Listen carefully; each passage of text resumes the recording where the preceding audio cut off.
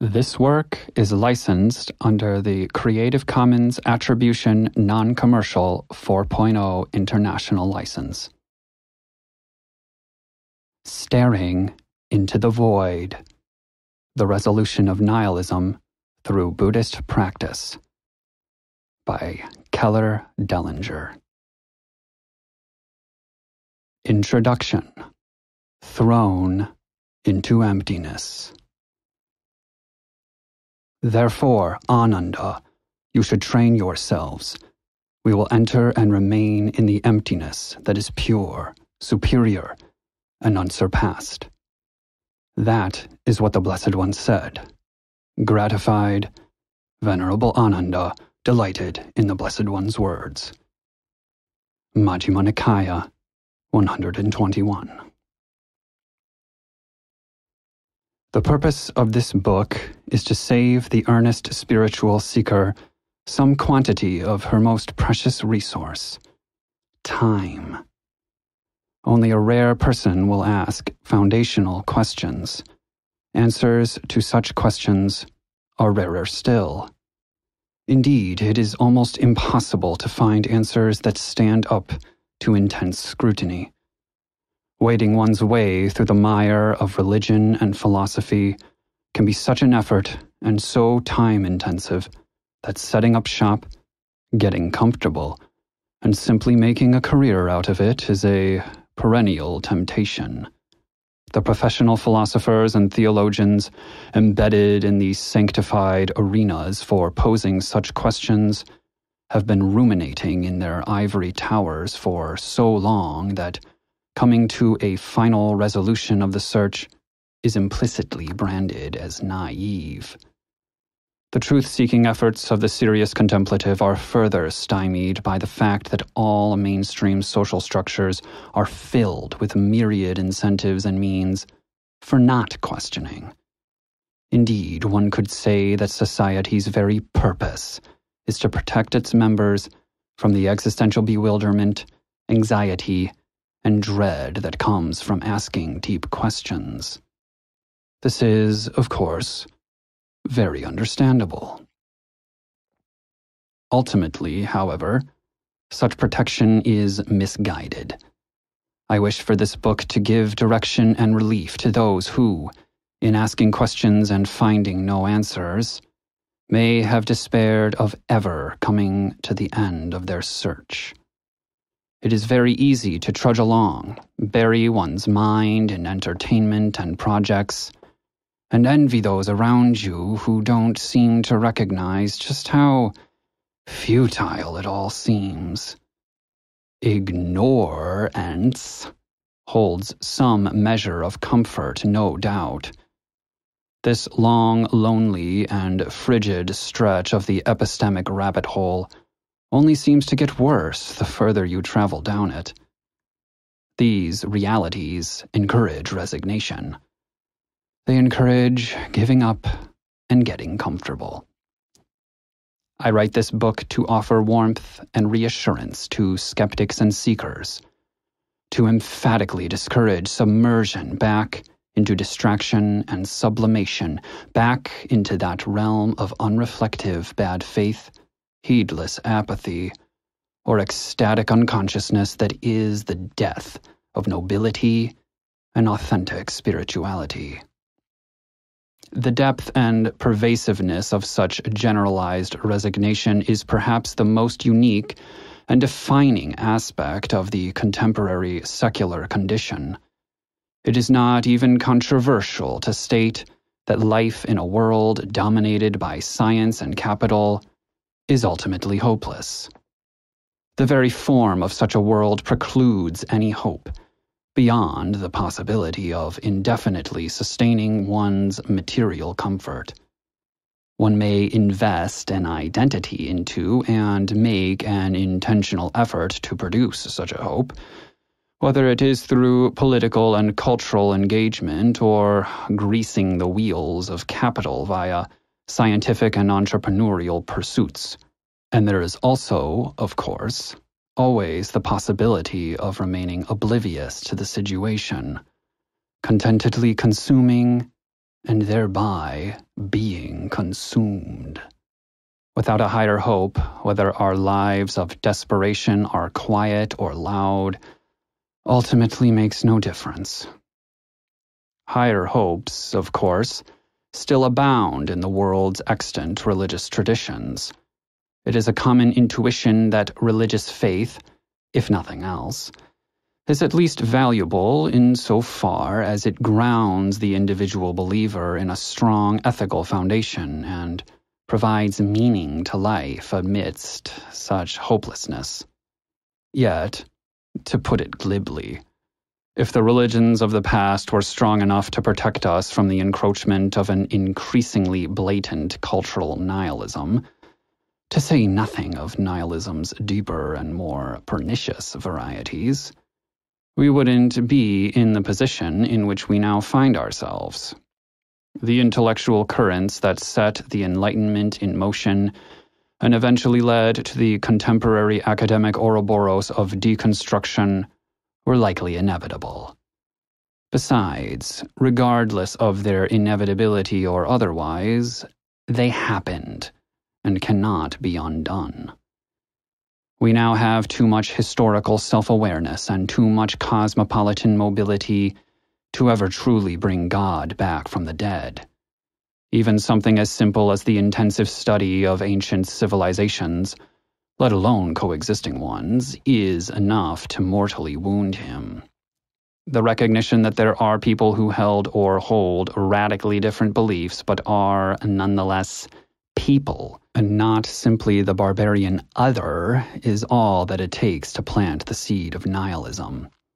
Once faith is revealed to be a simple and fragile choice, as opposed to something so ubiquitous, all encompassing, and presupposed that it could be likened to water or oxygen, the first step into the void has already been taken. No, nihilism is not a problem that faith can ever solve. Although it is associated with crises of faith, political and social malaise, depression, and Kafka esque bewilderment, nihilism is a much deeper, more primordial problem than any of these. Despite this, a standard definition for the phenomenon has remained elusive in the literature on nihilism. As Karen Carr explains, the diverse efforts to analyze and understand nihilism have remained largely isolated from one another. There is no real tradition of literature on nihilism, nor is there unanimity about how nihilism should be defined. In that same work, Carr delineates a taxonomy of nihilism which is standard in the literature that takes nihilism as its sole topic, including such subvarieties as epistemological nihilism, ontological nihilism, existential nihilism, and ethical nihilism. There appears to be consensus regarding the specific character of each one of the subvarieties, so it would seem that the more general definition of nihilism proper remains the sole ambiguity. This ambiguity is not accidental, nor is it contrived. Keeping nihilism ambiguous, chopping it up into different pieces and sublimating those pieces into arcane discussions of the works of obscurantist philosophers or into reactionary cultural warfare blaming those same philosophers for the corruption of our society keeps the problem at arm's length. As previously suggested, any attempt to truly address nihilism will never be permitted to enter the wider public consciousness. There is a reason why heretics have always been treated with such swift and violent reprisal our social immune system is most sensitive to such infections. But enough of all that. Let's get down with the sickness and have our definition. Nihilism, the desire for intellectual security, juxtaposed with the manifest impossibility of ever attaining such security. This definition naturally demands further analysis, and this book will be partially, if not primarily, dedicated to satisfying this demand.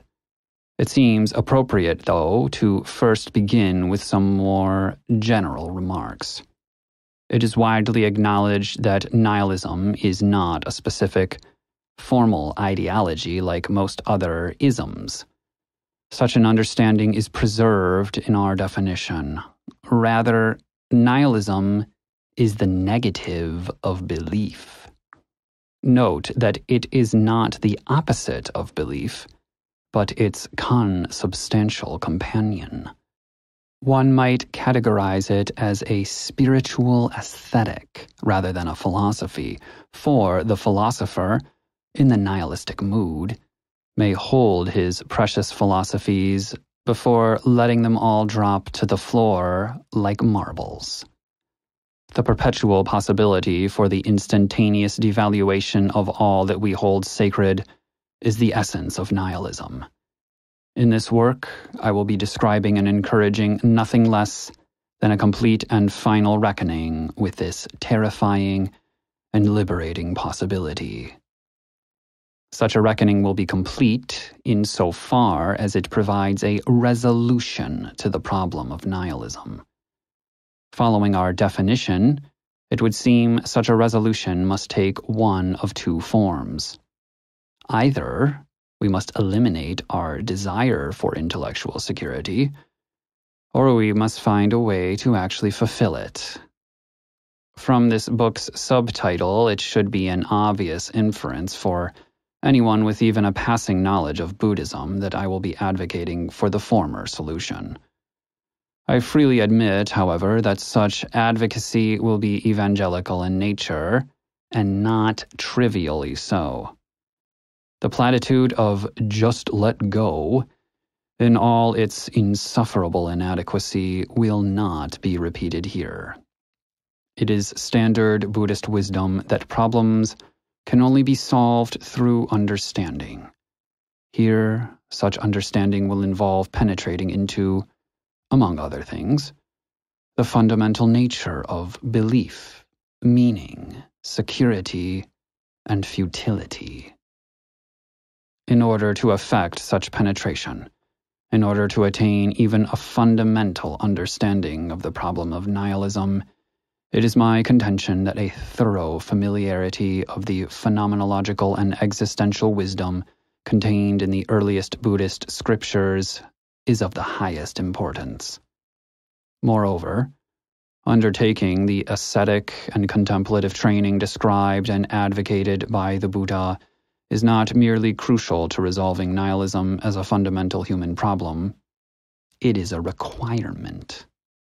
I understand that this may seem far fetched to some readers, doubting that some Indian ascetic from 2600 years ago could ever have something meaningful to say about such an abstract, anti religious, and culturally disparate topic as existential nihilism is reasonable. But like much that seems reasonable, it is also wholly mistaken. To very quickly demonstrate as much, to give just a hint at how anticipated philosophers like Kierkegaard, Heidegger, and Sartre were by the Buddha, let us simply compare two brief quotations. One from Sartre's existential magnum opus, being and nothingness, and the other from the Samyutta Nikaya, an early Buddhist collection of scriptures. Consciousness does not have by itself any sufficiency of being as an absolute subjectivity. From the start, it refers to the thing. Just as two sheaves of reeds might stand leaning against each other, so too, with name and form as condition, consciousness comes to be. With consciousness as condition, name and form comes to be. This reality, the fact that there is no such thing as pure consciousness, and that consciousness cannot exist without its object and vice versa has been recognized completely independently in two radically different cultures and languages, separated by a gap of 2,500 years and the distance of an entire continent taken together with all the other incredible similarities between the insights contained in both the Buddhist discourses and the writings of the great phenomenologists, the close relationship of penetrating, corroborating discernment shared between the two is remarkable, to say the least. As I said before, my evangelism is not trivial. Accordingly, it will not take the common evangelical shape of attempting to simply modify your sense of identity and worldview. From my experiences with Buddhism as an institutional, historical, geographical, and sociological phenomenon, I can confidently say that for the vast majority of Buddhists, Buddhism is simply a religion like any other unreflectively adopting and submerging yourself into the doctrines, devotional rituals, and meditative techniques of your preferred Buddhist sect will not resolve the meaning of life, the universe, and everything. Resolving such questions requires going quite a bit deeper. Fortunately, the Buddha's teaching does indeed contain such depth, yet here we must do some disambiguation. What exactly do I mean by the Buddha's teaching? One could accurately describe the entire history of Buddhism as an attempt to answer that very question.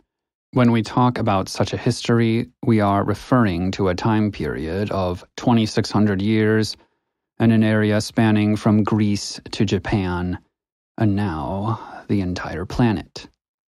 Branching modifications in doctrine, presentation, and technique over such a quantity of developmental space-time have led to a contemporary landscape filled with wildly divergent answers. Bringing the Buddha to bear on the problem of nihilism already represents something of a difficult bridge between East and West while an exposition of the entirety of post schismatic Buddhism, detailing all the masks the Buddha wears around the world, is obviously far outside the purview of this book. After investigating many such masks for myself, however, it was actually the oldest one that seemed to speak most directly to the burning problems of contemporary life. Through critical, historical, and textual analysis, the academic field of early Buddhist studies has convincingly triangulated what scriptures amongst the gigantic Buddhist corpus are most closely linked to the oldest oral tradition, which ostensibly began with the personal disciples of the Buddha. While such teachings are preserved in multiple different recensions in multiple languages, which is one major reason why they are considered early, the most fully translated of these and the corpus with which I am most familiar are the early scriptures preserved in the Pali Canon. As such, I will hereafter be referring to the teachings of the Buddha as the Dhamma. This is a Pali word equivalent to the Sanskrit word dharma, with such diverse meanings as teaching, way of life, truth with a capital T, and phenomenon. In situating ourselves squarely and exclusively within the early canon, we avoid two trends in later Buddhist development that are, to some extent, rather counterproductive to the existential interpretation and implementation of the Dhamma that will characterize this book. These two trends are, in historical order, the development of Buddhist scholasticism, exemplified by the systematic, comprehensive, and highly analytic interpretation of the Dhamma known as the Abhidhamma, followed later by the textual, cultural, geographical and metaphysical proliferation represented by Mahayana Buddhism. We may summarize setting aside later developments by stating that both trends, in their own way, diluted the sense of down to earth immediacy, existential renunciate urgency, and straightforward pedagogy that can be discerned in many of the early texts. Of course, it is still necessary to justify the choice to retain fidelity to an ostensibly arbitrary pseudo historical figure.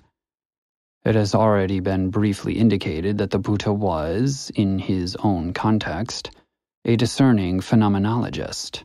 That is, a philosopher concerned with phenomena as they are directly apprehended in experience. To label him with an even more specific anachronism, he was an existential phenomenologist. The Buddha was deeply concerned with the nature of human existence as it is directly experienced and the dynamic relationship that nature maintains with our attitudes, choices, and notions of identity. Through the understanding he developed, the Buddha went from descriptive analysis into the prescriptive domain, expounding a very specific and detailed regimen of action, contemplation, and non action for solving not merely specific spiritual or philosophical problems, but solving problem itself. Thus, in categorizing the Buddha as an existentialist, we here have linked the Dhamma to our unifying project of successfully reckoning with nihilism, because it is in existential philosophy that such a reckoning has been previously attempted. Of course, one could perhaps even go so far as to characterize the entirety of 20th century philosophy as just such a reckoning. Heidegger approaching nihilism from the bottom up, and Wittgenstein from the top down, so to speak. It goes without saying that they were all unsuccessful, but this raises a question. If I'm so convinced that the Dhamma holds the key to unraveling nihilism, why even bother discussing these pesky philosophers at all? We may answer such a question in one word thrownness. Lev Shestov described the Western intellectual tradition as a marriage between the reason of Athens and the faith of Jerusalem in an unprecedented but hitherto relatively unacknowledged event, Martin Heidegger's development of this one word concept, thrownness, inadvertently forged a new link, one between the tradition of Athens and the tradition of Savatthi. For it is in thrownness that the metaphysical and ethical angst of the existentialists meet the renunciate insight of the Buddha. Thrownness, Geworfenheit in German, indicates the arbitrary, unownable, inescapable thusness of human existence. That your experience of reading this sentence is the way that it is, that it came to be this way in a manner totally outside of your comprehension or control, and that you are nonetheless thrown into that experience whether you like it or not. This is thrownness. Thrownness may have been a relatively new idea for the West in 1927, but grappling with thrownness has been a part of Eastern spirituality and philosophy from the very beginning. In a moving testament to the timelessness of our human plight, we find an Indian sage lamenting in the Rig Veda, the oldest of the Vedas and amongst the most ancient pieces of literature in the world What thing I truly am, I know not clearly. Bewildered and bound with a mind, I wander. Some readers may have felt pangs of the uncanny as thrownness was forced upon them in real time at the end of the last paragraph. This Vedic quote is an authentic expression of that very same emotion, expanded out to a cosmological level. Thrownness is the silence that our pleas for a secure, sensible world falls into unheard. Thrownness is the condition for our apprehension of values and for their slipping out of our fingers. Thrownness is that mist out of which our world and our lives are made. Thrownness is the pleasures we consume, turning to dust in our mouths. Thrownness is what we put up walls to keep out. Thrownness is the core of layer upon layer of distraction. Thrownness is the impossibility of control. Thrownness is what God allowed us to forget. Thrownness is birth and death. Thrownness is the primordial horror of being. The full, unbridled, unprepared apprehension of thrownness is the stuff nightmares are made of. Did Heidegger truly comprehend all of what I just described? Did he really understand what he was getting himself into? From his naturally unfolding discussions of such topics as angst, the conscience, and death, it would seem that intuitively, in some limited way, he did. But did he reflect upon publishing Being and Time as Robert Oppenheimer did upon developing the atomic bomb? Of course not. Why would he? Relatively few people would ever read his philosophical tome, and far fewer would understand it. Moreover, even if they did read and understand, because of their indulgent lifestyle and unquestioned, culturally conditioned attitudes regarding the nature of happiness, the Western philosophical community would not, as Heidegger did not, connect the nature of thrownness with a far more important topic, namely, the nature of suffering. This relative obscurity at least prevented Heidegger from suffering that further indignity placed upon the legacy of the Buddha the indignity of being made into a god, an inhuman, inscrutable metaphysical principle placed on a pedestal out of reach. Exhortations of the dangers of social entanglement and sensuality falling on mostly deaf ears before eventually being almost entirely discarded. It should not come as controversial to anyone familiar with the movement to say that, despite its shortcomings, and though many of its most important contributors were atheists, existentialism is the most deeply spiritual of all the philosophical schools. Yet, can it even accurately be called a discipline? After Sartre, it seems, the whole movement simply dried up. I suppose there was just nothing else left to say.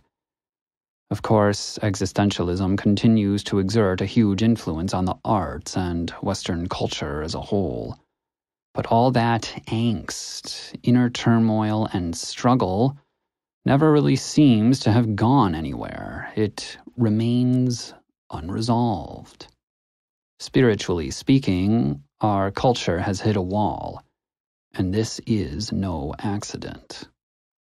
It is in our fear of thrownness, in our putting up barriers to avoid it, that we do not recognize the radical ramifications such a recognition should have on our lives.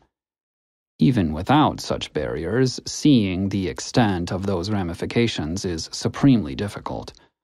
On the face of it, Sartre was correct to assert that we are completely free, completely responsible for our lives and our beliefs, and are simply doomed to live in agony of that reality or ignore it via living in bad faith. Man is a useless passion. End of story. What else could there be? This is, of course, where the Buddha comes in. In putting the Buddha in conversation with existentialism, we will accomplish two aims. Firstly, through engaging with the Dhamma, we will be granting existentialism its climax and resolution. We can all finally put down our coffee and cigarettes and go home, or, rather, to the monastery. Secondly, by interpreting the Dhamma through Heidegger and Sartre, we will also be injecting some of that sweet existential angst into our understanding of the Buddha's message. This angst, along with the precision of language and immediacy of the existentialist discourse, will ameliorate some of the stiffness and ontological calcification that Buddhism has accumulated over the millennia. Existentialism goes straight to the heart. So should the Dhamma. Due to the inevitable entropic dullness and domestication the Dhamma has endured over time, as well as the cultural gap that must be crossed, it can be difficult for the curious Westerner to discern any existential threat or admonishment emanating from what often amounts to a bald, smiling fat man sitting cross legged in some robes. However, upon closer inspection, the spiritual ideal promoted in Buddhism's earliest text can elicit some more aversive reactions when exposed to modern Western ears. Exhortations like those in the following quotes begin to draw out the more macabre or asocial aspects of the Dhamma, aspects that, judging by how frequently he seems to have taught them, the Buddha took with grave seriousness and have always been at odds with genteel sensibilities. One whose mind is enmeshed in sympathy for friends and companions neglects the true goal. Seeing this danger in intimacy, wander alone like a rhinoceros.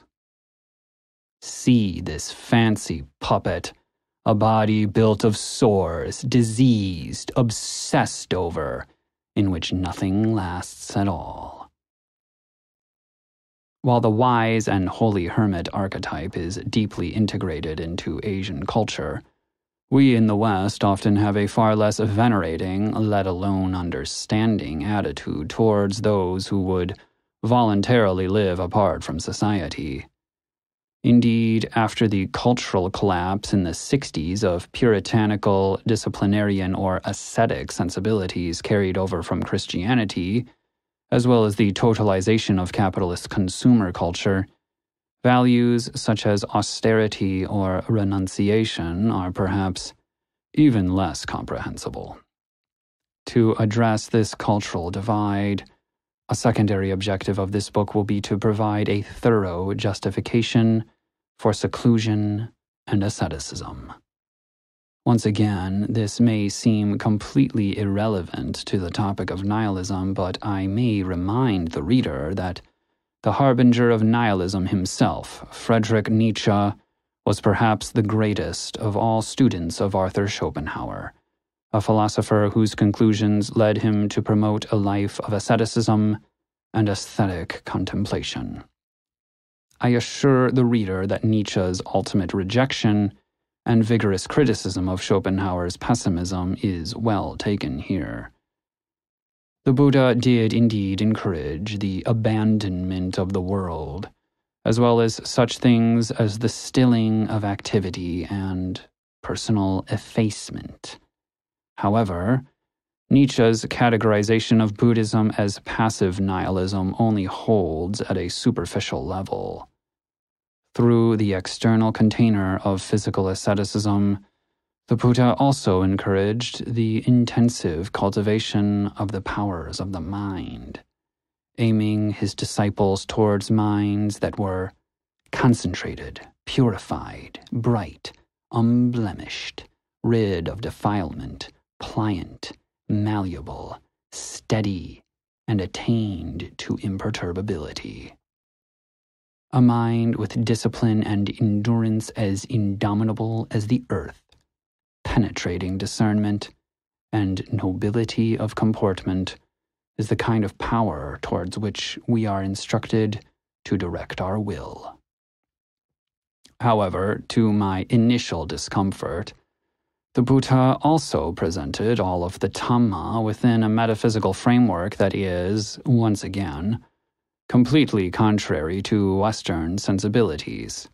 Whether it is the apocalyptic, temporally finite Abrahamic cosmology or the skeptical, rational, materialist worldview presented in the physical sciences, the Buddhist mythos of hierarchical realms of existence populated by fantastic supernatural entities transmigrating through rebirth is anathema. Let me state at the outset that I very much sympathize with discomfort, if not outright disdain, towards any notions of the supernatural. My exploration of Buddhism only began out of sheer existential desperation, a deep need to put an end to the futility of endless transvaluation, and I carried an intense defensive skepticism into my initial engagement with the Dhamma.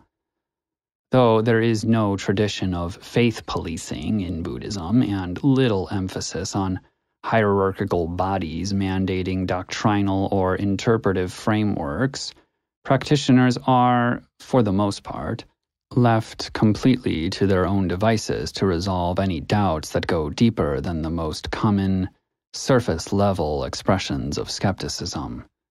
So, beyond whatever distinct intellectual project this book represents, a major motivation for my writing it is that I have yet to find a single tradition or teacher in the Buddhist world that is both adequately equipped to speak to radical skepticism and also makes a point of doing so thoroughly, publicly, and explicitly. This is another very understandable situation, as such a phenomenon was simply not an issue that any of Buddhism's traditional forms ever had to deal with and you're not going to find many Max Stirners amongst the usual Buddha curious Western crowd. My skeptical readers, therefore, should consider this book to be their official gateway to the Buddhist world. I myself first approached Buddhism with a positively colonial attitude, attempting to plunder this tradition of all its resources while throwing out all that I deemed to be superstitious nonsense. So long as such an attitude is accompanied by a great deal of intellectual integrity and a seedling of humility, I can confirm from experience that such an initial approach is perfectly adequate. If you are willing to meet the Dhamma where it is, grapple with its ideas and give its recommendations a thorough, sincere try, you may find that its wisdom and even its radical character far exceeds your own.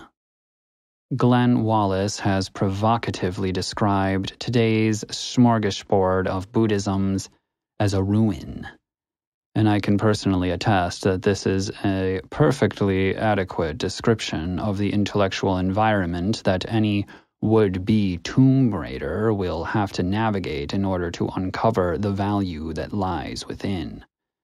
On the outskirts of our ruined city of Buddhism, there are thriving communities of tourists and ritualists selling souvenirs and engaging in traditions of devotion that originated who knows where or when. Each of the communities are doing very different and often contradictory things, but all saying that their rituals are those that were passed down directly from the Buddha himself. Yet, if you start to follow some of the archaeologists into the heart of the ruin, the obvious differences between the architecture of the outskirts and that within the center of the city make it clear that a lot has changed in 2600 years, that the traditions of the extant Buddhist lineages aren't nearly as old or as uncorrupted as they might claim, and that it's hard to tell whether the changes were for better or worse. Uncovering the truth behind the ruin takes effort, discernment, scholarship, integrity, and a willingness to question the neat and tidy narratives that serve as the foundation of contemporary Buddhism's self identity. I think skeptics from all walks of life are very well equipped to undertake this labor and reap the benefits. And there are, indeed, plentiful benefits to be had, even in mundane terms. I thought I had questioned everything down to the ground, but the Dhamma exposed within me a whole host of assumptions, false imaginings, and prejudices that I would have never otherwise recognized. In this way, the Dhamma can actually function as a valuable tool for the committed skeptic and truth seeker, so long as they are willing to turn the knife on themselves. In doing so, you may find that the city you were born in is also a ruin. You just never cared to notice before. Thus, by coming into authentic, sympathetic conversation with skepticism, I hope to challenge the secular assumptions that underlie much of the spiritual malaise and dysfunction seen in the world today and provide a tenable alternative. For effectively disentangling ourselves from the global hegemonic culture of humanistic materialism will be crucial to resolving the anxiety and insecurity that drives us further into financial and emotional debt and away from the most pressing issues of life. So, if you are a dogmatic adherent to the ideals and metaphysics of modernity and are simply looking for a flavor of Buddhism that can be easily metabolized into a new psycho spiritual therapeutic modality, you best look elsewhere. Given the domination of non renunciate, feel good praxis within Western Buddhism, you will not have to look very far. If it has no other merits whatsoever, I hope at the very least that the contents of this book will render it impossible to be appropriated by the American self help industry. I will not be offering up another example of a soteriologically neutered, socially engaged secular Buddhism. Whether it has a rationalist or New Age flavor, Western Buddhism is often deeply antinomian and world friendly. While such expressions of religiosity are no doubt authentically Buddhist in the socio historical sense, I must state that I will be advocating an approach to the Dhamma that, following the earliest texts, stands directly opposed to such conceptions of spirituality. Domesticating the Dhamma into a reasonable and empirical, though archaic, philosophical system that may be comfortably consumed appreciated for its lack of insistence on any particular oaths of faith or fealty, and then placed back on the bookshelf, ignores the single non negotiable prerequisite for entering into discipleship with the Buddha an openness to the possibility that all of your most fundamental assumptions about the nature of happiness and all of your most cherished habits of thought and behavior are entirely, categorically, irretrievably misguided. Existentialism may be a humanism, but the Dhamma is certainly not. In his foundational work on the topic, the philosopher Robert Rosen wrote Nihilism is a perennial human danger. It cannot be solved without the dissolution of human nature. I affirm and extol that such a dissolution is exactly what the Buddha described and prescribed. What must be done in response to the recognition of thrownness, in response to nihilistic absurdity, and in response to the perpetual pressure and stress of simply existing, goes directly against the grain of the most fundamental human assumptions and the structure of every society that has ever existed. The Dhamma is deeply, deeply radical, and our foray into existentialism is intended only to highlight and enhance that radicalism. We will be staring deeply into the abyss. For this, we must do to finally cure ourselves of Nietzsche's uncanniest of all guests. But is our situation truly so dire to warrant such desperate measures?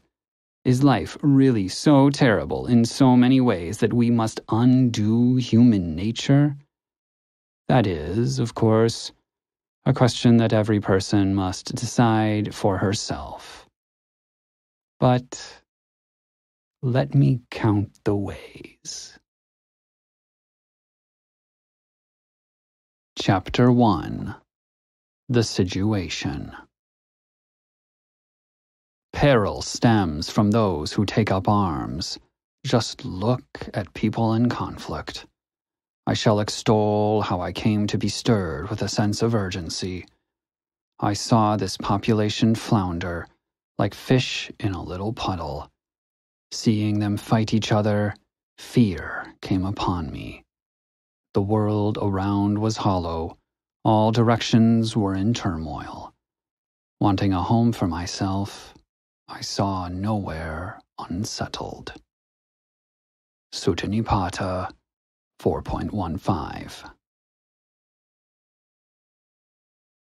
Though the structure of our now globalized society continues to do its best to prevent serious people from asking serious questions, in recent years I think it has become apparent to even the most flippant among us that something is very wrong with the ideological framework within which our lives are lived.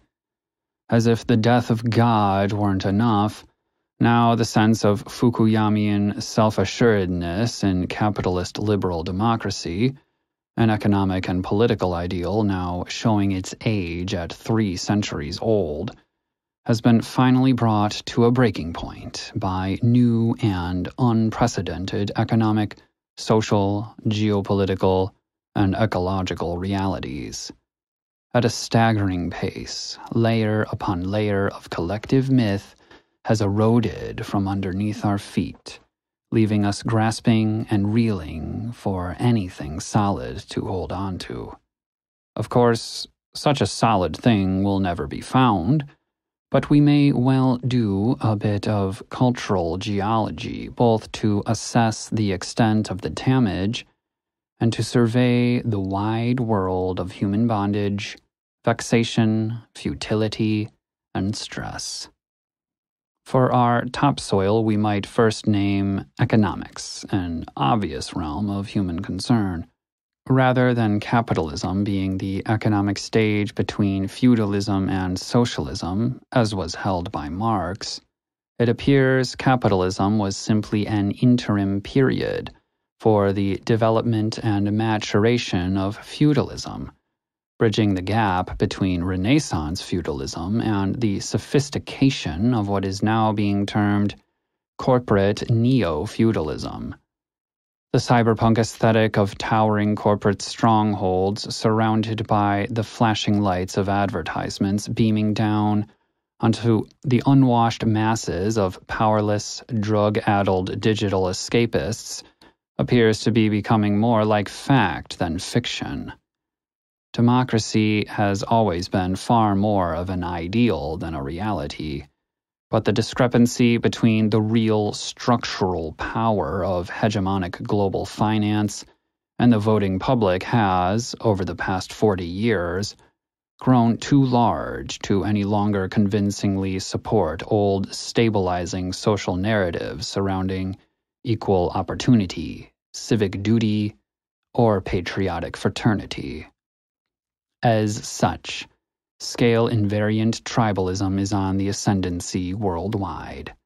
Western politics, in the same spirit of post irony that most of our other cultural spaces now inhabit, has embraced a fully theatrical character, in degrees shedding the inhibitions of sanctimonious conceit. Politics, to use the terminology of that enduring form of morality play we call professional wrestling, has broken kayfabe. Malthusian pressures, unprecedented age demographic crises, ecological collapse, supply chain disruption and relocalization, as well as the looming but ambiguous threats of peak oil and global climate change, are gradually changing family dynamics and consumption habits, forcing many young adults in the developed world to curtail their expectations about the kind of life they and their very small number of children can expect to have. In the same way you can engage in simulated, ineffectual politics on social media, we may also now simulate social cohesion and spiritual significance in a wide marketplace of fandoms, body idolatry, and religious role play. Political tribalism may be all the rage to both engage in and complain about, but it is these three activities that form the most subtly pernicious and ubiquitous forms of tribalism in our society. Pointing out the abject decadence of fandom culture is likely uncontroversial and not in any particular need of further analysis beyond the clarification that in the designation of fandoms, I am including not just video games, Marvel movies, and anime, but also professional athletics and music of all kinds. The body idolatry of the contemporary wellness and longevity movements is a more tantalizing subject but what makes it idolatry rather than simply informed and engaged expressions of personal stewardship is its spiritual context. In the West and all of the West's cultural satellites, which is essentially the entire world at this point, such a spiritual context, as briefly mentioned in the introduction, is deeply lacking. Though often unrecognized, Nihilism is naturally the major source of this less than ideal spiritual climate. The reason for nihilism's lack of visibility, despite the fact that its visibility has been rising in recent times, is that its most common expressions are entirely implicit. The common nihilist is no reader of Cioran or Schopenhauer. Rather, it's the person who has never picked up a book of philosophy in their life and just doesn't really care, and does what they please. One may bring to mind the evocative climax of The Godfather, in which the ascendant mob boss Michael Corleone affirms to a priest at the baptism of his child that he rejects Satan while the gruesome results of Michael's orders to have all his criminal rivals brutally murdered are cut into the ceremony. It is easy to imagine such striking hypocrisies repeated countless times in Italy and the rest of Christendom since the very beginning. At least Alexander the Great or Genghis Khan weren't being hypocrites. Pointing out the implicit nihilism in the act of sin, though nihilism itself may not be explicitly named, is a well worn topic of Jewish, Christian, and Islamic sermons. But simply leaving it at, ah, well, I'm not a murderer, I believe in the right God, and I pay my taxes, so heaven, here I come, is spiritually naive at best. Given the way that politics is starting to take on a quasi religious emotive character, it seems that most people intuitively feel the inadequacy of such an outlook. There's a real depth to the pent up yearning for making something meaningful of our lives in the modern world, as that yearning has so very few authentic avenues of expression in our society. The hopelessness of the capitalist worldview I wrote of in the introduction has become so total that people are en masse reaching out for just about anything that could provide an alternative to the listless, mechanical, trivial existence of turning their lives into a number on a banker's computer screen. This dynamic of nihilism and quiet desperation is so old that it was even recognized by Thoreau in the 1800s, and though it has been intensified by our peculiar social conditions, we are all individually culpable for allowing it to take hold and reproduce itself in our bodies and minds. So, let me provide a little trans-religious sermon of my own to more fully illustrate this source of humanity's enduring spiritual weakness. I'll begin my sermon with an anecdote. When I was in university and walking the halls, I would often pass a group of Muslim students sitting together, studying and socializing displaying the natural insularity of American minority groups everywhere. Ever a student of humanity, I would often attempt to slow my walking pace and eavesdrop a bit on such groups to put my finger on the pulse of a culture that I had little other direct opportunities to encounter. One day I saw and heard the women of the group drawing attention to and complimenting a colorful, fashionable headscarf newly purchased by one of their members, and I was floored by this seemingly innocuous conversation. There is a perception in America, founded on a great deal of truth in my experience, that our minority Middle Eastern and Indian populations are very conservative, family oriented, and resistant to the secular decadence of American life. But after seeing this small example of religious commodification, all I could think to myself was, the process has begun. I think to some extent we can all vaguely feel the decadence contained in the subtle cultural movements this anecdote exemplifies. But what is often unseen and unexplored is the nature of decadence. What we have in the headscarf example is a very subtle but tangible hypocrisy between the modesty that is the ostensible purpose of a headscarf and the vanity of fashion. It's not at the level of Don Corleone, but it's there. Going a bit deeper, we have a conflict in values between two competing ideologies and, more importantly, the incentive structures of those ideologies. On one hand, we have the salvation and virtue granted through submission to Allah. On the other, we have the pleasure, entertainment, and ease of conscience granted by the secular capitalist world. Even this understanding just described is a relatively commonplace one.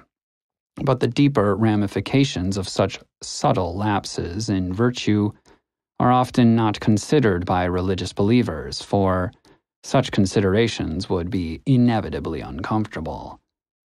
Insofar as you tell yourself that you value virtue, any breach or even minor compromise of that virtue is direct, tangible evidence that you don't believe what you say you do. There are complex theological, psychological, and sociological mechanisms for suppressing this kind of revelation. Christians can point to original sin, and Buddhists or Hindus can claim that their unskillful actions were conditioned by karma, but these are classic examples of what Sartre called bad faith. These cop outs are covering up the very real truth that your choices are your values. Your values are not out there somewhere in the ether of a material brain or the soul residing in some platonic metaspace or the karmic astral plane or whatever. They are built out of and manifest in countless ethical choices that can assault you without warning at any time, every conscious moment of your life. This is all very standard existentialist discourse, but one concept emphasized by the Buddha that can enrich it further is the emotional relationship we maintain with our metaphysical beliefs, with our assumptions about the nature of self and world. There is a notion in Abrahamic religions that subjugating oneself and opening totally and exclusively to the will of God is a humble, noble, selfless decision compared to the selfish and base path of worldly things and vice. This kind of view is less common in the Buddhist world, though forms of it are still there. Zen monks burning their fingers off have much in common with Christian martyrs. What is not often recognized in such displays is the deep amount of gratification that people extract from their beliefs. The difficulty in recognizing that gratification comes from the fact that it is much more of a slow burn than pleasures of the more carnal variety on top of the fact that acknowledging just how self centered our devotion truly is would often be embarrassing, if not completely destabilizing. But it's not very hard to pull down the facade. Just question their beliefs, and most people react as strongly as if you'd just slapped them in the face. People feed voraciously on the apparent security their identity grants them and even the most beautiful, noble, laborious, and compassionate actions have some aspect of instant gratification to them. I once heard a cocaine addict talk about how a big part of his addiction was simply the need to purchase and possess the cocaine without necessarily even needing to use it. Just the security of knowing that it was there and available for future use was relief in itself. This surprisingly insightful analysis is incredibly valuable in understanding all the more complex aspects of the human condition. Far, far more than pleasure itself, people value the idea of pleasure we value the security of believing ourselves to be in a world where comfort and pleasure are readily and easily accessible, and discomfort and pain are distant and preventable. Whether it's the security of believing in the certainty of a heavenly afterlife or the certainty of your next drug fix, the principle is the same. You may deem it reductionist and offensive to equivocate between faith and drug addiction, but, as previously discussed, such faith is, in action, often not as deep as we might like to believe. In fact, faith is always internally objectified and commodified. It is made into a fetish of security against the pressures of life against the threat of nihilism, and yet the nihilism is still right there in the slipperiness of the fetish. A headscarf fetish signifying piety simultaneously signifies group membership and can be easily co opted to further signify individual beauty, conspicuous consumption, and freedom of expression. In other words, it is co opted by the very same hedonic impulses and attitudes that support the adoption of the initial noble ideal. The domination of the pleasure principle remains. The longing of the heart can be covered over in innumerable ways, and since none of them ever actually resolve the longing, keeping any one of the methods solid or pure is ultimately impossible. The craving will eventually slip out for a midnight snack to get its fix. If faith were actually enough, we wouldn't build cathedrals. This is what gives capitalism its character as decadence essentialized. Decadence is the slipping and sliding of the fundamental impulse towards gratification into every and any available expression that catches our fancy. Capitalism is simply the most recent and most totalized form of the beginningless impulse for individuals and their cultures to expand themselves to meet this proliferation, and now, under capitalism, to even encourage it.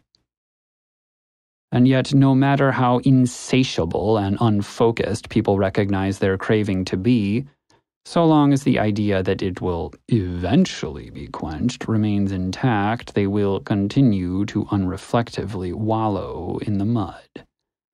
All that I described can be easily appropriated to reinforce the awe of the believer in the compassion of their Creator over such wretched beings as us. There's really no getting around the need to address this, so Let's look a little closer at this monotheistic compassion. Intuitively, life lived with our limbs extended into every honeypot that comes our way, although we may become trapped by this, is at least an adequate means of coping with this mortal coil until we may enjoy the splendor, or at least the oblivion, of death. Well, I'm sure you've already guessed that your Eeyore author is not going to let Pooh Bear enjoy his honey in peace. Let's assume that the monotheism of your choice is all completely true. And now, let's suppose that we're all dead right now, that we all acted in the right ways and believed the right things to qualify for entry into paradise. Oh my goodness, it's so wonderful. I don't even know what to do first. Now stop. Right there, right in the very first moment of eternal bliss, we already have our first bit of suffering. There was the subtle stress of a mind overwhelmed with all the possibilities for gratification the insecurity of the impulse to suck it all in as quickly as possible, the uncertainty of not knowing where to prioritize our attention. Even if we have free lifetime tickets, upon walking through the gates of the theme park, we still need to choose what ride to go on first. And as any vacationing parent can tell you, having to make such choices is inevitably just a tad annoying. We are met here with the inescapable reality that the very need to engage with perfection necessarily conditions a less than perfect experience. Far beyond the taint of sin, consciousness and free will themselves have been revealed to be a vessel of imperfection. Let's flag this as the tiny straw problem of salvation. This is a problem that besets any soteriology that is very physical in nature. Physical in the sense that it basically posits a metaphysical, cleaned up version of the world we live in now. People in this kind of heaven never die or age or feel pain and basically have superpowers, and there's an infinite abundance of pleasurable objects to enjoy, but the fundamental way that it's all experienced is through some kind of concrete, finite analog of the physical body. In this kind of heaven, there would always still be that subtle pressure of looking for what's next and what's new. At the very least, we would need to learn to chill out and let infinity flow over us there would be the impulse to explore this newly opened capacity for a relationship with God, attempting to contemplate and glorify the infinite. But this contemplation would always ultimately fail due to the finite reality of the sense experience that contemplation would occur within. The infinite can never adequately fit into the finite. If our memory remained functional and perpetually intact, we would also, after the equivalent of a few trillion years, eventually just get bored. You can only wade through an infinity of perfection for so long until the impulse to be further bombarded with bliss would begin to fade.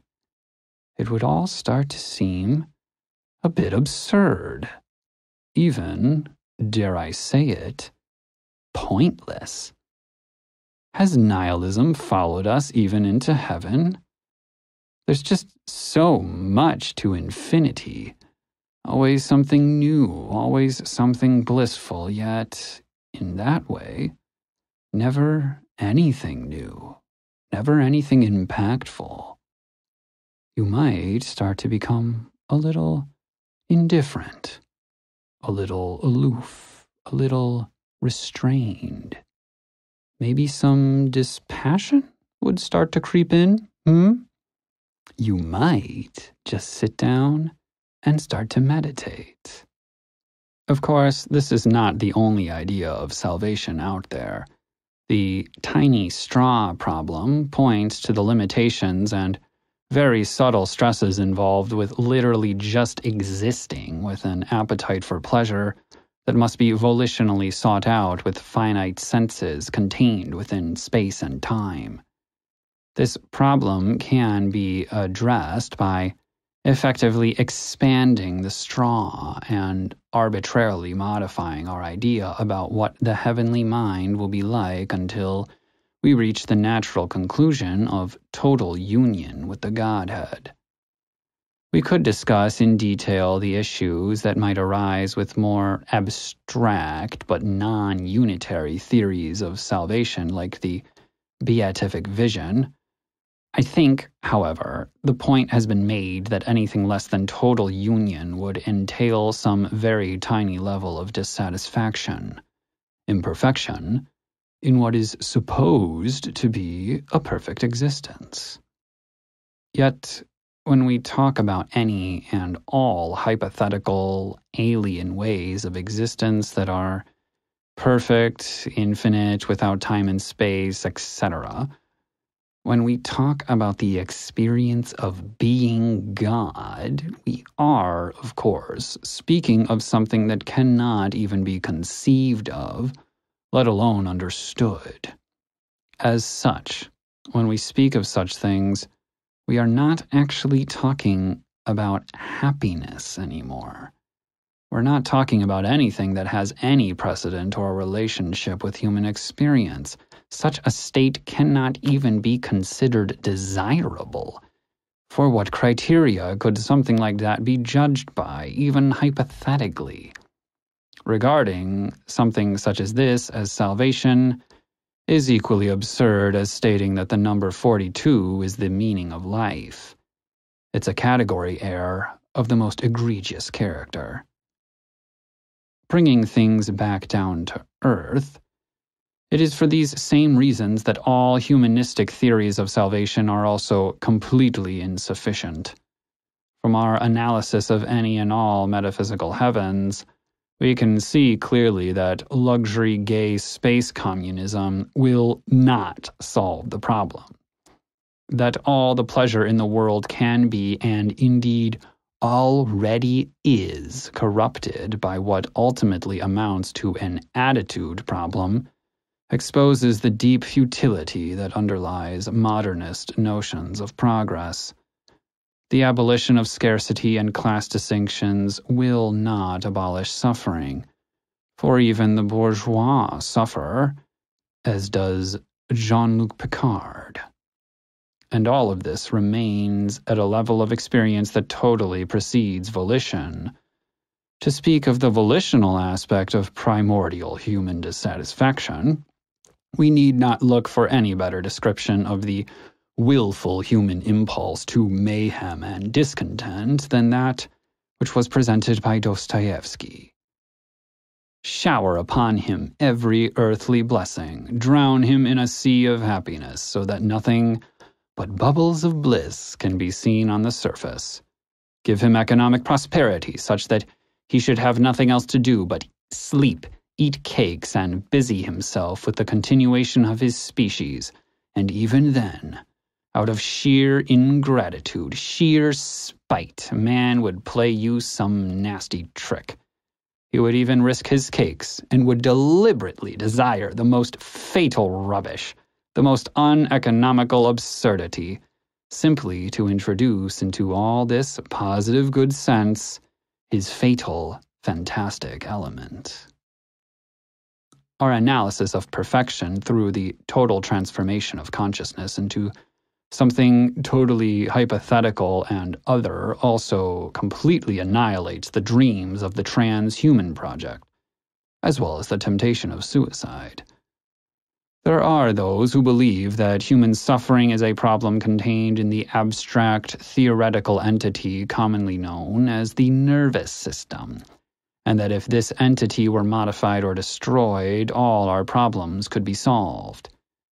Even if such people admit that lack of pleasure or presence of pain is not the core issue, they may still hold out in the hopes that whatever material process it is that causes dissatisfaction could eventually be ameliorated by genetic, pharmaceutical, cybernetic, or traumatic ballistic interventions.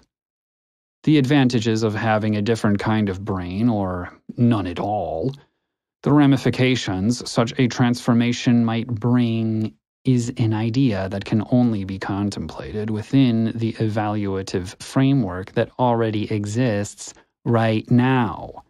A framework whose assumptions would no longer apply to ways of being that are, by definition, outside the framework. Logical positivism as a whole may have been a philosophical dead end, but there is wisdom in the maxim whereof one cannot speak, thereof one must be silent. The whole foolish notion of things existing outside the framework is actually deeply intertwined with the whole unenlightened process of craving and suffering, but that is a discussion we will save for later chapters. We thus arrive at the lament voiced by Wittgenstein that even if all possible scientific questions be answered, the problems of life have still not been touched at all. Every attempt we make at understanding and manipulating the world around us, all the hopes we have about our God or our ambitions saving us from our plight, all are born out of the very same craving that will still be there even if we achieve everything our hearts desire. For the satisfaction of desire is not actually how we derive gratification from the world. As we saw in the cocaine example, the gratification is already present in the attitude of anticipation. This is a dynamic that can be seen directly for yourself. If you're still in the business of riding the pleasure boat, the next time you indulge yourself, just try to actually pay attention to where the enjoyment is coming from. What parts of, say, a wonderful meal are actually the good parts on a moment to moment basis? Is it in the actual tastes themselves? Or is it in all the narratives you tell yourself about how you're going to love this food, the anticipation of sitting at the table knowing that the good feels are on their way, the act of socially valorizing, glamorizing, and delighting in what you're experiencing with the people around you. Oh, this is so good. If you pay attention to these things and compare them to the immediate experience of tasting the food, you may notice that the pleasure experience itself is relatively hollow and unfulfilling. It's just there, dead as a log. It takes all the effort of our willful reactionary emotional explosion to take that dead pleasure and turn it into something actually enjoyable. We delight in delight itself, not the objects of our delight. Or, in the words of the Buddha, greedy intention is a person's sensual pleasure. The world's pretty things stay just as they are. Incidentally, whenever the words sensual or sensuality are used in Buddhist circles, They generally have a broader meaning than the narrowly sexual connotation that word often carries. For a while, I wondered why translators didn't instead use a word like sensory in order to avoid that confusion, but as my understanding of the Dhamma grew, I started to recognize how thematically valuable it was to leverage the emotional intensity of that sexual connotation and expand it to the totality of our interactions with pleasure and pain. If you pay even closer attention to this curious phenomenon that is sensuality, you will inevitably start to notice that all of that valorization and delight, despite granting a relative gratification, simultaneously contains within it a fundamental, inescapable tension, a yearning of the heart, an insecurity an agitation.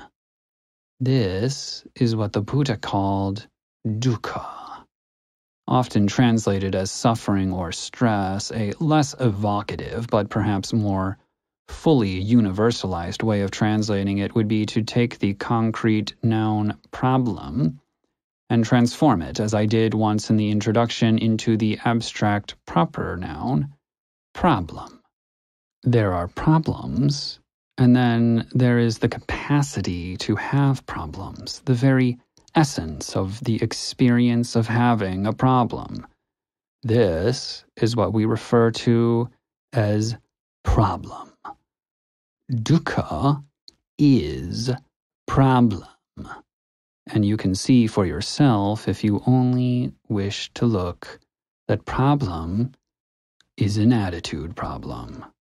Dukkha is so pernicious precisely because it involves continually ignoring the fact that it's our attitude towards what we conceive to be the problem, the very tendency to conceive the problem in terms of pleasure and pain, that is itself the problem. This is what the Buddha called avijja, or ignorance we ignore that all the gratification we get by pursuing pleasure is directly and inexorably bound up with the very dukkha that gratification is attempting to escape. The pleasure of gratification is impossible to experience without simultaneously, at the exact same moment, experiencing the pain of separation from the desired. Insofar as we repeatedly choose to reify and identify with this fundamental framework of pursuit and gratification, we will never see that what we should actually be pursuing is freedom from gratification itself. If such a self destructive pursuit appears to be a paradox, craving to end craving. It only appears that way because the framework of your intentions, the framework of your entire world, is so thoroughly bound up with a self same identification with sensuality that you, understandably, cannot comprehend the difference between intentionality and craving.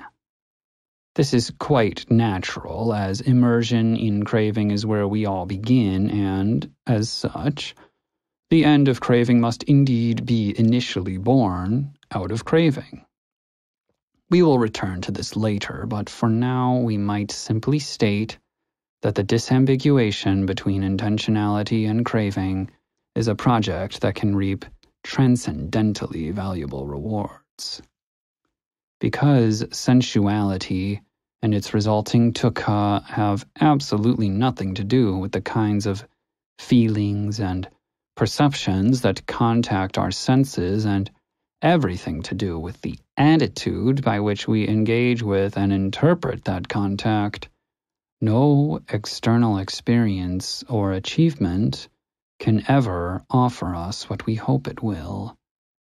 Getting enough Instagram followers will not solve problem.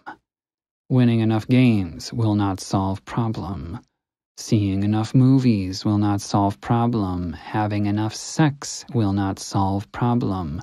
Earning the esteem of your society will not solve problem. Making enough money will not solve problem. Having enough intimate, fulfilling relationships will not solve problem. Helping enough people will not solve problem. Destroying the patriarchy will not solve problem. Removing the degenerates and reestablishing the true faith will not solve problem. Saving the planet will not solve problem. Developing a physical theory of everything will not solve problem. Killing yourself will not solve problem. Becoming immortal will not solve problem. Going to heaven will not solve problem. Becoming one with the universe will not solve problem. Ignoring all of this and just going about your life until you die will not solve problem. The reason why I went into some detail on salvation, on those highest imagined goods from cultures around the world, is that our lack of clarity regarding the things we desire and the things we believe is really the only reason why we're able to keep desiring and believing them in the first place. Whenever you start to tone down the valorization, when you actually just take a step back from the narrative of your life as it is now and whatever it is you believe about the hereafter, what inevitably starts to seep in is a very natural sense of disenchantment. So much conflict in the world is so concentrated on and wrapped up in poking holes in the beliefs of the other side, blaming them for all the world's problems instead of actually just playing the tape forward on our own beliefs. If we would do this, we would start to see the inadequacies intrinsic to our own most deeply held convictions. When you simply accept the theory of the world that has been drilled into you by your culture, it is easy to never consider the tape playing exercises I have just described because the very habit of not engaging in these exercises is the scale invariant fabric out of which your entire world is woven. For if you did dare to look, what you would see is that what we hold as good, what we hold as enough, will, when you look closely at it, never actually be good enough. Because good enough is an attitude, a choice. Thus, it is not something that God or the Buddha can grant you from on high. It's a choice that you need to make and continue to make and train and drill and study and understand until good enough is no longer even an issue. And that will be good enough. Out of the confusion of the 2010s and the pressure cooker of quarantine, there seems to have emerged some distributed sense of self reflection, a growing level of sobriety and authentic self doubt about what it really is that we're all doing with our lives, emotionally, practically, and intellectually. This Reflection is healthy, but what I have tried to indicate here is that so long as it stays on the level of economics, politics, culture, and science, it's not ultimately ever going to end up leading to anywhere worth going. There is so much abundance in the world today, so much ease of access to things previous generations of humans would have considered entirely relegated to the realm of the gods. Yet, so many of us are still absolutely miserable. There are cultural movements preempting the inevitable economic and ecological necessity of returning to simpler, less comfortable, but more meaningful ways of life, but what I hope to have made clear is that even the most conventionally wholesome, connected, stable life is still bound up with subtle levels of stress and agitation. Agitation that will eventually spill out into social and personal corrosion. Such is the nature of tanha, or craving.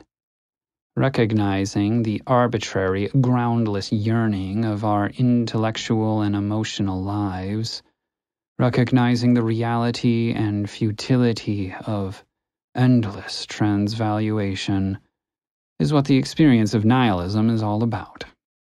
And so long as it is you in the paradise of your dreams and not some hypothetical, incomprehensibly perfect replacement doppelganger, nihilism and dukkha will follow.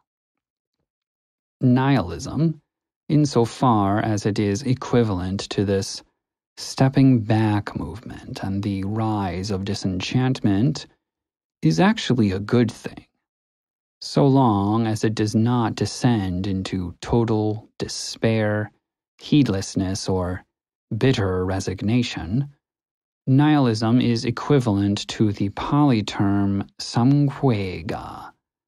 Scholar monk Thanissaro Bhikkhu describes samvega as the oppressive sense of shock, dismay, and alienation that come with realizing the futility and meaninglessness of life as it's normally lived, a chastening sense of our own complacency and foolishness in having let ourselves live so blindly, and an anxious sense of urgency in trying to find a way out of the meaningless cycle.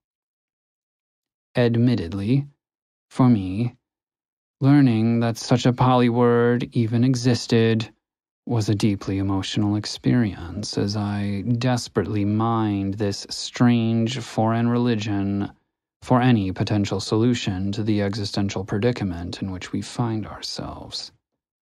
There it was evidence that the Buddha understood the problem that we are faced with in such a deep way that such a subtle and complicated emotion as existential angst was baked right into the very language the Dhamma has been preserved within.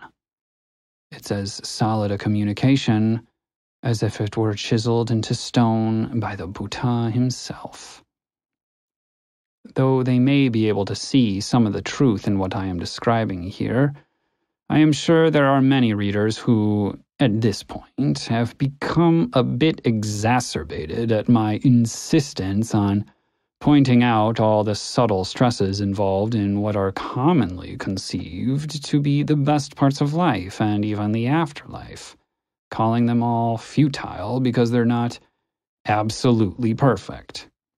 Such a cosmological level of discontent may appear to be immature entitlement and pernickettiness taken to the absolute extreme. There is also likely pushing back against me the common and highly generalized glorification of suffering present in the West. Such an attitude is unsurprising, given that a man in agony has literally been the highest image of sanctity in our culture for thousands of years. My response to the insistence that suffering can be a good thing that struggle often accompanies the best and most meaningful parts of life is partial agreement.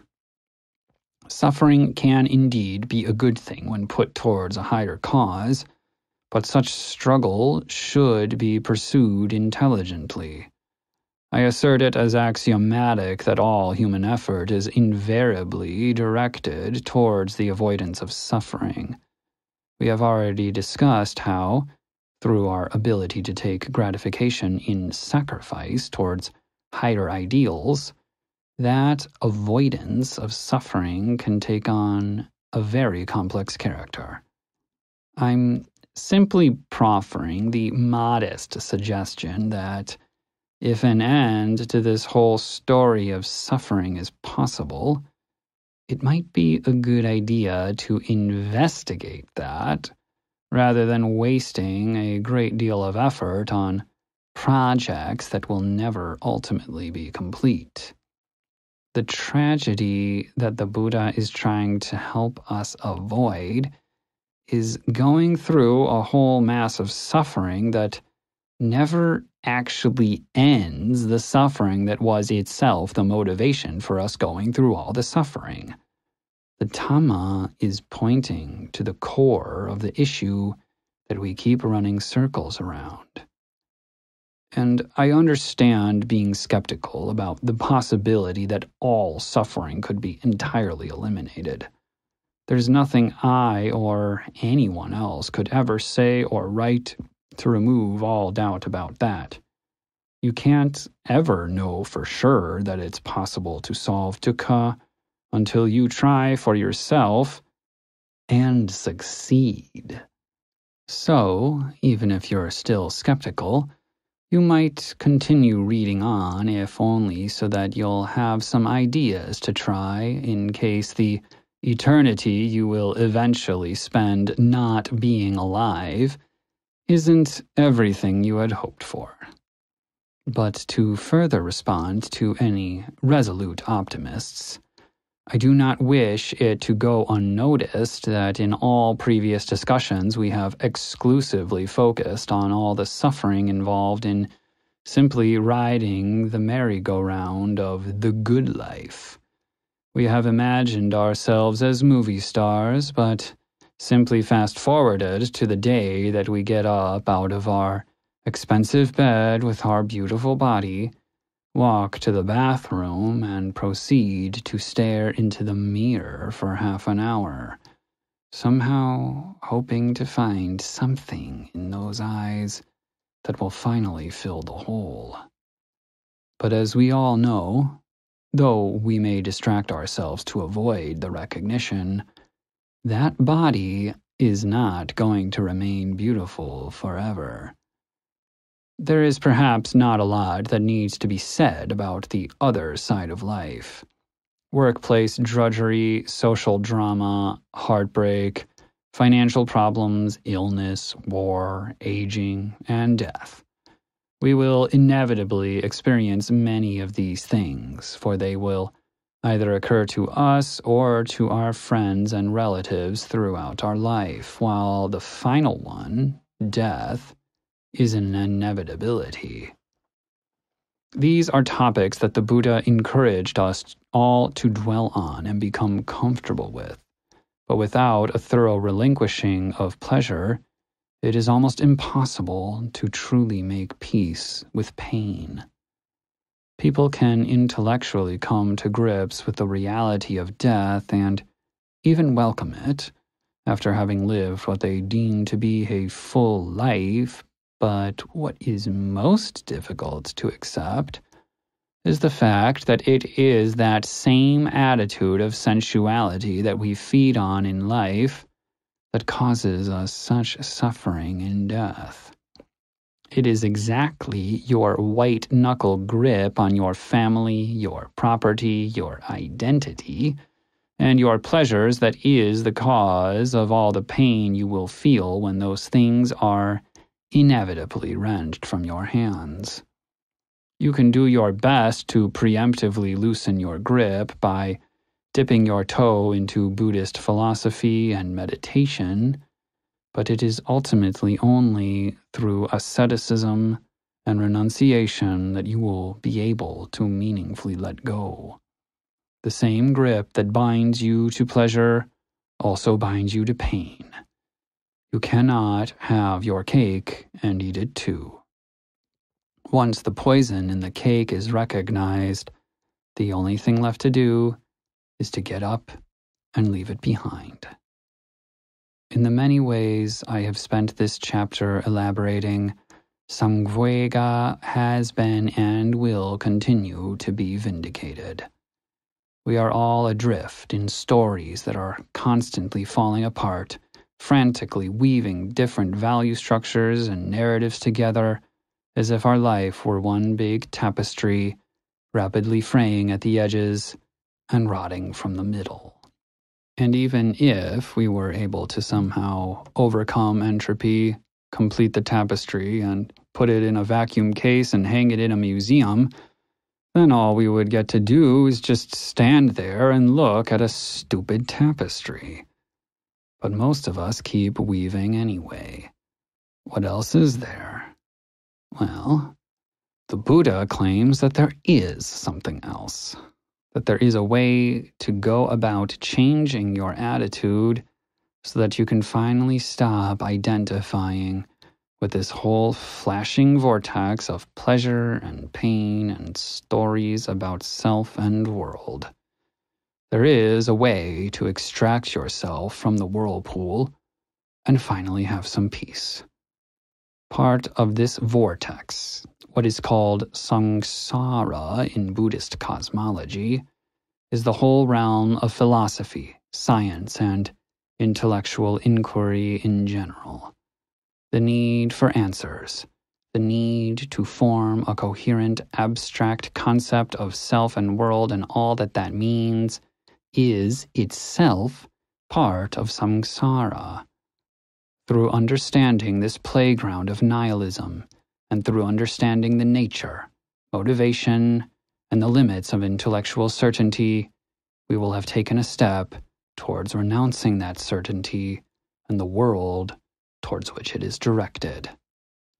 It's time to do some metaphysics. Chapter 2 Metaphysics, our unkillable companion. For one who is involved gets embroiled in disputes about teachings. But how to dispute with the uninvolved? About what? For picking up and putting down is not what they do. They have shaken off all views in this very life. Sutta Nipata 4.3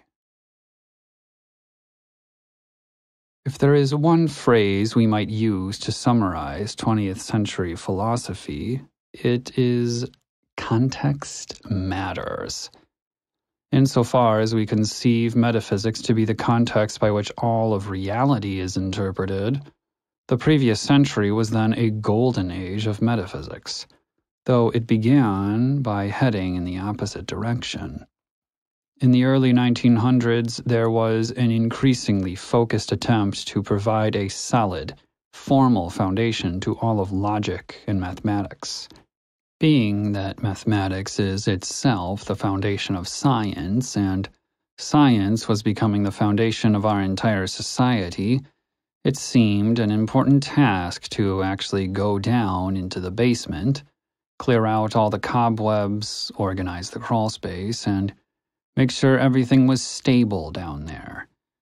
There is no doubt that, for some, part of the motivation for this Foundations project was also to finally gather up all the crucifixes that might be lurking down there, bringing them up into the art gallery, and finally, once and for all, banishing the whole of metaphysics and superstition into the annals of an unenlightened past.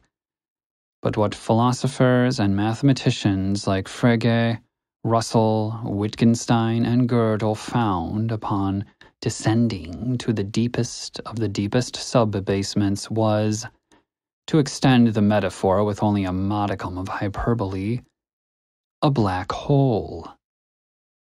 The unresolvable limitations on the power and justification for logic and mathematics is an incredibly technical subject that is ultimately spiritually irrelevant to any but the most Pythagorean of mystics. Wittgenstein's investigations into the limits of philosophy and meaning itself, however, are both crucial to any comprehensive understanding of nihilism and, when put in broad terms, also relatively easy to understand. Wittgenstein's general thrust is perhaps best illustrated in examining his rule following paradox that was described by Saul Kripke as the most radical and original skeptical problem that philosophy has seen to date. Whenever we're involved in any kind of communication, there is a general understanding that we have to follow particular rules in order for that communication to be meaningful. This sentence abides by particular rules of English grammar uh, that we all learned at some point in our lives in order to be able to engage in the activities of reading and writing as we are doing now. If I did not follow these rules, or you did not know those rules, communication in this form would be impossible.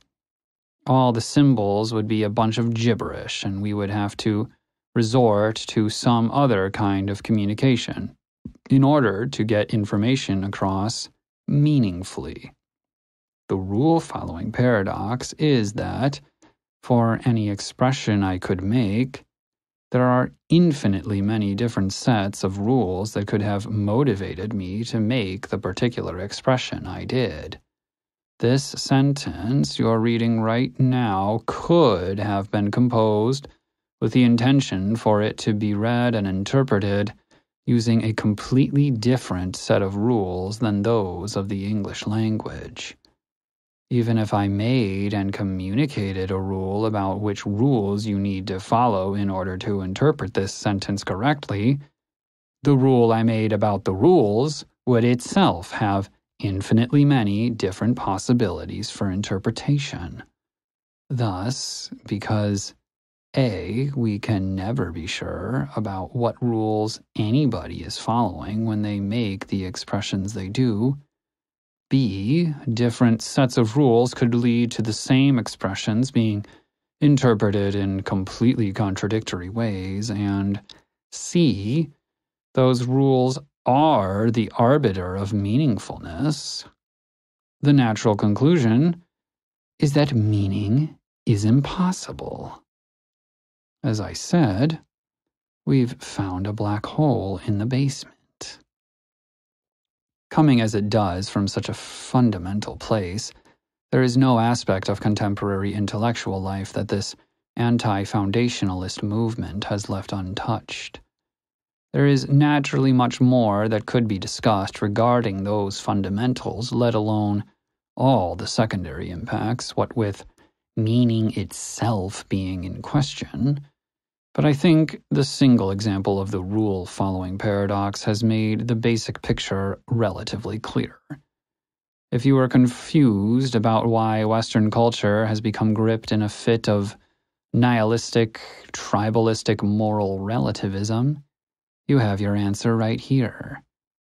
This problem, this nihilistic death spiral we're trapped in, isn't just a cultural fad or a conspiracy of the postmodern neo Marxists. Nobody is more intimately knowledgeable of and invested in the project of Western culture than the thinkers who have spent their lives investigating these things. You can call it a scandal, but it's more appropriate to call it a tragedy. The tragedy of philosophy. This absurd groundlessness is an absolutely foundational problem built right into the nature of logic itself. Of course, practically speaking, life goes on.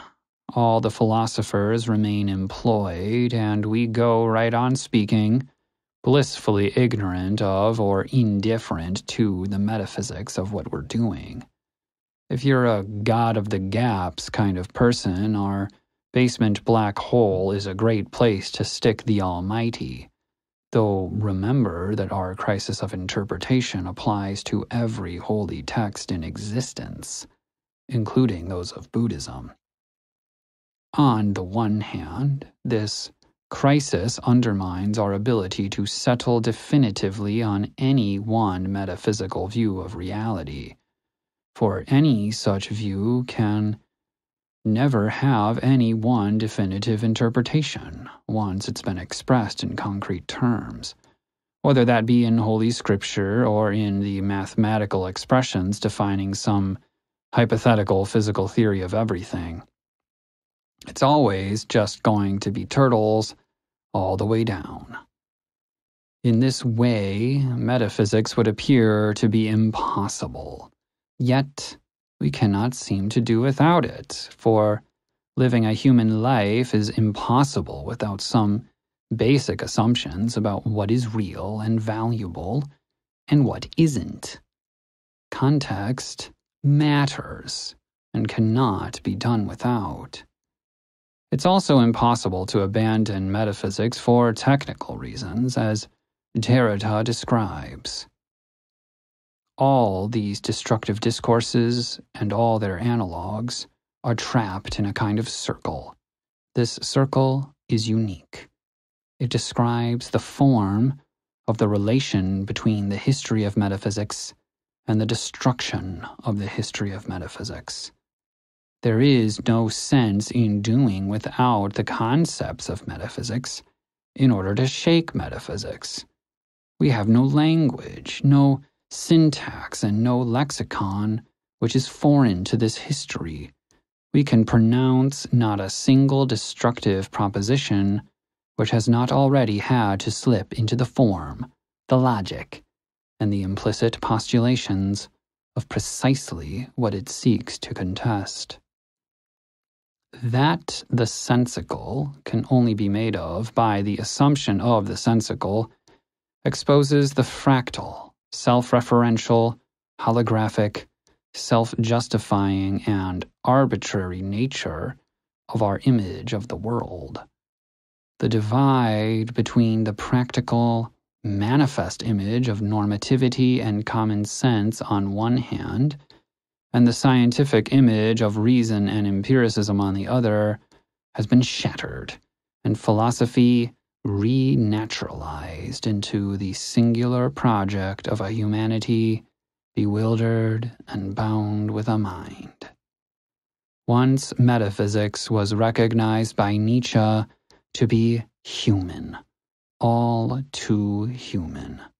We then naturally wandered by stages to the Foucauldian idea of knowledge as power and only power. With lives contained in our collective myths reduced to their Hobbesian state of nature, there remains only the will, unconstrained in the pursuit of its appetites. Nietzsche, with a prophecy still as resonant today as it was a 150 years ago, proclaimed to us the Übermensch, who would go beyond petty human values that tie us down with arbitrary limits and transcend the embarrassment of having ever been a simple ape such as we. But the futility of the eternal repetition of power justifying power, the futility of the eternal return cannot ultimately be ignored. The powerful trap themselves in their power. They become a slave to their power in the same movement by which they cast off the constraints of their much despised slave morality. Furthermore, the very nature of power is constantly fluctuating, for the quality and quantity of our libidinal energy, spiritual dominance, and capacity for self overcoming must always be judged by a yesterday that has always already come and remains alive in the present as the weight of expectation. In both the affirmation and negation of life, of meaning, of mastery or slavery, we are either way invariably trapped and bound with craving for power always more. In authentic Samvega, the master and the slave are exposed as one and the same, naked in their equivalent humanity, their equivalent quivering dukkha. In taking power as the ground of being, in diving headfirst into the flood of passion, in loving one's fate and imagining Sisyphus happy, we are thereby assured of our slavery. to continually revalue our values in line with the whims of our vitality is nothing other than the apish condition the Ubermensch seeks to escape. Even a master of the world writes a tale told by an idiot, full of sound and fury, signifying nothing. What Nietzsche could not recognize in his passion is that the urge to avoid suffering is invariant under transvaluation. Dukkha is what drives our urge to know, to understand, and to control. Dukkha keeps us spinning in the hermeneutic circle of life. It is the fuel for the universal engine of craving that spews the smoky exhaust, in whose volume we use our trembling fingers to trace pictures of worlds to live our lives within. The essence of wisdom is to stop grasping at the smoke and to turn your full, undivided attention and effort towards the destruction of the engine and its fuel. Asceticism begins with the abandonment of the metaphysics of power, and wisdom begins with the total weaponization of metaphysics in the war against suffering. When this is seen and understood, the seed that is the end of transvaluation, the end of nihilism, and the end of metaphysics has been well and truly planted. But what must be done to water such a seed remains a mystery. A mystery that Heidegger astutely recognized, writing Being has become manifest as a burden. Why that shouldn't be, one does not know. Despite his ignorance of the nature of suffering, by looking closely at the nature of existence as it is directly manifested in experience, Heidegger and the other phenomenologists were at least on the right track, because dukkha is bound up with experience and our attitudes towards that experience. As such, those things must be fully known and understood before we can understand and thereby put an end to dukkha.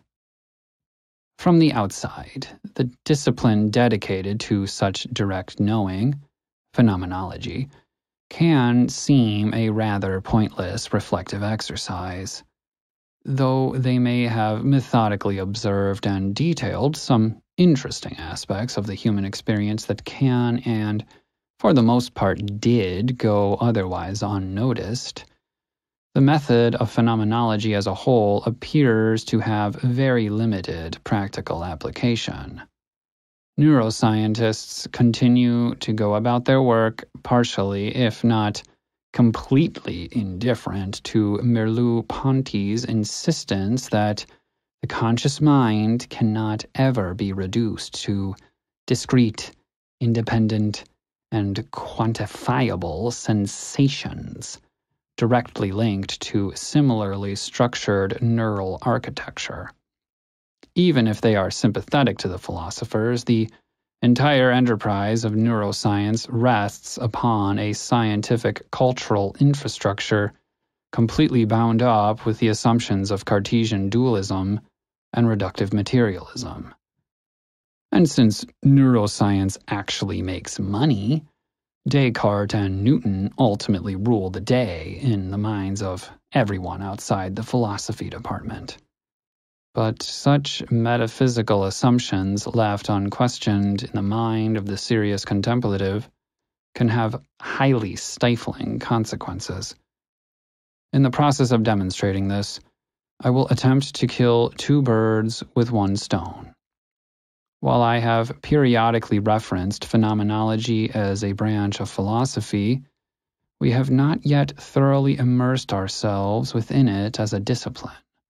Still, I do not believe it to be necessary or even particularly helpful to go into its details as a historical academic phenomenon, For though one can study the phenomenologists and their ideas, the most important thing is to understand phenomenology not as a particular method of a particular philosopher, but as an attitude towards one's experience. As Heidegger himself neatly summarized, the comprehension of phenomenology consists in grasping it as possibility. So, to the end of recognizing the phenomenological reflective potential in all of our minds, I would like to take us through an exercise to demonstrate the limitations of our usually dominant realist prejudices. Consider the sight of some physical object in your vicinity. What is it exactly that you are paying attention to? You may answer in the form of a verbal name for the object, but is that really what it is? Of course not.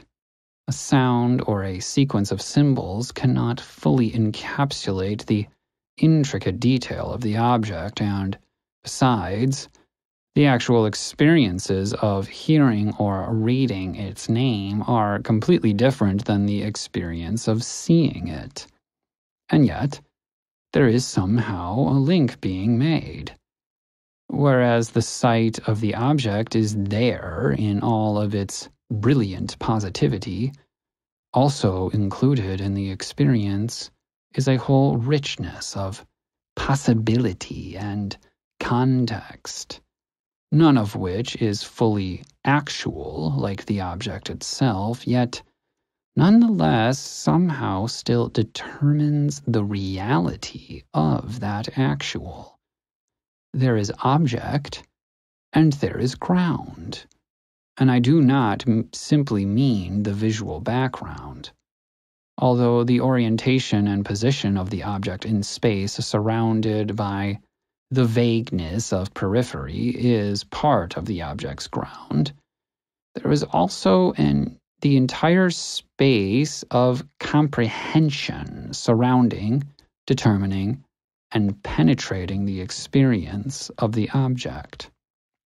Somehow, inexplicably, we know the object's name. Not only that, but we know that we are looking at the object for a reason.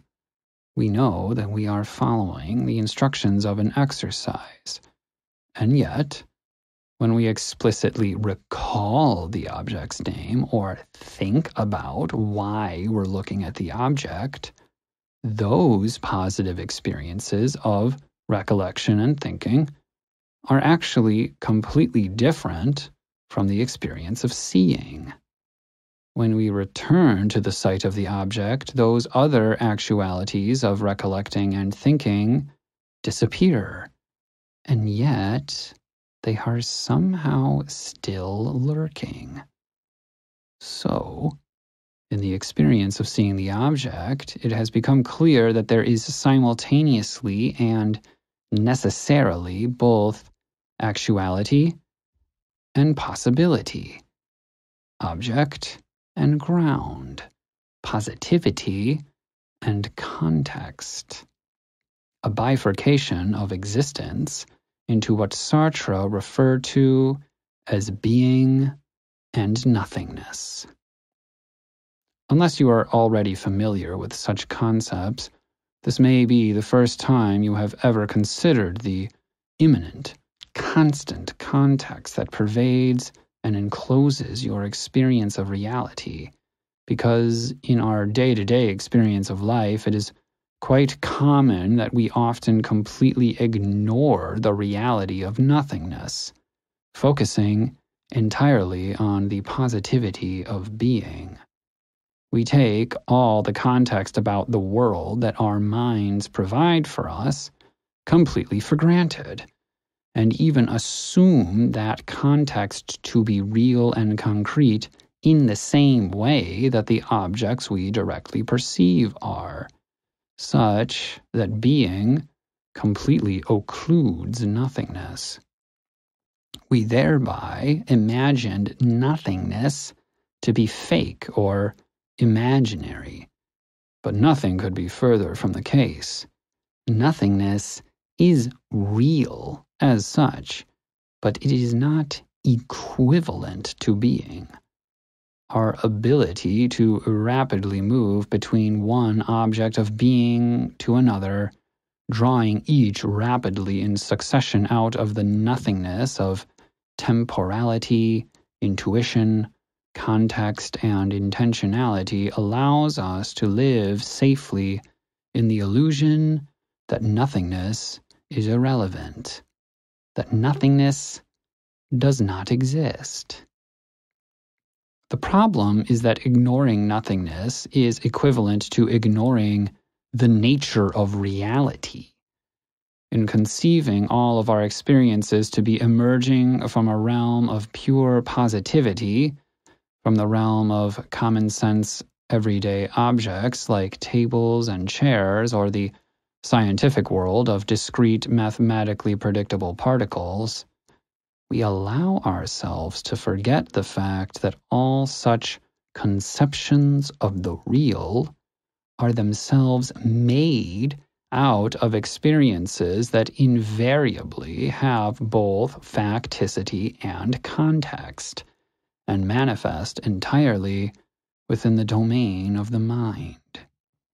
We are often in the habit of viewing our lives as something that is happening to us thinking that the world is coming at us from the outside. We attempt to take an objective view from nowhere and conceive our lives as if from the third person, when in reality, every such third person view is something that must always necessarily be thought up and experienced from the first person. The reason why this is a problem is that by conceiving the entire universe as something completely external to us, we can thereby blame all of our problems on the happenings within that universe and totally ignore the domain of the mind.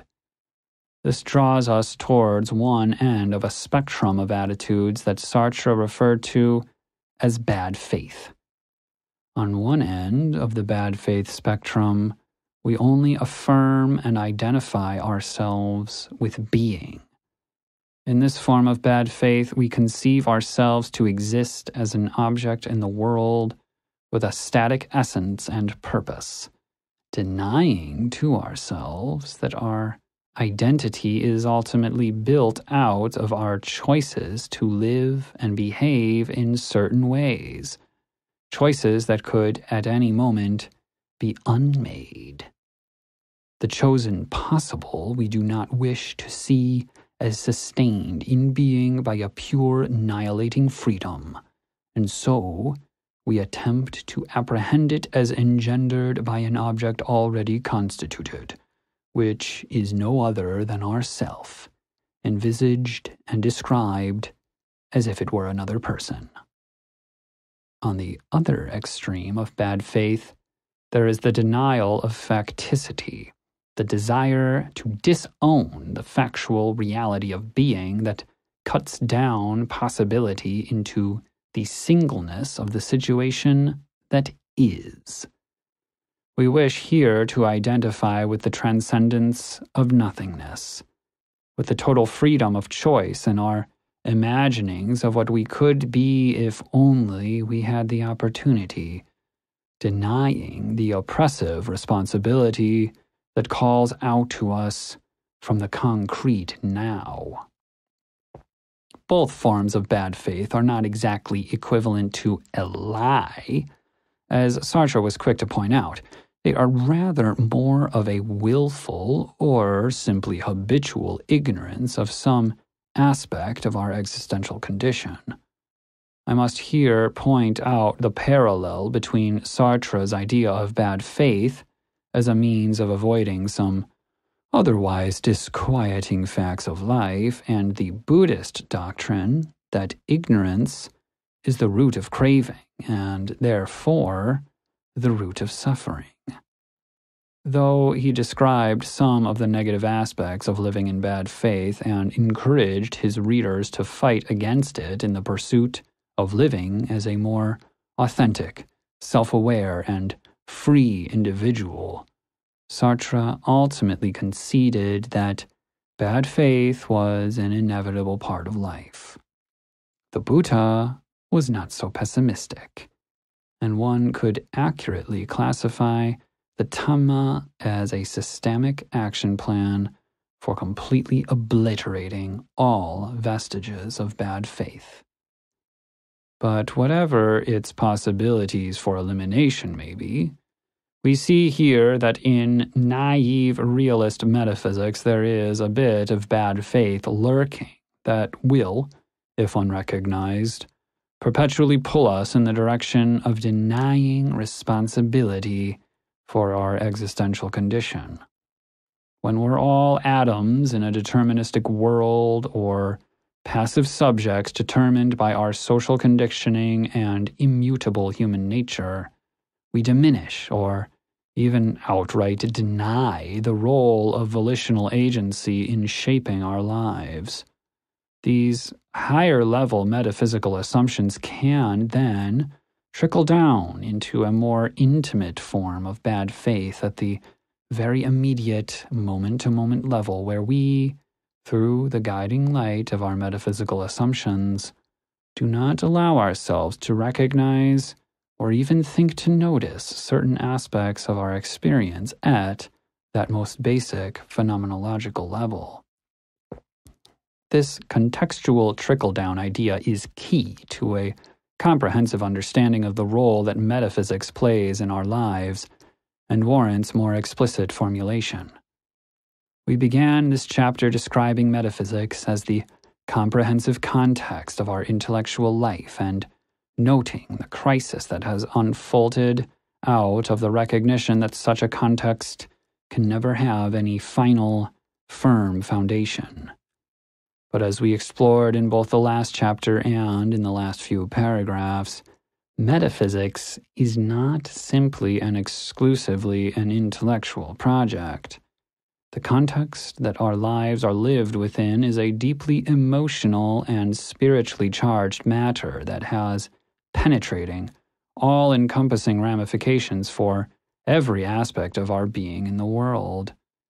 By being in the world, I am, of course, referring to that ground state existential condition that is the anxious, contextually grounded first person human existence which Heidegger referred to as Dasein, or being there.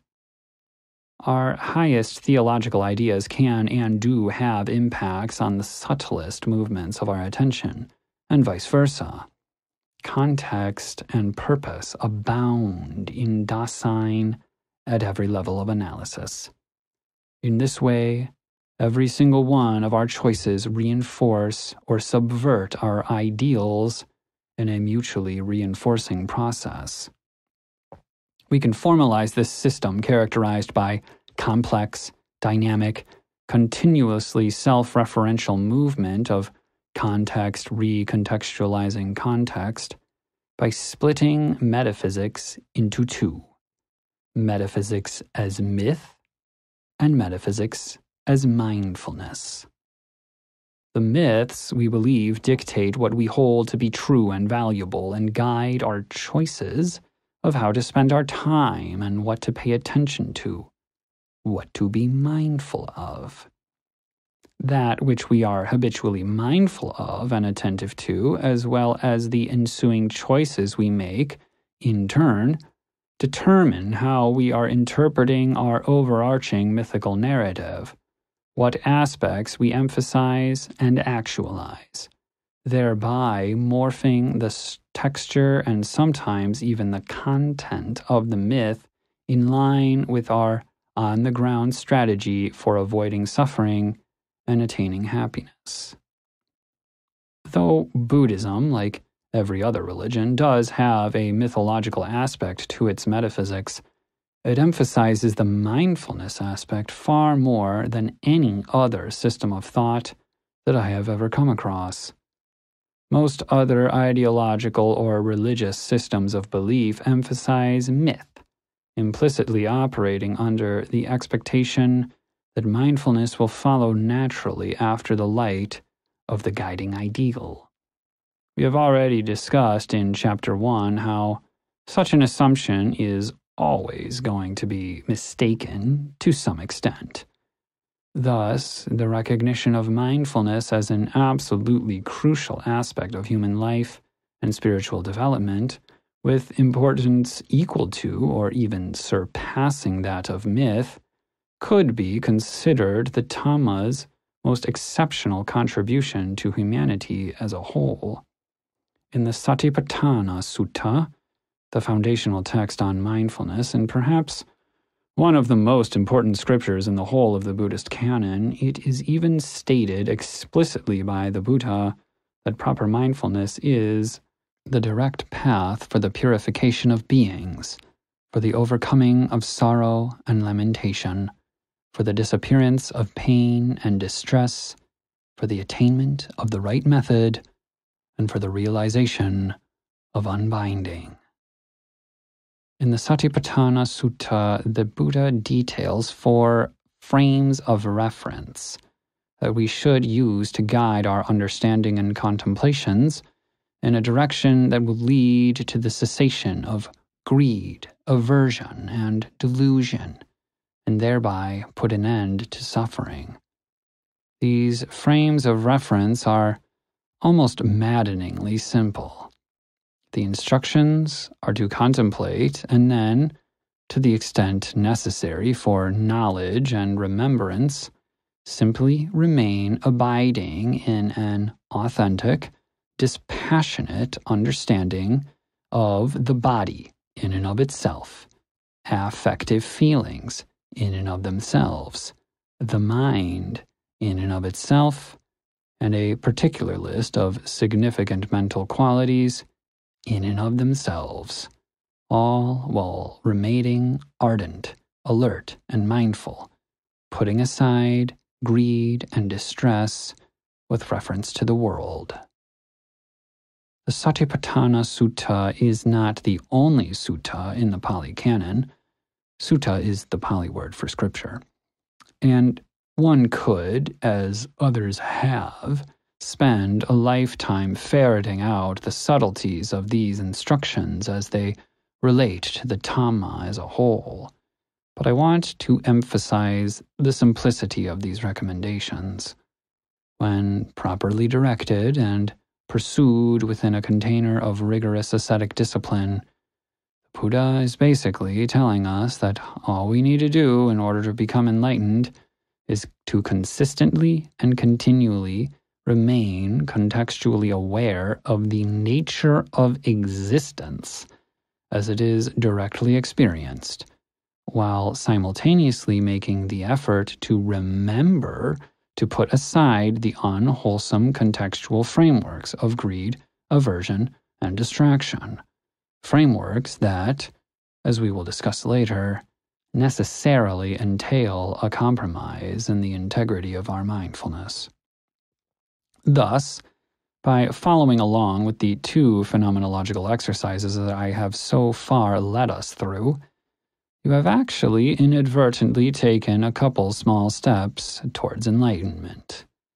The links between the Dhamma and phenomenology are so strong that the contemplative methodology of the Dhamma has been characterized by Thanissaro Bhikkhu as a form of radical phenomenology, a mode of perception that looks at experiences and processes simply as events, with no reference to the question of whether there are any things lying behind those events, or of whether the events can be really said to exist.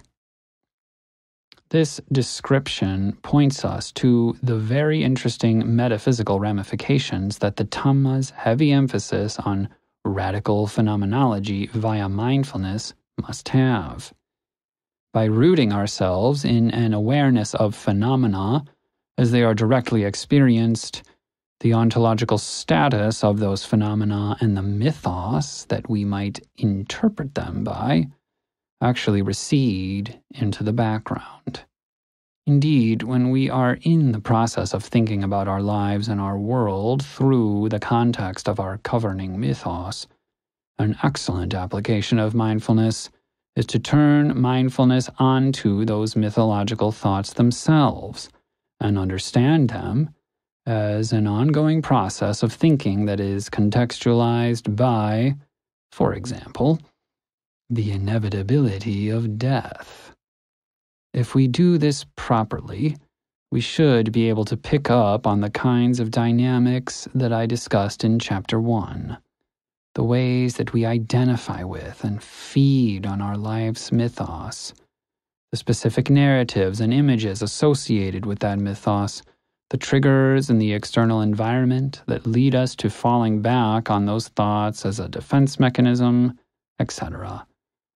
None of that significance will carry the weight it usually does when mindfully compared to the precious condition we find ourselves in totally dependent on incomprehensibly complex, fragile, and vulnerable little bags of meat. Its emphasis on mindfulness leads to the Dhamma being highly mythologically self aware in comparison to other religions or even secular ideologies. The Buddha openly acknowledges that his teaching is a human fabrication as in the Alagaddupama Sutta, where he compares his teaching to a raft that someone would use to cross a treacherous river, clinging closely to the raft while still kicking and swimming to the other side, but then discarding it once arriving back on dry land. The penetration of a mindful, phenomenological approach into Buddhist metaphysics is so deep that in several suttas, the Buddha defines the entire cosmos exclusively in terms of the six sense bases that which is seen, heard, tasted, smelled, touched, and thought. In these ways and others, the Dhamma distinguishes itself dramatically in its conception of the real in comparison to almost all mainstream metaphysical worldviews and their natural image of thought, a classical conception of knowledge that presupposes the positions of truth and falsity within a world comprised of knowable, grounded empirical phenomena emanating from a necessary world. Like the slow process of blurring the line between realism and idealism that has taken place in Western philosophy since Kant, every metaphysical concept contained in the Buddhist worldview must be interpreted in light of its commitment to a radical phenomenology. Not only this, but in considering the Dhamma as a raft, we are encouraged to hold it within a pragmatic, utilitarian mindset as a means to the final end of liberation from suffering. For these reasons, I propose that every aspect of the Buddhist metaphysic should be viewed using three distinct lenses. First, there is the mythical, natural image that can be found abundantly portrayed in artwork across Asia, serving as the religious face of Buddhism presented to the rest of the world and held dear in the culture of Buddhists everywhere. Secondly, there is the metaphorical, allegorical, utilitarian image that takes the lessons and concepts presented in the mythos and implements them into everyday life. The metaphorical lens also functions in reverse, building and modifying intellectual and practical frameworks out of the patterns and feedback we recognize through our intimate engagement with life. If we take ontology in Heidegger's sense of the word, there is, thirdly, that image uniquely emphasized by the Dhamma, the phenomenological, structural, ontological image that necessarily serves as the experiential container for the other two images and is, ultimately, where the truth of the Buddhist teaching must be directly recognized for ourselves. These three interpretive lenses follow our bifurcation of metaphysics into myth and mindfulness, adding metaphor to designate that messy but necessary process of constant mediation between the other two images. This tripartite hermeneutic, let's call it the three M's, may serve as a solid basis for a meta metaphysic, providing a useful framework for critically examining the patterns of our minds. If we agree with Emerson's suggestion that a man is what he thinks about all day long, the potential value of such a diagnostic project becomes apparent. Our assumptions serve as the geographical borders of our lives. If we are dissatisfied with the state of our mind, it might be time to emigrate.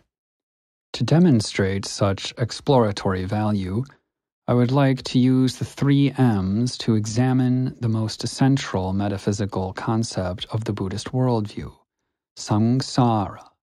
In this analysis, I will attempt to show the significant existential ramifications of such a cosmology, thereby perhaps making such a myth more palatable to Western ears. This is as close to Buddhist apologetics as we are going to get in this book, a form of discourse I find to be incredibly distasteful as a whole, so it seems appropriate to just directly address the topic now and get it over with. We have shown so far that all explicit conceptions of the real are ultimately groundless. This is a foundational problem of metaphysics and was recognized as such by both Heidegger and Wittgenstein. Wittgenstein demonstrated just how deep the problem went, and Heidegger took the only other route possible by delving into Dasein in order to ascertain a fundamental ontology via phenomenology. By adjusting ourselves into a reflexive, mindful point of view, we can recognize the shape and character of the mythos we inhabit through repetitive habits of interpretation and intentional action based on those interpretations. When we do this, what we conceive to be real or not starts to take on a much more fluid character. The natural image of thought appears, in this attitude, to be not so much obsolete as simply limited. When it comes down to it, there is only Dasein. This experience, right here, this body, these thoughts, these emotions, this suffering. In the recognition of Dasein, an air of epistemological humility begins to rise as dogmatism evaporates. It is no betrayal of my metaphysical integrity to admit that I myself still habitually turn to a scientific materialist worldview to navigate certain situations. But when we do this, we should try to recognize that we are doing so and more and more attempt to refrain from using that view to distract ourselves from our perilous existential situation as a lump of flesh supported by a wholly hypothetical causal substrate that we can never truly have access to, understanding of, or control over. We should attempt to refrain from building an identity out of that view that will bring us into conflict with others, holding it more and more as one raft among others that we use to support ourselves just as we use food to support our bodies. In doing so, dogmatism can be recognized as just another strategy for avoiding suffering, and not a very good one at that. Not only does the mindful approach allow us to retain emotional distance from our views, but it also grants us the only authentic means by which to discern between them perpetual mindfulness of our liability to suffering. When all of your three M's begin to revolve entirely around obtaining a fuller understanding and effecting a more comprehensive elimination of suffering, everything you think or say or do becomes fully and most effectively pragmatic. Metaphysical views can then be held and used in just the same way as Heidegger's hammer. So long as this does not descend into a heedless contentment with what can only ever be a temporary local optimum of comfort opposed to a concerted, self critical effort towards the global, permanent elimination of suffering, metaphysical pragmatism is an approach I highly recommend.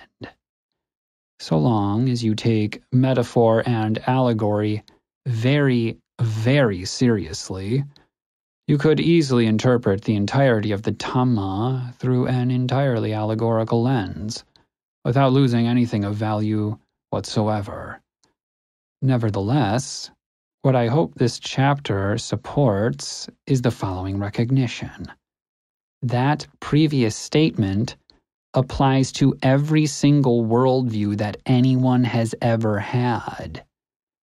When you become adept at recognizing your own thoughts as no more and no less real than any other experience you have, and just as transient, what it even means for something to be real or just a story is a question that will have less and less applicability to your life.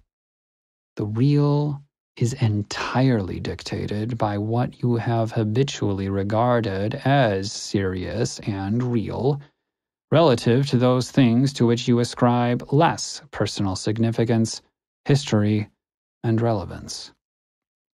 I can very seriously and without a drop of exaggeration attest that what I personally have regarded as true and real has significantly changed multiple times over the course of my life. I promise that such changes could happen to you too, if you are willing to entertain them. If you take a metaphor seriously, it will eventually stop being just a metaphor.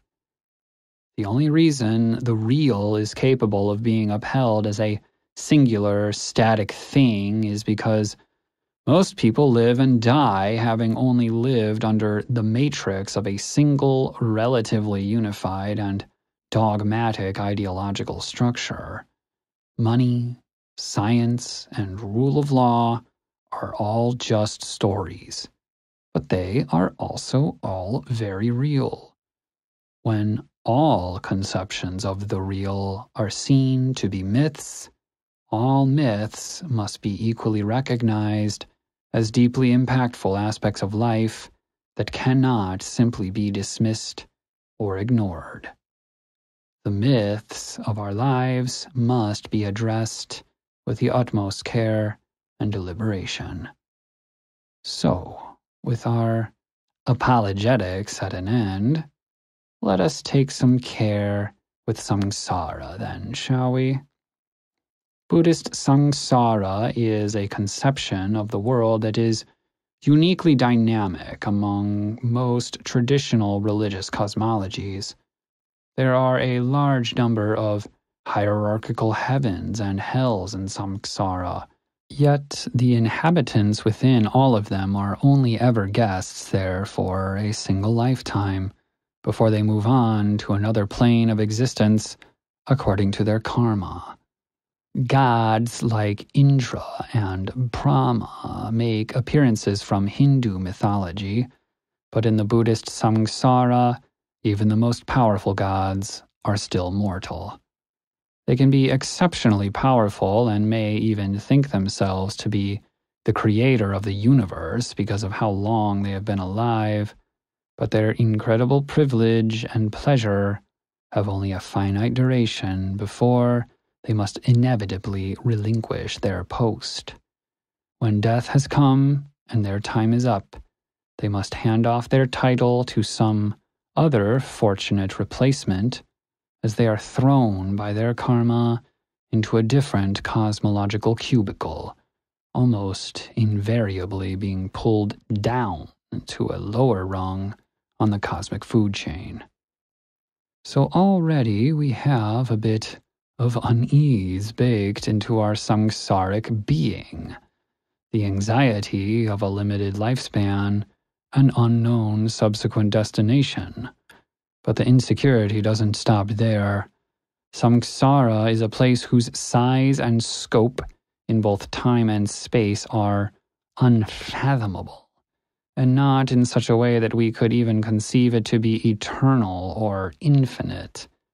In a display of remarkable doctrinal restraint, the Buddha, in many discourses, delineates the scope of samsara as simply inconceivable Though this is a bit of a digression, I mention the Buddha's metaphysical quietism because it lends credence to our embrace of a fully pragmatic epistemology. When asked about such things as the beginning and the end of the world or the existence of the soul, the Buddha would often respond to the effect of, Your assumptions surrounding such inquiry are deluded and even if you got an answer to your question, you would be no better off than before you asked it. I teach suffering and the end of suffering, and that is the topic you should be attending to and spending your time on. What scant metaphysical discourse the Buddha did provide to his disciples is always highly supportive of this existential focus. Samsara is characterized as a realm of vast time and space where beings transmigrate from life to life, following a trajectory determined by the character of their craving and the kind of mental state that craving habitually engenders. The word samsara can be accurately and evocatively translated as the great wandering on. The Buddhist cosmos is a universe lacking in any permanent safety, where the highest of highs must inevitably be taken along with the lowest of lows. No identity is stable or permanent. Every other being in the universe has at one time in the past been your mother, father, daughter, and son. The tears we have shed over our dead children and the blood we have spilled in violent conflict are said to be greater in volume than the entire ocean. Long have you thus experienced stress, experienced pain, experienced loss, swelling the cemeteries, enough to become disenchanted with all fabricated things, enough to become dispassionate, enough to be released. In a far more profound manner than my anti indulgent discourse of Chapter 1, the Buddha expounded the futility of sensual existence by sowing that reality right into the fabric of the universe. In the dialectic between the immediate phenomenological analysis of the futility of pleasure and its cosmological instantiation, we have what is, to my eye, one of the most beautiful aspects of the Dhamma, its scale invariance. I must credit Thanissaro Bhikkhu here for this idea that the Buddhist treatment of causality through such concepts as karma or paticca can and should be interpreted as a generalized fractal pattern that obtains within the movements of moment to moment attention up into the micro births and deaths we experience moving through different stages of life all the way to the most astronomical of timescales. This scale invariance idea lends itself quite neatly to the process of ontological softening that authentically grappling with metaphysics naturally leads to.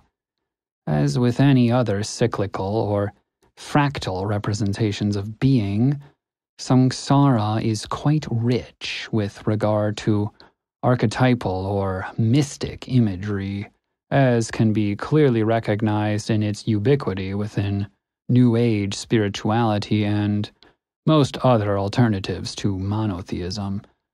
Samsara is an idea deeply rooted in the human experience, beyond its direct historical and cultural sway. What is the multiverse trope in so much of contemporary fiction if not a demonstration of how the great wheel of birth and death is an idea that is itself repeated again and again in artistic projects both profound and banal. I do not here mean to justify Buddhist mythology exclusively through some kind of perennial appeal. In fact, I consider perennialism as a whole to be intellectually useless in its conciliatory impotence, and it will have even more criticism than that coming its way in a later chapter. The Buddha taught in many ways how perennial attitudes and assumptions are often radically mistaken, and attempting to justify the Dhamma via any external grounds at all is an apologetic fool's errand. Rather, explanation and internal justification is the extent of our ambitions here. I would simply like to point out that the idea of samsara is not as exotic as it might appear. Beyond its more popular examples, many philosophers have been jumping into the mix of samsaric chaos for over a century now. Nietzsche had his crucible of the will in imagining the eternal repetition of this same life again and again, Heidegger recognized that it is essential to the basic constitution of Dasein that there is constantly something still to be settled. And then there is the entirety of postmodernity leading to a contemporary philosopher like Brassier calling nihilism the process of universal unbinding through which the twin vectors of science and capital together expose unbound multiplicity as the veritable figure of being. Samsara appears to be everywhere, and that is exactly the point of the idea. A fully comprehensive existential interpretation of samsara is thus very easy to construct all that we must do is take the idea of samsara as a fractal pattern, repeating across time scales, and extend it up and out from the purely historical horizontal axis into the vertical axis of trans-temporal phenomenological structure and ontology.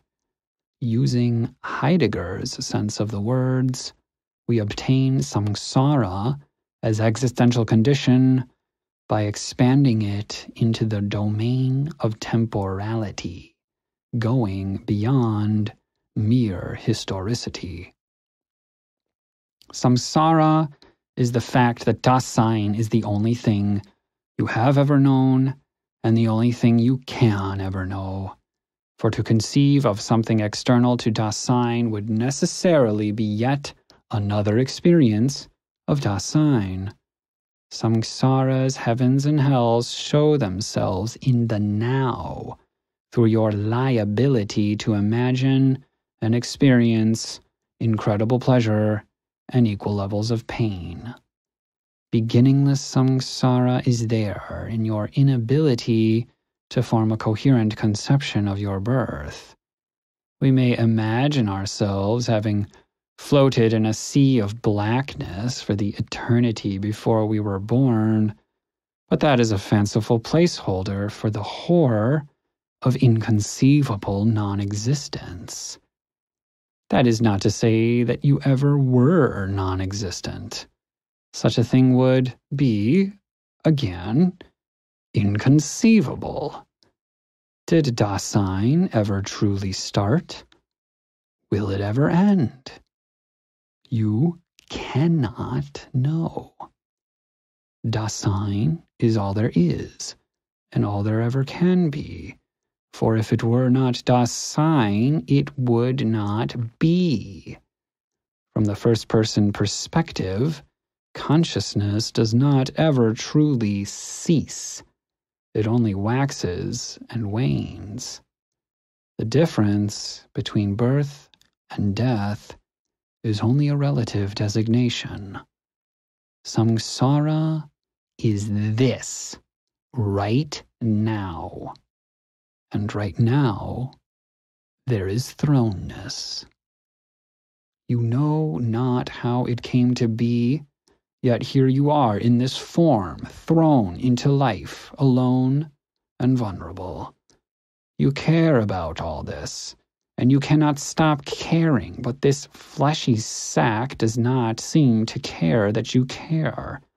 It keeps getting sick and getting old.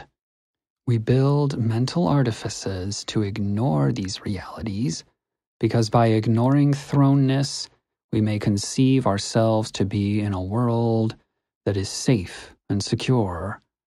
As Heidegger puts it, in the face of its thrownness, Dasein flees to the relief which comes with the supposed freedom of the they self. Yet such freedom is only ever supposed, for eventually the tides must come in and destroy the sandcastle into which we have fled.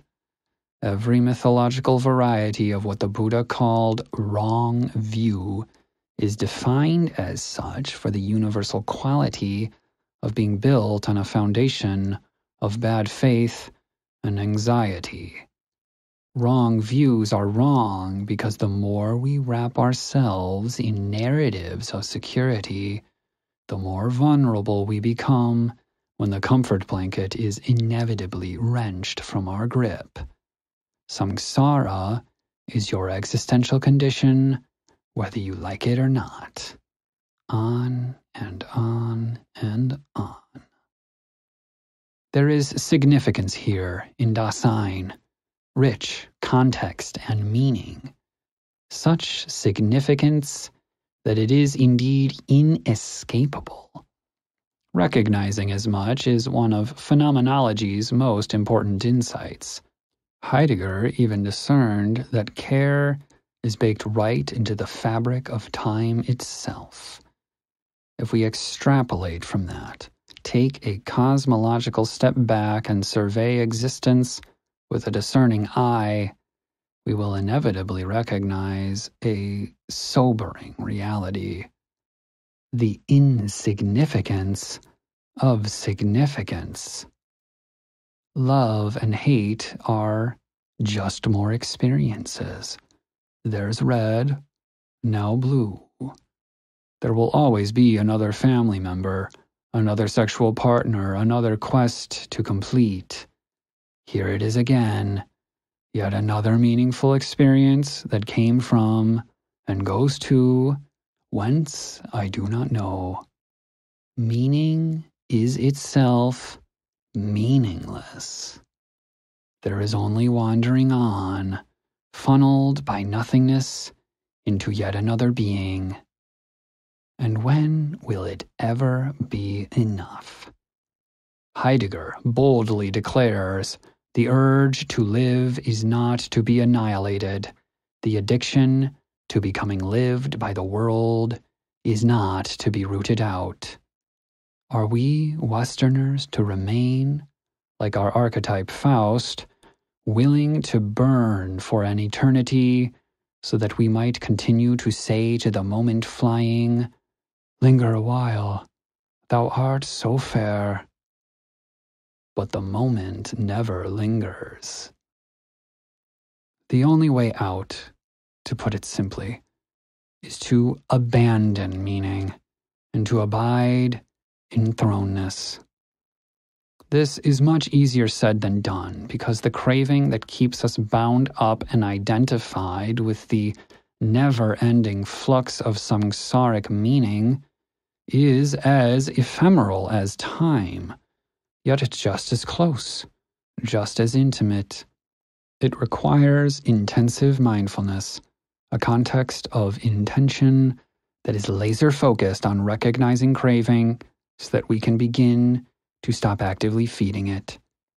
The usual context of our minds, the usual context of our world, is defined by sensuality and all those supporting narratives we tell ourselves in order to continually justify trying to suck the marrow out of meaning rather than recognizing it for the dry bone that it is. We do not suggest abandoning meaning by destroying it in some misotheistic fit of rage. Meaning cannot be eradicated, and besides, Nietzsche already did most of the smashing for us with his hammer like prose. So long as there is Dasein, there will be care. The end of care would be a sterile existence of timeless, pure positivity akin to the Platonic forms, insofar as we can imagine such a thing at all. Because care always already is, ending care is impossible regardless. We can abandon meaning only by disowning care by seeing it as something perpetually already given, which we cannot be responsible for except by our own deluded taking of that responsibility. Indeed, it is that taking that is our only true responsibility, a negative responsibility that we can heed only through renunciation when we begin to put down the world, we are starting a journey in the direction of that only lasting source of happiness peace. We discussed in Chapter 1 the usual means of acquiring happiness through gratification and the necessary pain that comes simultaneously with the pleasure of the chase. Peace is that which we can discern in an impure but nevertheless genuine way after we have exhausted ourselves by pounding empty pleasure into our minds for long enough that we can consider our craving as having been sated. The contentment we feel afterwards in the relinquishment of a craving satisfied should give us a clue to the true happiness that we seek. Even when we are mired in craving, we still always know that what is most enjoyable is to no longer crave. Beyond physically restraining ourselves from the framework of sensuality through celibacy and other forms of asceticism, the way to then go beyond restraint and uproot craving at the source is to become comfortable with the existential situation that we use our cravings to ignore or even outright deny. We must learn to not flee in the face of the reality where we find ourselves being continually bombarded by being. A being that we cannot ultimately fathom or control but for which we are nonetheless responsible and bound up. We must learn to abide in thrownness. Such an abiding requires the capacity to stand up in immovable indifference to samsara, which means we must gain an understanding of what it means to be moved. There are many facets to this recognition, but that which is most pertinent to our exploration of Buddhist metaphysics is the nothingness of craving. We have already briefly discussed Sartre's idea of nothingness as that aspect of Dasein that is not and cannot be present, as in the positivity of being, yet still pervades and follows along with experience like a shadow. In being and nothingness, Sartre gives the example of us waiting in a cafe for Pierre. While we are waiting, Pierre is factually not in the cafe. The cafe is all that there positively is, yet Pierre's absence completely dominates and colors our entire experience of the cafe. We are haunted by nothingness, by that which we are mindful of. The entire orientation of being is always wholly determined by that which is not. I have found it evocative and helpful in my own life to refer to this aspect of Dasein as the shape of the mind. Coming to an understanding of the shape of your own mind, the chitta nimitta, as it is referred to in the Pali Canon, is so fundamental to the Dhamma that in the Sanganikarama Sutta it is listed as a hard requirement for awakening. What makes the Dhamma deep, hard to see, hard to realize, and subtle as it is sometimes described in the suttas is this fact that the shape of our mind is not and never can be right in front of our eyes, so to speak. It cannot even be directly controlled or manipulated, only directly understood and indirectly guided towards an ideal state of relaxation and unbinding.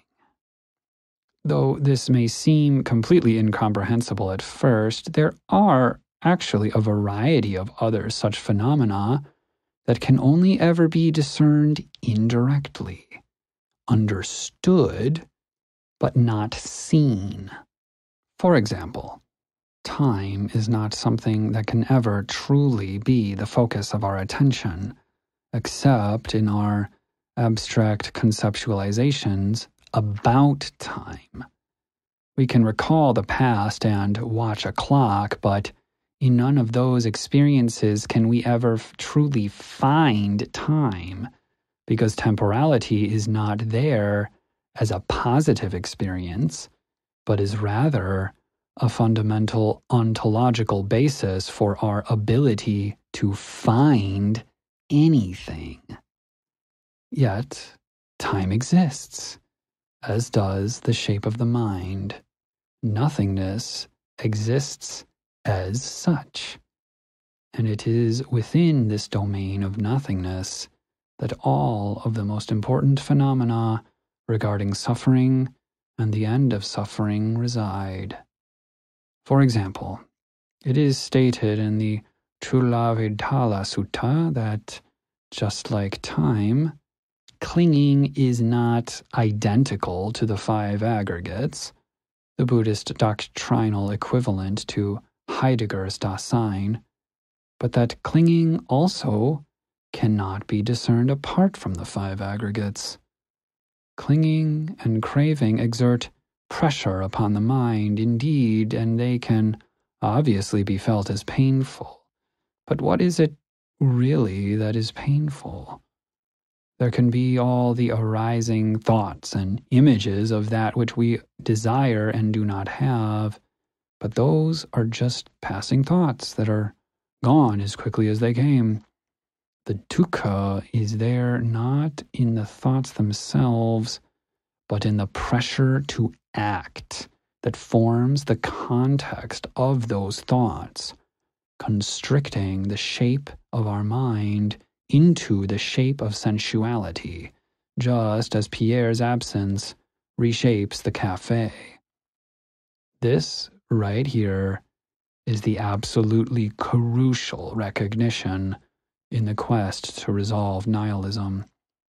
When we begin to understand the shape and patterns of the mind in such a way that we can directly recognize craving, as well as its attendant suffering and the constriction of our mind's shape into the form and the mythos of sensuality, we then have the power to leverage our established context of mindfulness to either explicitly reject or, when the existential knowledge and remembrance of proper mindfulness has been drilled in deep enough, even completely undermine the very possibility for the encroachment of that mythos, allowing us to abide in our chosen mythos of resolute contentment and enduring peace.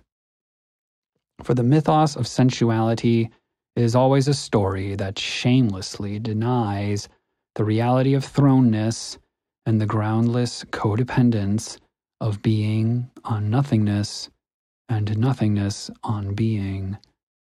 The desire for intellectual security is always an emotional narrative wherein we do not know enough, where we are bewildered and confused and looking for a way out of our perpetual condition of ethical ambiguity, epistemological groundlessness, and existential vulnerability. Craving lures us into bad faith and into a contextual realm in which some fictitious safe solidity is substituted for the airy intangibility of Dasein. By ignoring the primordial unownability of experience, we conceive of a static, independently existing world outside our senses, not recognizing that such a conception is invariably based upon particular experiences of particular thoughts and the underlying contextual attitudes that drive and motivate those thoughts. Seeing the bait of solidity for what it is and defiantly learning how to cultivate the context of contentment, how to be independent of conceptual certainty, and how to abide comfortably with thrownness is the only means there is from finally making peace with the absurdity of samsara and letting go of the desire for intellectual security. This is the way to the resolution of nihilism. Now, there is a danger here that some astute readers may have already noticed. By discussing all of this in concrete terms and fabricating a phenomenological myth of renunciation, we are in danger of succumbing to exactly the same illusions of solidity that we are attempting to avoid. In discussing such concepts as Dasein, the five aggregates, being, nothingness, or thrownness, there is always the possibility of making them into things, a process known as reification. Things that only ever have a nominal relationship to that which they are. Conceptual knowledge can start to stand in for understanding. This is a perpetual danger for the whole of the phenomenological enterprise, and one that, I am sorry to say, the vast majority of Buddhist scholastics have fallen prey to over the millennia. This tendency, I think, is some small part of what prevented the existentialists from recognizing those insights that the Buddha expounded, and was almost certainly a fatal stumbling block for many Buddhist practitioners throughout history. The project of phenomenology often ignores the reality of thrownness as it applies to the phenomenological project itself.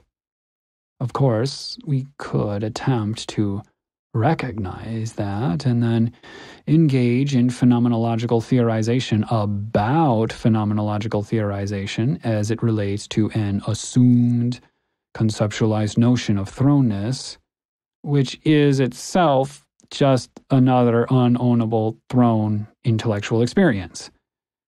This process can continue to occur ad infinitum and always retains some measure of bad faith, subtle clinging, and misconceiving. Therefore, we return to the wisdom of the Buddha's metaphysical quietism. All that can truly be done in response to this danger is to remain perpetually vigilant regarding the feeling of security that we draw from our knowledge of the Dhamma and to repeatedly, incessantly question the extent to which our contentment is due to real understanding or is born merely out of an intellectualized complacency. Once the shape of the mind is recognized and the nature of suffering is directly discerned, it actually becomes quite a simple thing to avoid the trap of holding on to our views without needing to go to the extreme of trying to stop thinking entirely. So long as they are seen with clarity, conceptualizations about the mind itself can be incorporated into the mindful context we continue to maintain, even in a completely circular, self referential way. Reflexive reflection can always be applied to discursive reflection. Authentic reflection and conceptual discourse expounding on our understanding can, when done appropriately, actually be an excellent tool for probing just how deep that understanding truly is. It always comes down to directly recognizing for yourself the shape of the mind and the tension and avoidance that emerges out of willful ignorance. If you're self transparent enough, you'll be able to recognize when you're using all of your book learning to imagine yourself to be a lot more enlightened than you actually are. We must keep thrusting the Dhamma mythos down, down into a perpetual mindfulness whose sensitivity continues to be built up and tuned more and more into the frequency of dukkha and all the attendant ontological distortions and delusions that support and maintain it. Our mindfulness can then simultaneously and symbiotically re evaluate the mythos we have formed, ensuring it remains faithful to what we are actually experiencing and preventing it from becoming pathologically self referential and self satisfied. Through this relentless self honesty, you can begin to recognize what it means to grasp at views, a habit the Buddha frequently described as a fetter. By transmuting myth into mindfulness, myth itself begins to be seen as a hollow shell, useful like a raft, but unnecessary when the lessons have been learned, the context internalized, and, ideally, brought to consummation. Yet the raft still exists and retains its utility for those who need it. Indeed, the Buddha's whole post awakening career involved throwing life preservers to those who had little dust in their eyes instantiating and shoring up the doctrine such that it remains available for us to use some 2,600 years later. These concepts are incredibly useful, and to that extent, they are incredibly true. To find truth that goes beyond usefulness, you'll have to put them into practice and see for yourself. Thus, we have what I previously referred to as the totalized, pragmatic weaponization of metaphysics against suffering. It is in this weaponization and its ensuing reorganization of our entire emotional constitution that we can resolve the nihilistic paradox identified by Nietzsche. As he wrote, This in vain is the nihilist's pathos and inconsistency on the part of the nihilists. The in vain of samvega is indeed where we must begin, but eventually the hold such a pathos has on our minds begins to fade. In vain must always arise within a context of desire for a higher purpose, a yearning for a preordained place among the stars. Such a natural human longing is, like so many others, simply abandoned along the Buddhist path as just another source of suffering. The teleological mindset such an emotion must emerge out of is seen as another bait, another perturbation, another empty myth whose weight is simply not worth the effort.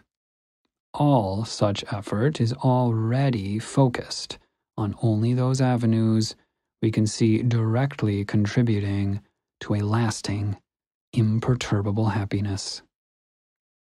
As I said before, I am not interested in, or even capable of justifying the Dhamma in any fundamental, final way.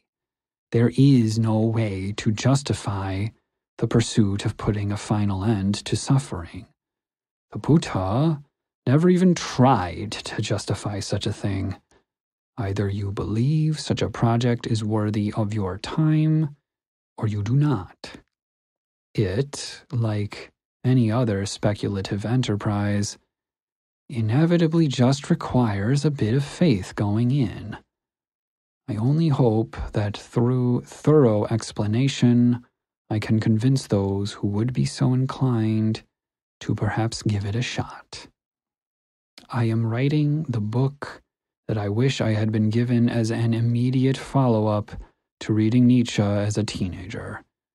We have so many presuppositions in our culture today that would like to convince us that awakening is impossible, or naive, or even undesirable, escapist, and weak, that faith in such a thing is based in superstitious nonsense, that putting our head down, breeding some taxpayers, and toiling away for our tribe is the only kind of life that is worth living. To put the catchphrase of philosopher Slavoj Žižek to good use, I would prefer not to. Zizek has been looking for the third pill, the alternative to the red and the blue, and I tell you, here it is. If you will follow me into the forest, I and the other disciples of the Buddha will show you how to take it. Chapter 3 The Ethics of Ascetics A person impassioned, his mind bound up, overcome with passion, doesn't discern, as it has come to be, what is of profit to himself, what is of profit to others, what is of profit to both. But, having abandoned passion, he discerns as it has come to be what is of profit to himself, what is of profit to others, what is of profit to both. Passion, my friend, makes you blind, makes you sightless, makes you ignorant. It brings about the cessation of discernment, is conducive to trouble, and does not lead to unbinding. Anguttara Nikaya 3.72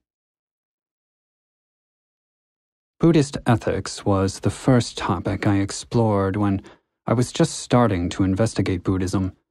I had already gotten an inkling that there might be something to this whole meditation thing, and so a combination of intellectual integrity and raw burning samvega forced me to explore the kinds of religious beliefs I would have previously written off as, well, as a bunch of bullshit, frankly. I was hoping to find some kind of deeper justification for the ethical precepts found in Buddhism, but during my initial cursory investigation, I came up as disappointed as with every other ethical system I had ever approached. Ethical nihilism is just one more skeptical phenomenon that mainstream Buddhist discourse is not prepared to speak to. So, before I even began writing this book, I knew I wanted to give ethics a thorough treatment to make up for this lack. For that reason, during my preparatory research, I took a brief detour into the realm of meta ethics. Being an amateur philosopher, I had assumed, based on the name, that meta ethics would be filled with discourse about how to choose between different ethical frameworks, the advantages or disadvantages of each, and the meta frameworks we could construct for judging and choosing between them. What I found instead was a community of analytic philosophers floating around in an ocean of words, tossing between themselves the linguistic flotsam and jetsam of an ethical vessel that Wittgenstein had blown to smithereens. Such a characterization is obviously a bit uncharitable, but I don't think any such philosophers would deny that their work has little, if any, relationship to ethics and morality as these are actually wrestled with by every human being on a day to day basis. And yet, even all the other more down to earth ethical disciplines like normative, applied, and descriptive ethics are, out of their lack of resistance to egoism or skepticism, equally useless. The existentialists, thankfully, do a bit better by following Kierkegaard in forcing us to reckon with the fact that, in choosing a set of values to live our life by, we are ultimately met with an utterly criterionless choice. Though I do not agree that any choice is truly criterionless, the existentialists thus at least retain that pivotal connection to the primordial anguish of choice in all its ungroundable agony. But in practice, even the existentialists still go astray. To demonstrate, we may point to Sartre's idealistic notion of ethics as expressed in Existentialism is a Humanism. Sartre's criticism of those who act contrary to Kant's categorical imperative, the rationalistic golden rule not to do anything that couldn't be made in a universal law, is indicative of his unwillingness to entertain nihilism's icy presence in his mind. As he writes, the man who lies in self excuse by saying, everyone will not do it, must be ill at ease in his conscience, for the act of lying implies the universal value which it denies. The must is telling, because Sartre seems to suggest that there are absolute values after all. I must admit, whenever I read any ethics, I often have to fight old habits and restrain myself from bursting into laughter. Perhaps Sartre had simply never encountered a real beast like Don Corleone or the nihilist whom I myself was at one time. For such a man, saying, everyone will not do it, is not the self deceptive lie of a weak willed moralist. Rather, it is the triumphant snarl of a disdainful predator. The pathetic ineffectiveness of every ethicist's scribblings is made deafeningly apparent in the moment when some arbitrary brigand stabs the scribbler in the heart and uses such scribblings as toilet paper. There have been many warlords and slave masters throughout history that lived long, enjoyable lives, dining on the fruits produced by a human meat grinder churning beneath them, without a moment of ethical self deception or hypocrisy. Upon being presented with such a facile idea as universal human values, they would have spat in Kant's face and told him to get back to the ledgers. Even today, in actual practice, human rights always only go so far as is convenient for geopolitical maneuvering, the efficient extraction of natural resources, and exploitation of human capital. There might not be as many brigands in the modern world, but a politician's or banker's utter indifference to the intelligentsia's pleading for a more egalitarian world has much the same effect slavery with extra steps. The possibility of such a disdainful, egotistical, cold blooded approach to life as I have just described is so unthinkable for the vast majority of people that it is no wonder that the psychopath problem is so infrequently recognized as a major ethical problem. Any ethics that will ever be worth anything at all must be completely resistant to egoism, even to outright solipsism. For it is so often the case that those who are most driven and skilled at acquiring and maintaining power are also those who have the greatest ambivalence to petty morality that so many ideas about good behavior can completely collapse under the question of what if I just don't care about other people is a deep indictment of their fundamental wisdom. All ethical systems with Abrahamic influence ultimately fall because of this Achilles heel. As soon as you stop believing in the myth, the ethical structure also goes right out the window. The ancient Greeks focus on eudaimonia as a long term state of well being resulting from virtuous character and good living is certainly a lot better and might restrain the worst impulses of otherwise vicious or indulgent actors. But it's still not really enough. Without any deeper grounding, virtue will always be a relative thing, effectively equivalent to the way the average person lives. At best, it will remain the moving average of each individual's idealized notion of what virtue is, kept floating up in a fuzzy cloud of cultural narratives, hero worship, and repetitive platitudes. No, to turn a serial killer into a peaceful monk like the Buddha did with Angulimala, a name that literally translates to finger necklace, you're going to need to bring out the big guns. Unfortunately for us, though, the big guns of Buddhism are, for the most part, buried under 2,600 years worth of dust. If you just do a bit of cursory research into Buddhist ethics, as I initially did, you will find numbered lists of do's and don'ts, like the five precepts and the Noble Eightfold Path.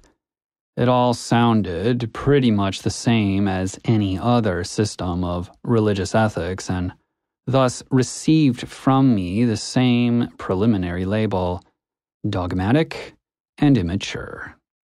I was looking for a good reason that I should not lie, not some pronouncements from a beatified dead guy.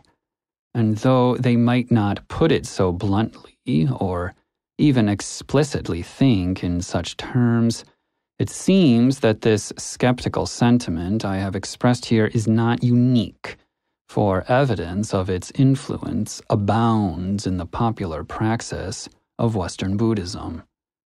Virtue, or sila in the Pali, is often relegated to a wholly subsidiary or even supplementary role in Western Buddhism and, to greater or lesser degrees, is even given the back seat in some forms of traditional Asian Buddhism. Although there is universally at least some emphasis placed on maintaining mindfulness in a context of kindness and ease in daily life, virtue or ethics in the more classical sense is often entirely ignored by Western Buddhist teachers or given merely cursory treatment. While most avoid a total embrace of antinomianism, certain expressions of Buddhism can so heavily emphasize a metaphysics of emptiness and the illusoriness of all conditioned reality that they do indeed begin to succumb to perennial accusations of Buddhism being just a sophisticated form of nihilism. This ontological nihilism inevitably bleeds into ethical nihilism leading to the falling away of any principled ethical stance whatsoever, such as what we can find in the work of a teacher like D.T. Suzuki, who wrote that Japanese Zen Buddhism is compatible with almost any moral doctrine as long as its intuitive teaching is not interfered with. It is difficult to address this kind of issue without skirting into the territory of polemics we have performed an analysis of sensuality and expounded a metaphysical interpretation of the Dhamma that may step on the toes of those that retain a relatively rigid, dogmatic, realist image of the Buddha's teaching, but would, I think, be relatively well received or at least tolerated in every branch of Buddhism with which I am familiar. But having laid the foundation, we will now be moving out of the realm of theory into that of practice. And it is here that the diversity of the Buddhist world makes itself known. Practice is the sand where lines must be drawn. Like many Westerners, my first interaction with Buddhism was framed by a narrow focus on meditative concentration exercises that were in some vague way imagined to eventually lead to emotional catharsis, spontaneous insights into the nature of reality, and eventually to a kind of sustained non dual awareness that would constitute enlightenment. I can confirm through personal experience that if pursued with enough intensity, attempting to sit completely still with attention laser focused on the sensations at the tip of your nostrils or the movement of energy just below the navel for hours on end can indeed lead to exactly those emotional catharses, mystical visions, and non dual experiences that you may be looking for. But, unfortunately, None of those things have anything at all to do with what the Buddha taught.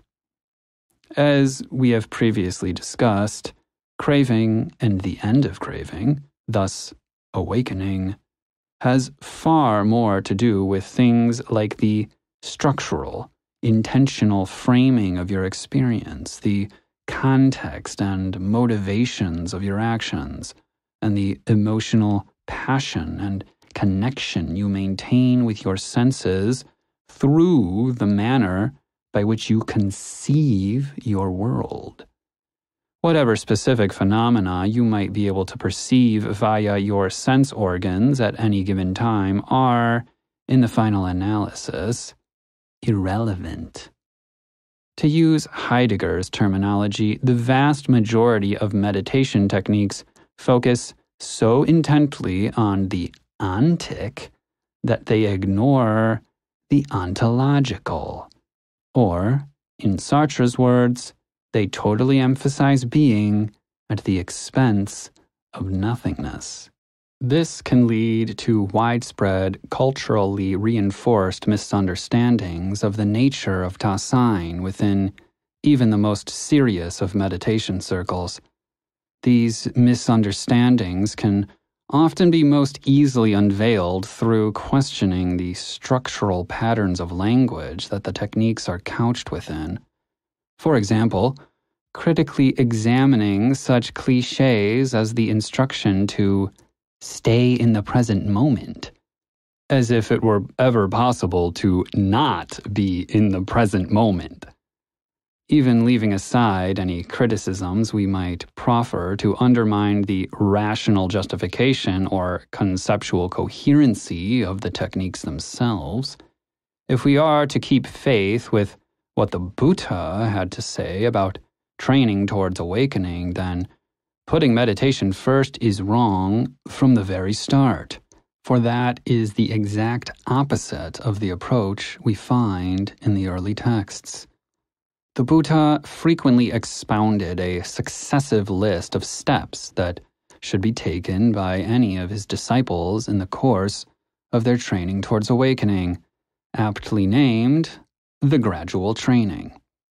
While this list was in some discourses abbreviated or expanded, depending on the context, there is an invariable consistency to the order of the trainings, as well as the simple overarching hint that there were certain trainings that the Buddha considered more foundational that should be focused on first before moving on to the latter trainings that require the previous as support and are, in truth, simply the natural maturation of those fundamentals.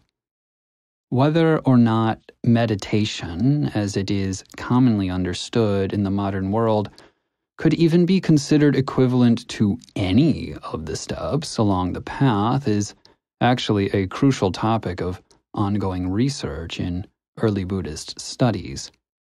I have personally come to the relatively radical position that basically every commonly taught meditative focusing or concentration technique is unhelpful, if not entirely counterproductive, towards the training described in the early texts.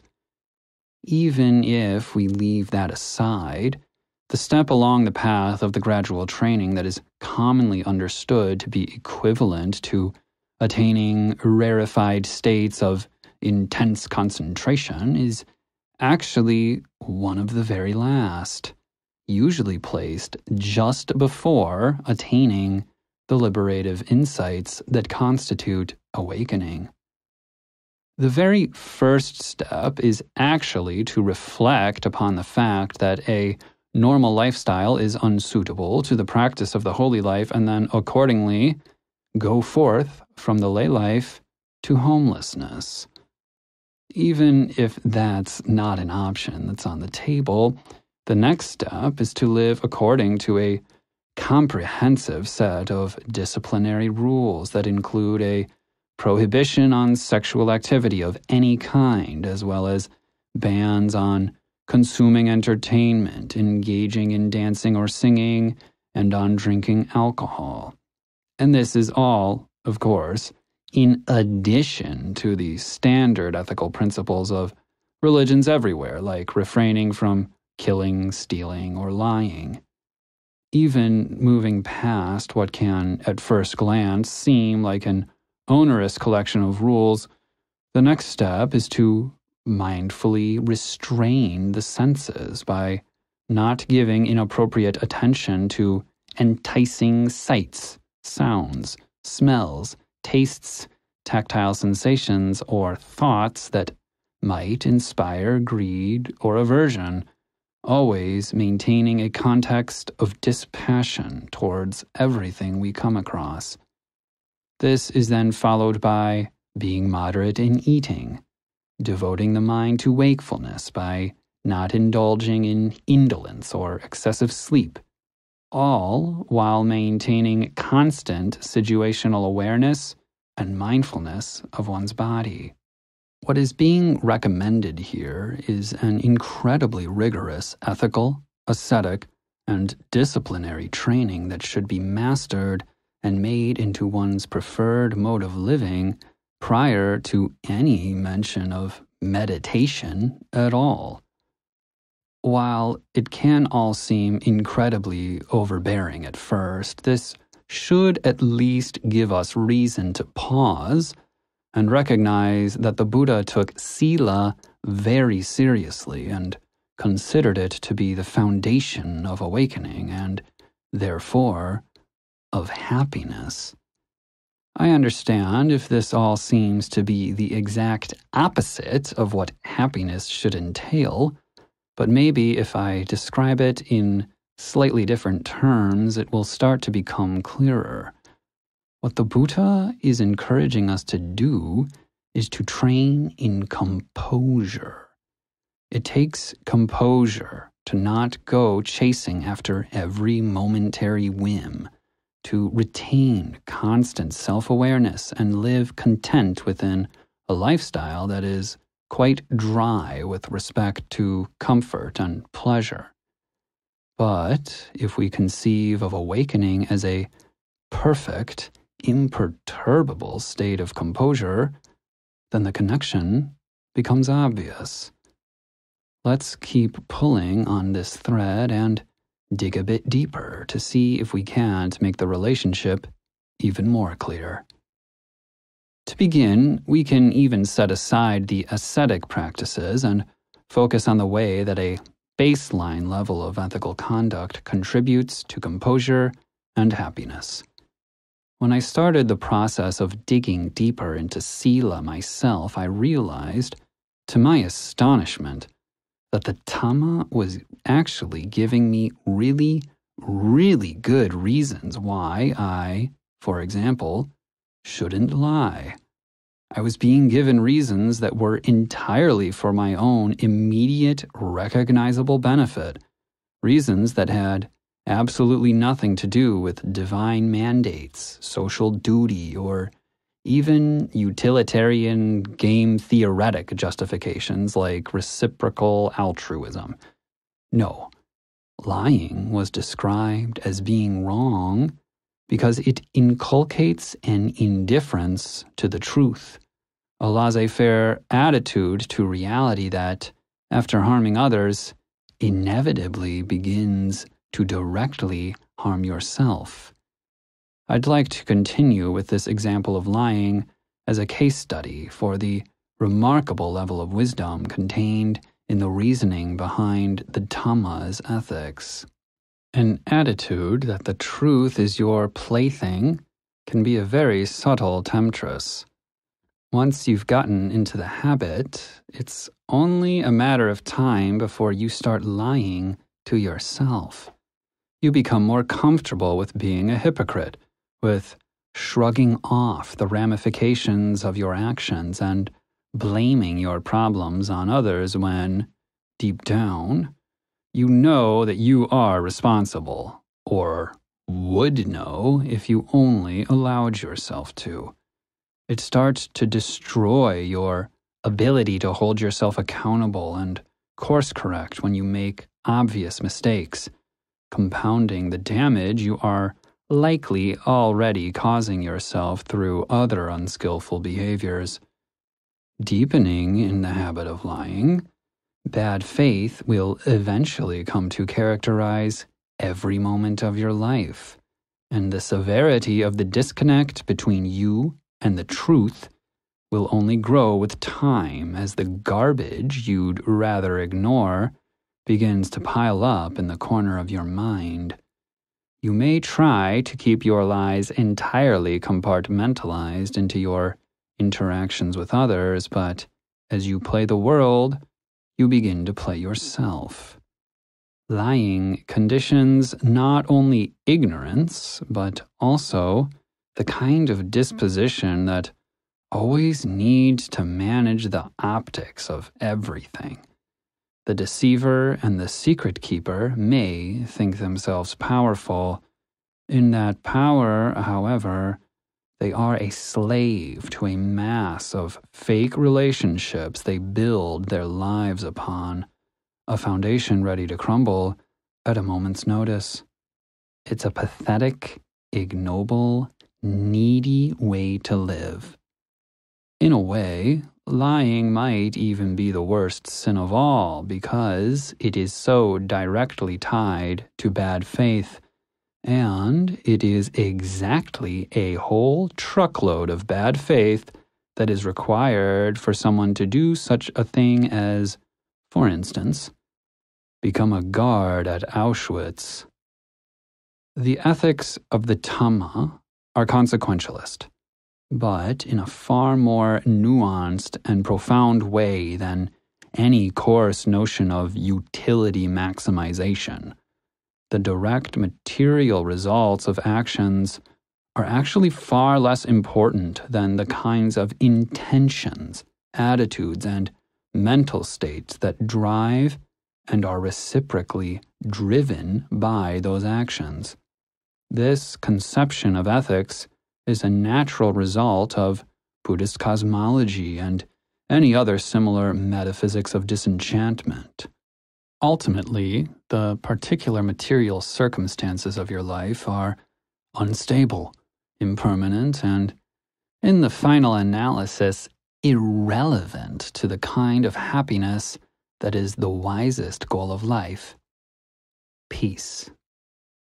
Stealing is indeed wrong in a conventional sense because you are depriving someone else of their property, but they were eventually going to lose that property regardless. At the very least, no one takes anything with them beyond the grave. It's the same thing with killing. No one gets out alive anyway. No, the most significant thing that you are stealing or killing is your own peace of mind. Through theft, you are cultivating and reinforcing a mind that is so insatiable that it is willing to risk all the consequences of the theft being discovered in order to obtain what you crave. And the same goes for murder. This is the immutable law of karma that can be recognized directly in the here and now. The habits you build out of your attitudes and behavior form the shape of your mind, and thus the shape of your entire world. A thief or a murderer is not a contented, happy person.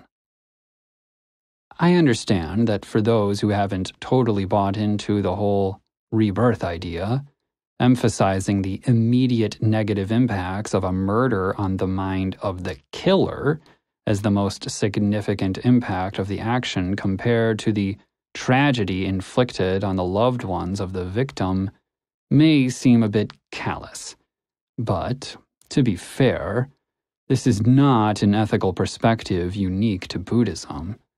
I actually can't think of a single traditional religious cosmology wherein the weight of the externalities of a person's actions come even close to the weight of consequence for transgressing against God's will, for example.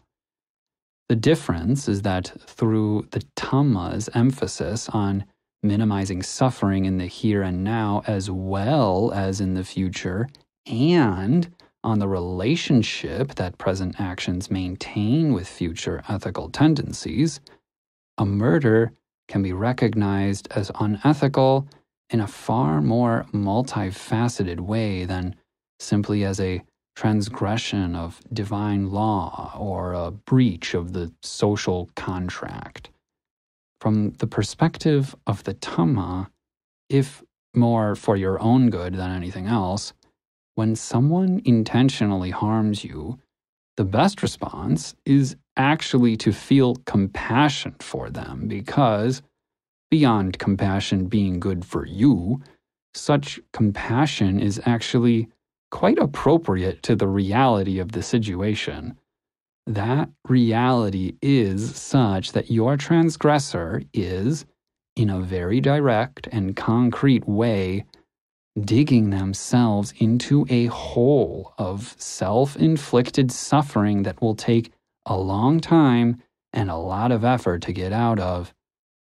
They only have so much power they can exert over you, but a hateful, petty, ignorant person must live with themselves and all the dysfunction and strife they carry along with them 24 7.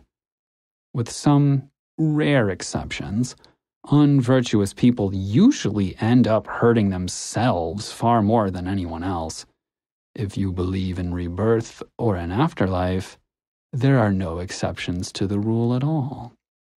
Vengeance or retribution are not attitudes that help anyone, least of all the victims who might feel pulled towards such emotions. Hatred, like all sensuality, always has only a thin coat of pleasure wrapped around a much more sizable core of pain, carrying on the same kind of hateful, unpleasant, and ignoble emotions and impulses that motivated whatever harm came to you is only giving the other person even more power over your life. And this ideal attitude of universal compassion and grudgelessness is only heightened within a perspective that involves trillions of years of repeated birth and death.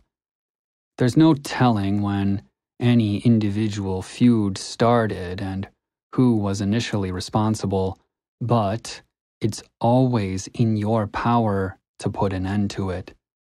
Doing so is the very essence of nobility. Therefore, in Buddhist ethics, we have a beautiful merging of consequentialist and virtue ethics. It is precisely the consequences of virtue with respect to our long term happiness that make those virtues virtuous. By acting in virtuous ways, we cultivate a mind with habits such that it has an increasingly greater capacity for virtue in the future and, consequently, for happiness. In this way, the arbitrary divide between selfishness and altruism becomes utterly irrelevant. There will always be those people who are unconcerned with the impact their actions have on others and who are, furthermore, so committed to gratifying their capricious whims that no amount of well reasoned moral instruction will ever reach them. Even the Dhamma will not get through to these people, but it does have the capacity to reach those who are intelligently pursuing their own highest happiness at any cost.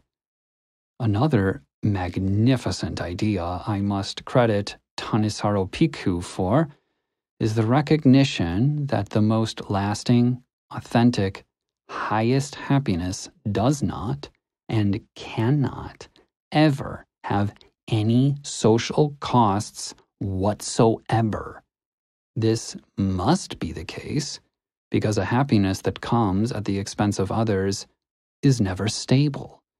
It will be shattered as soon as the oppressed get the chance to rebel or another power seeker senses weakness and comes to take your place in the hierarchy. And even if you're ready to take what you can while the going is good, living fast and leaving a beautiful corpse, everything we previously discussed about the emptiness and dissatisfaction entailed in such a life of gratification still applies. The problem of unscrupulous hedonists, psychopaths, and egoism does not affect the Dhamma in even the slightest. If they're intelligent, even the completely selfish would live according to the Buddha's teachings. By doing so, they may even eventually be able to transcend that selfishness altogether.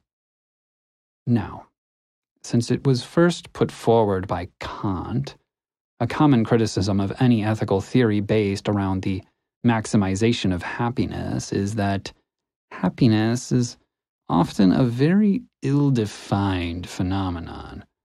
This is indeed often the case, but building upon the foundation we built in chapters 1 and 2, it should be clear that the Dhamma is exactly the tool that is needed to resolve such an ambiguity.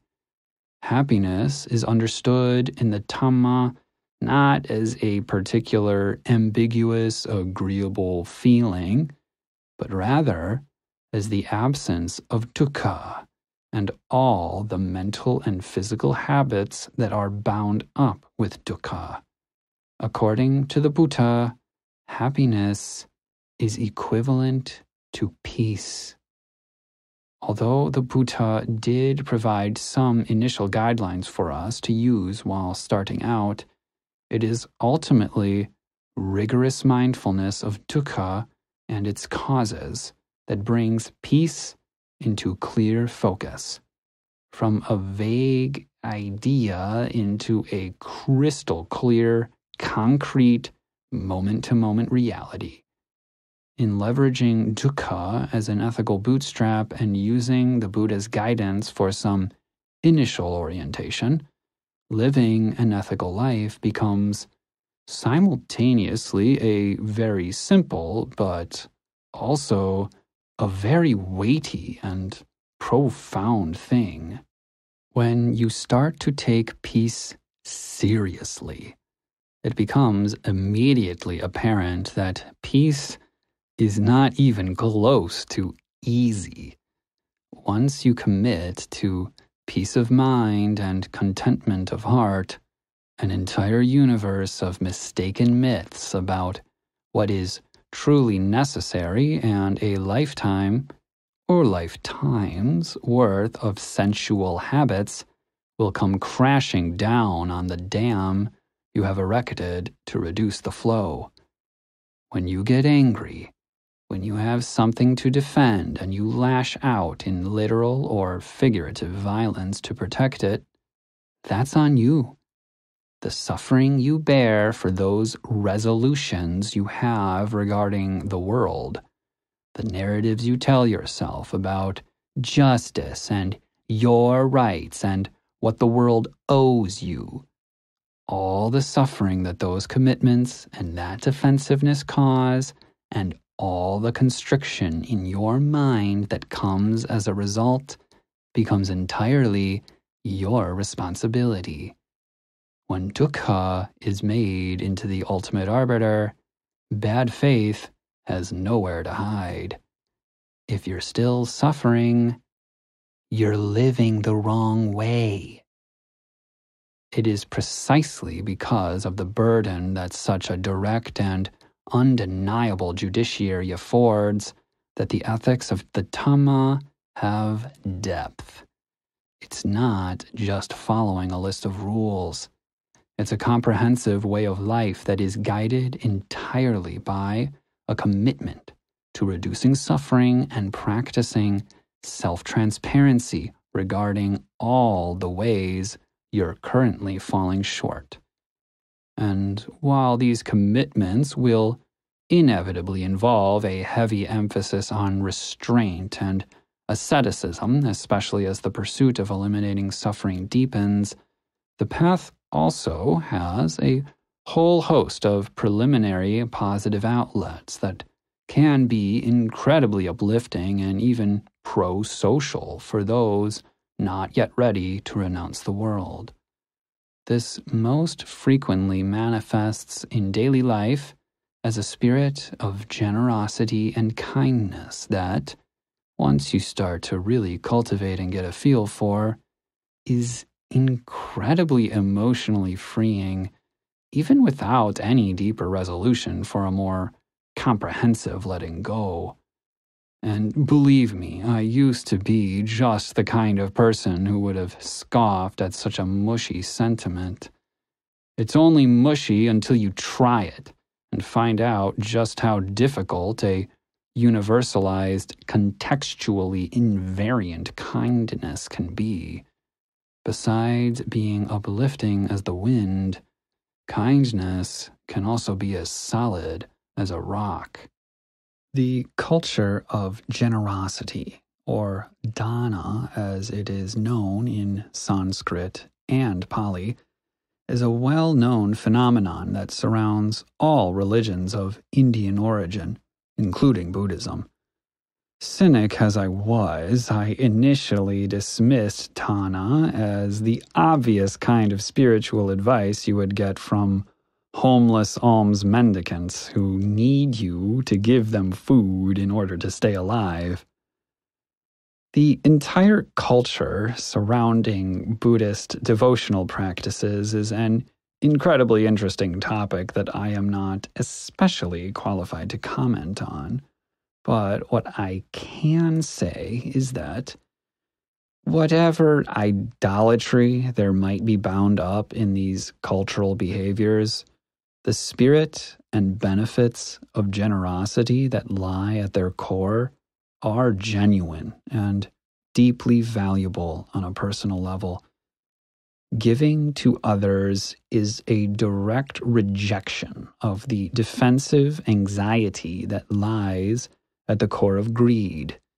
It fosters a personality of openness, consideration, and ease that is such an obviously preferable way of being. And Dana does not have to be expressed solely through giving alms to monks and nuns.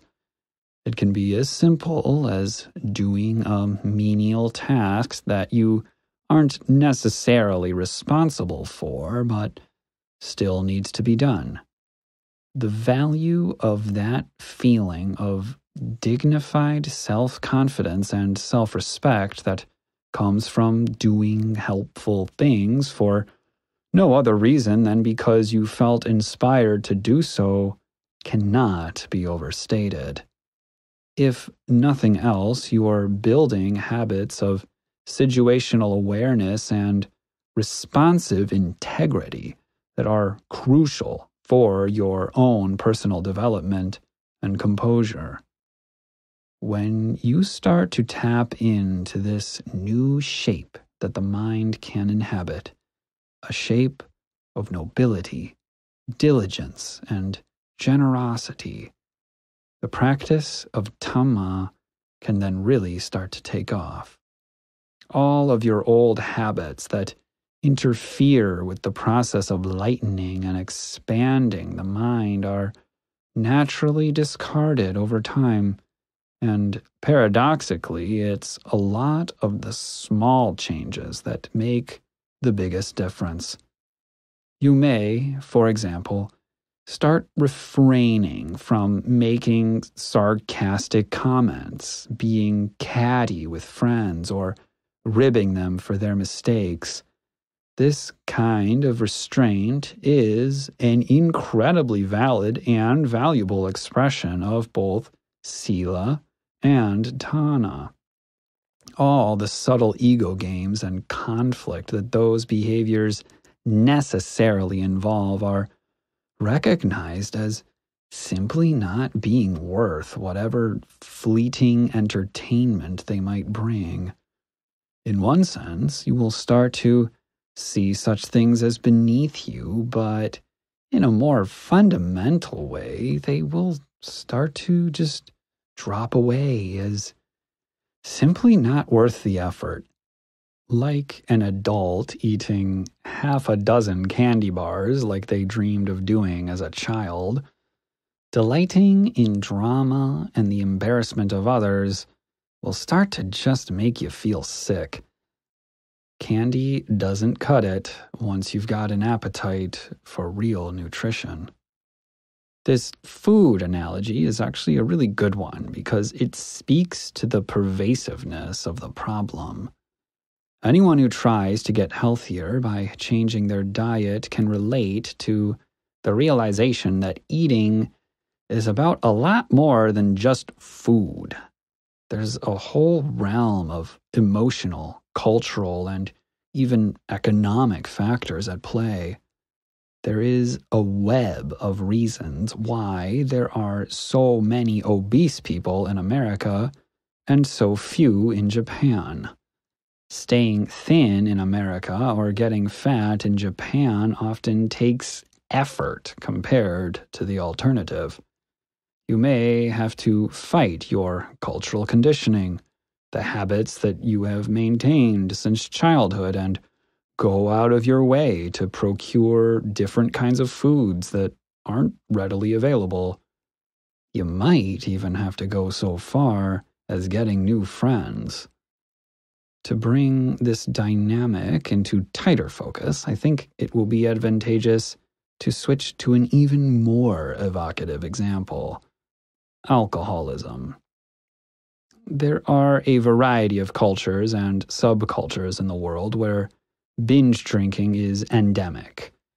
Alcoholism, or alcohol use disorder as it is now being referred to, may be genetic in the literal sense of the word, but it is without a doubt genetic in the sense that, for many, ubiquitous drinking is something they grew up around and took for granted as just another part of life. In these cultures, all the dysfunction that alcohol causes may be recognized in a cursory sense, but it often requires removing yourself from that environment and gaining exposure to a different culture with alternative attitudes towards drinking before the more pervasive damage such a tolerance for or even expectation of drinking can have. After engaging in a brand new way of living, all the behavior you used to think of as normal or fun must be completely recontextualized. If you truly reflect and think back, you can start to recognize all the subtle ways that people's relationship with alcohol hurt themselves and the people around them, without even needing to consider the more extreme expressions of dysfunction.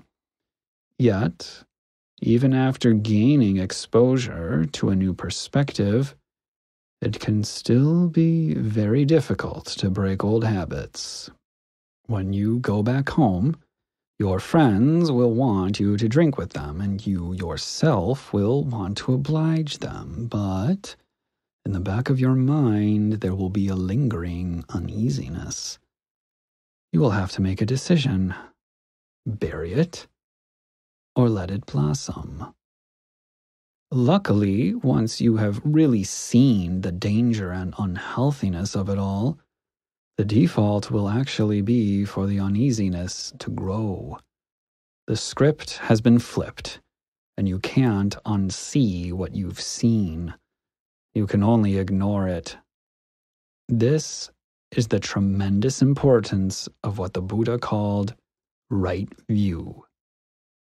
Right view is the first and most important pillar of what is known in Buddhism as the Noble Eightfold Path. Unsurprisingly, right view was another point of unease for me as I first explored the Dhamma. Needing to believe certain things and view the world in a certain way in order to become enlightened seemed ridiculous. As we discussed in Chapter 2, however, that attitude of skepticism was itself simply the result of clinging to some other unjustified and unjustifiable value structure.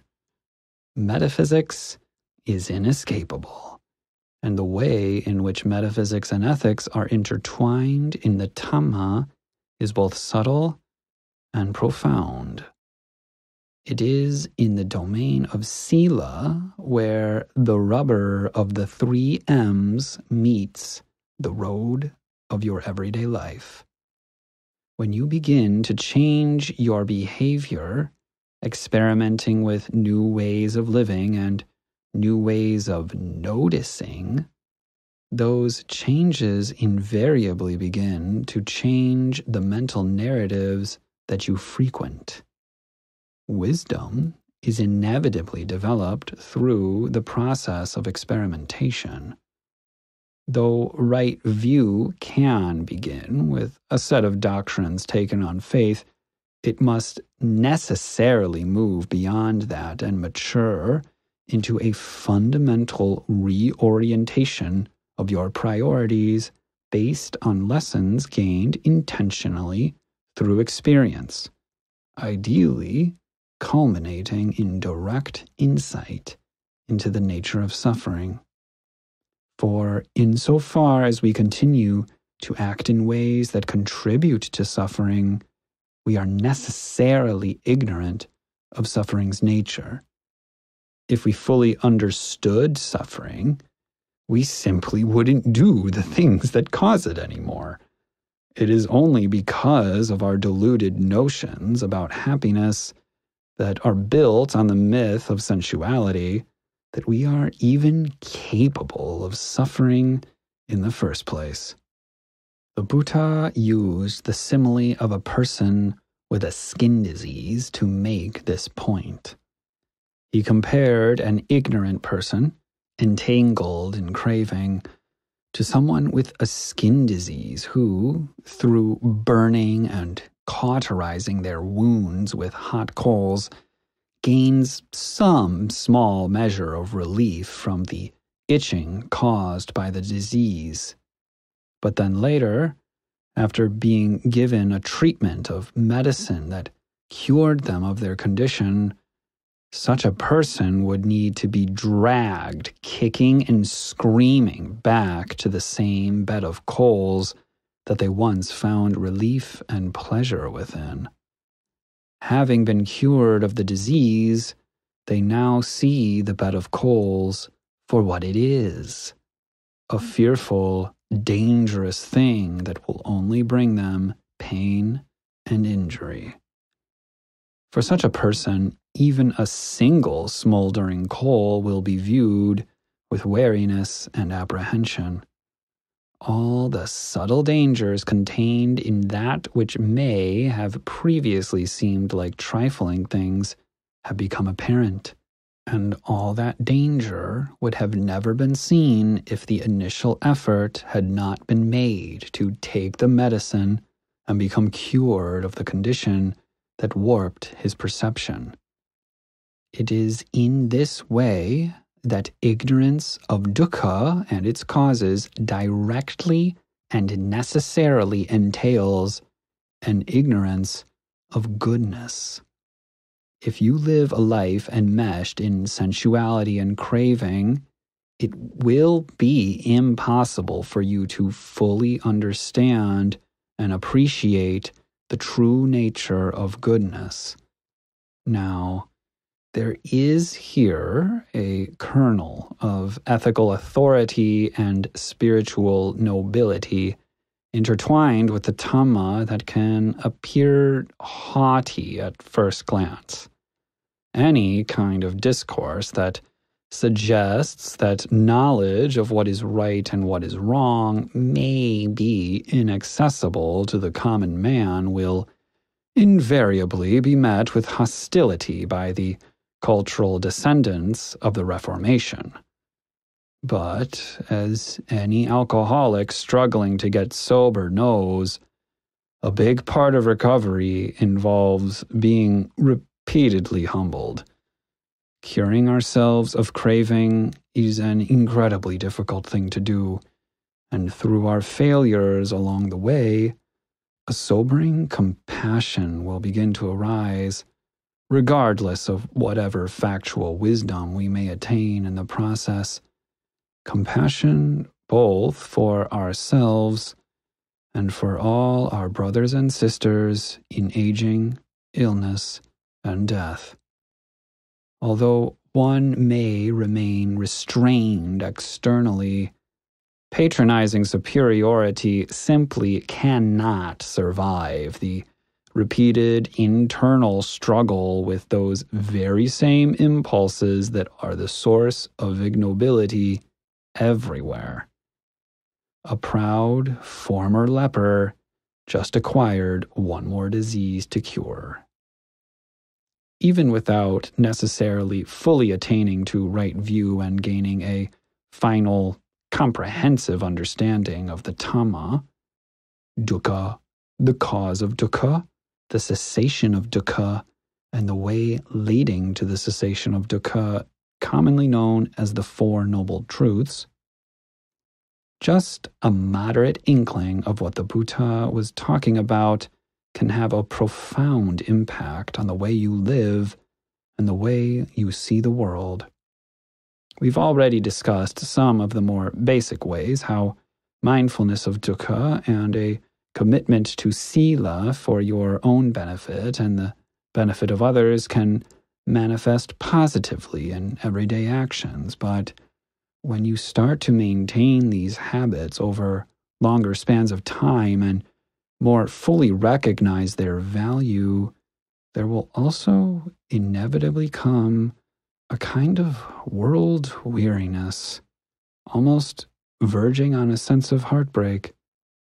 Having so drastically changed your level of happiness through purely internal work, the sheer magnitude of unnecessary suffering in the world that is caused entirely by repetitively ignorant decisions that are always totally, categorically, and necessarily in the hands of others becomes staggeringly apparent.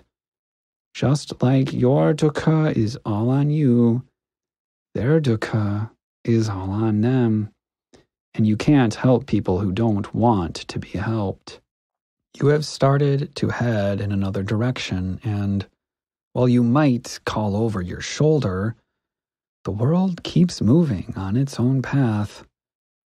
In my own life, I first began to experience this new disconnect between myself and my cultural surroundings most distinctly while consuming dramatic media. With few exceptions, almost all of the drama and excitement that drives the stories humanity tells itself are derived entirely from pretty much all of the characters repeatedly making a bunch of awful life decisions. The kinds of situations that drama occurs within are the kind of situations that wise people simply never get into in the first place. And of hmm. course, that's the point. We want to see people rising above their difficult circumstances, conquering their demons, defeating the bad guy, etc. And yet, in almost every case, the characters in question are actively perpetuating the circumstances that necessitate conflict and, eventually, heroic resolution.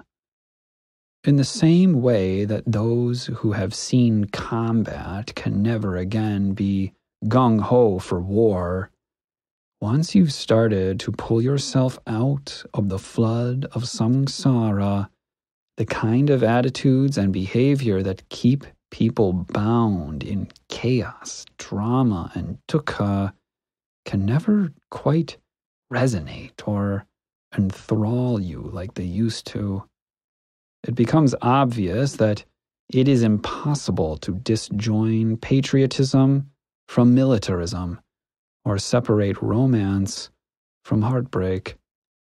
In the real world, riding into the sunset is only the start of a new drama. Nobody who plays the game of righteous vengeance ever wins. But people keep playing it, and Given how old our narratives repetitively valorizing such behavior are, they'll probably never stop.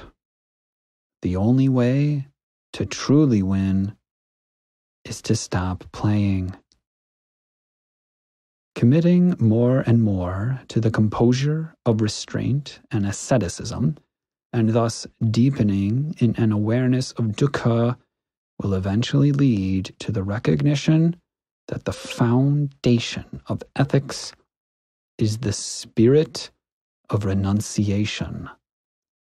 The more comprehensive and solid your composure and self confidence grows, the more it will become apparent that the patterns and practices of normal life are not only irrelevant to your happiness, they're actually an obstacle. The burning of love is replaced with the cool tranquility of goodwill. Thoughts of social drama, political concerns, and material ambition will slowly fall away. Those things are not only mostly out of your immediate control, but they also really have nothing at all to do with real happiness in the first place. Having gone through the crucible of Samvega, the effacement of dana, and the cooling focus of sila, there will be a growing reserve of internal assurance and measured distance from the pole of sensuality. The need to socialize, to mutually entertain others, and reinforce your own sense of social security can, at this point, be recognized as simply a distraction and limitation on the growth of inner self adequacy, tranquility, and contentment. In order to come into a direct understanding and relationship with the true causes and conditions of happiness, it is thus necessary to walk directly against the stream of the world. Unfortunately, it is the case that the vast majority of people have absolutely no idea what it means to be truly content. And it is no wonder that they don't, because almost no one ever even tries to find out what that might mean. Even intelligence here only offers a small advantage as we can see from the large number of very intelligent people who have, in the West, been dogmatically pursuing freedom as the highest good of mankind for perhaps five consecutive centuries or more at this point. If there is no deeper guidance for how we should express our freedom, maximizing that freedom is a dead end. Without any foundation of wisdom, all the liberation that exploded out of the 1960s was inevitably going to crash and burn into the drug addled insanity and depravity described in Hunter S. Thompson's Fear and Loathing in Las Vegas, or else end up spinning in the mud of the New Age bog. In our bullish rush towards pleasure and security, we never stop to question or even recognize the racket that sensuality has us in. And racket is precisely the right word to describe the situation. Craving creates the problem, and we have to do its bidding in order to get rid of it. And yet, somehow, we still think that perpetual racket is better than the insecurity and difficulty of willful restraint. The aversion to rules still remains. In philosophy, deontology is a general category for ethical theories that are based upon each individual's duty to follow a certain set of rules. While deontology is the natural system of ethics to apply within, say, a bureaucratic body, I hope to have made it clear that the Dhamma is not a deontological theory. It is, indeed, directly opposed to such a conception of ethics. Sila can be viewed in an immature way as simply a set of rules laid down by the Buddha to be followed unquestioningly, but, as we have already discussed in detail, it is ultimately the principle of minimizing dukkha that truly matters. There is actually a very specific term given by the Buddha for the deontological approach to sila, silabata paramasa. This is a term that can be translated as misapprehending and grasping at rules and rituals, and it is given as one of the very first of a list of ten fetters that keeps beings bound to samsara and prevent the realization of awakening. While holding to rituals as a form of spiritual purification is perhaps less of a problem among Western Buddhists than it was in the time of the Buddha, I certainly did my fair share of grasping at rules as I first explored the Dhamma. Letting go of this fetter does not mean that you stop following any rules at all. Quite the opposite. What it means is that you will have directly and intuitively grasped the kind of understanding I have attempted to convey in this chapter, the real purpose and logic behind the rules that guide the mind out of craving and chaos and into composure and peace.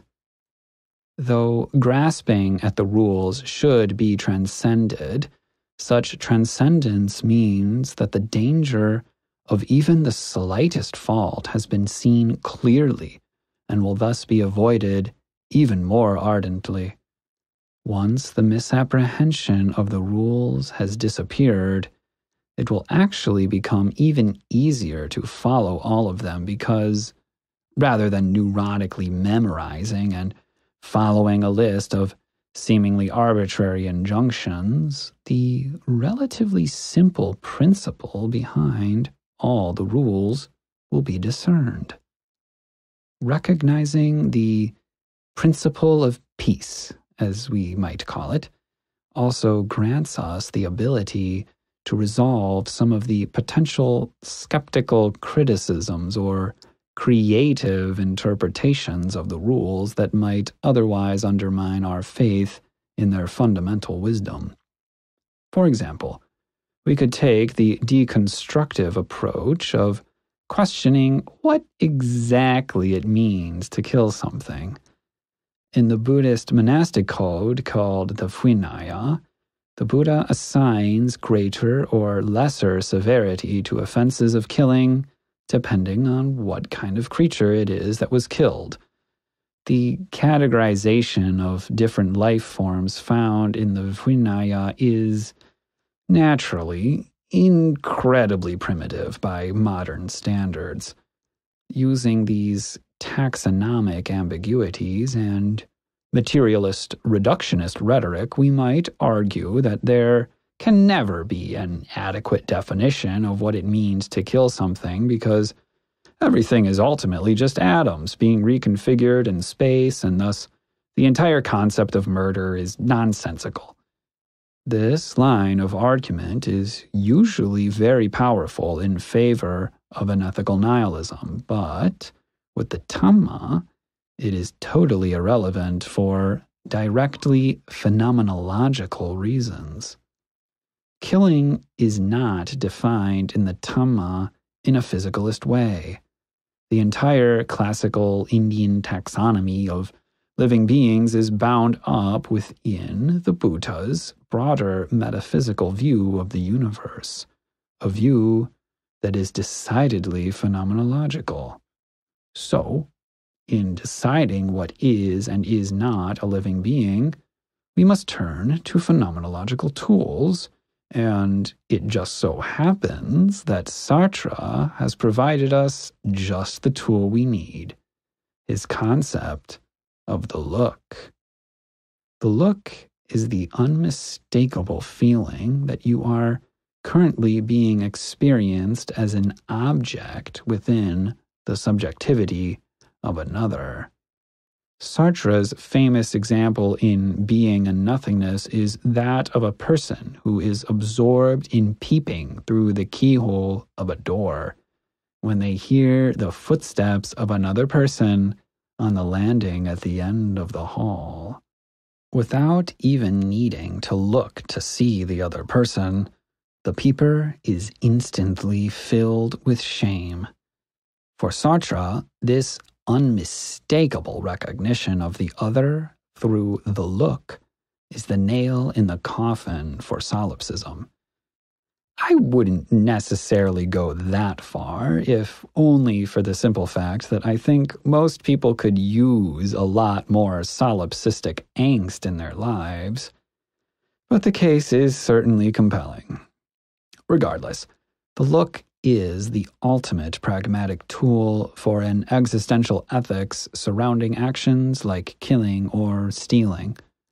If you pay attention, you will be able to recognize the feeling of the look, even with reference to things we would very much otherwise like to consider unworthy of ethical consideration, like mosquitoes.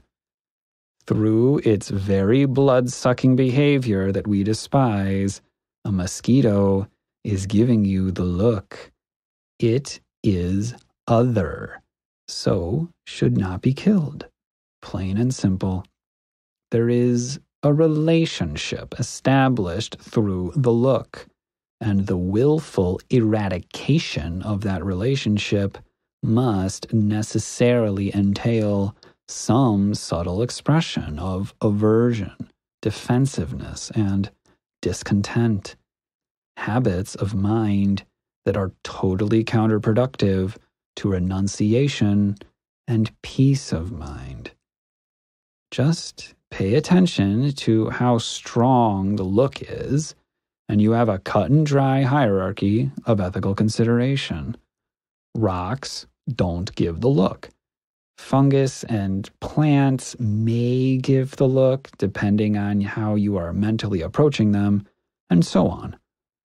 There could be some very rare edge cases under this system, like the potential for a person with some kind of psychiatric disorder that prohibits them from recognizing the subjectivity of others. But frankly, the Buddha's teaching isn't for other people, it's for you. It's not a political or judicial theory, it's a pragmatic and all encompassing guide to living a noble life. And I'm willing to bet that if you have the capacity to read this book, you have the capacity to recognize the look. We could potentially explore other areas of where we might direct our skepticism, but between the peace principle and the previous example, I think the watertightness of the system has been made clear. Given how long I've been exploring this subject with a critical eye, I am personally satisfied that, on the level of the individual, the Dhamma completely resolves ethical nihilism, even under the most adverse of conditions like radical skepticism, selfishness, and even solipsism, a feat that I do not believe any other ethical system can claim. For even those most egotistical of ethical theories do not provide built in means for defining, exploring, refining, and concluding the pursuit of happiness in a rigorous and thorough way. No other normative system provides the means for the end of transvaluation. Part of the Dhamma's solidity comes from the fact that it is not a political or social theory of ethics. It is strictly focused on the individual and the proper life choices someone should make who is intent on putting an end to suffering. Such an ethical practice cannot and will not bring about world peace but the Dhamma's strength comes directly from this focus on that most fundamental ground of ethical action the individual and their happiness.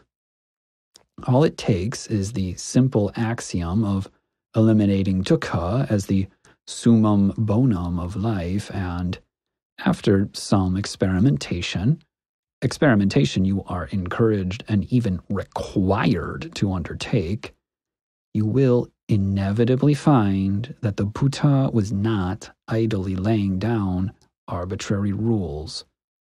The training rules, I tell you, are not in vain. To recognize as much may take a long time, given how strong our habits of sensuality are. Moving beyond basic sila into the realm of asceticism can feel like anything but peaceful. An excerpt from the biography of Ajahn Chah, a Thai monk who was one of the 20th century's most venerated Buddhist teachers, quotes a disciple of Ajahn Chah who put it quite succinctly. One English postulant famously exclaimed loudly in a broad northern accent, This going against the stream! It's not a babbling brook we're talking about here, it's white water! There is indeed some suffering involved on the road to the end of suffering, but this can often be mitigated by gradually building up to greater and greater degrees of renunciation, although jumping right into the white water can be a valuable learning experience for those willing to take the plunge.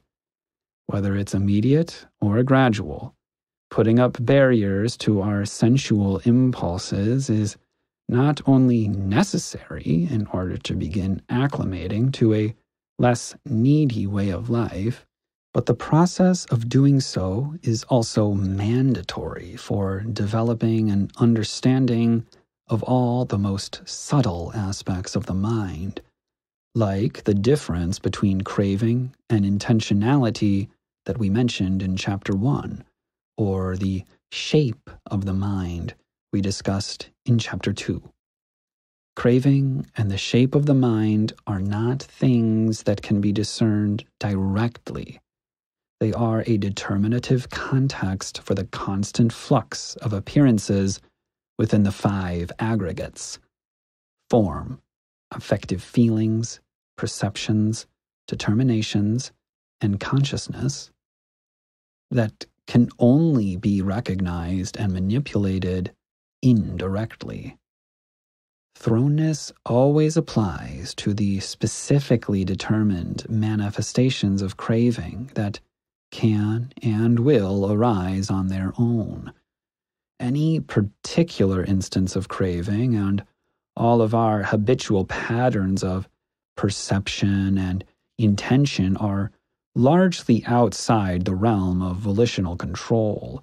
But it is precisely within that domain where volition does exert control that the skillful movement of the mind into a different governing context can occur. A context removed from sensuality with its attendant perceptual distortions and improper loci of attention. This must involve repetitively reminding oneself about the benefits of renunciation and contentment, about the dukkha involved in gratification and all the stupid things we are liable to do in order to attain that gratification, and then, most importantly, refraining from undermining that work by volitionally engaging in sensuality. It is impossible to attend properly to the themes of contentment and poise while you are willfully immersed in a self constructed world that is anything but.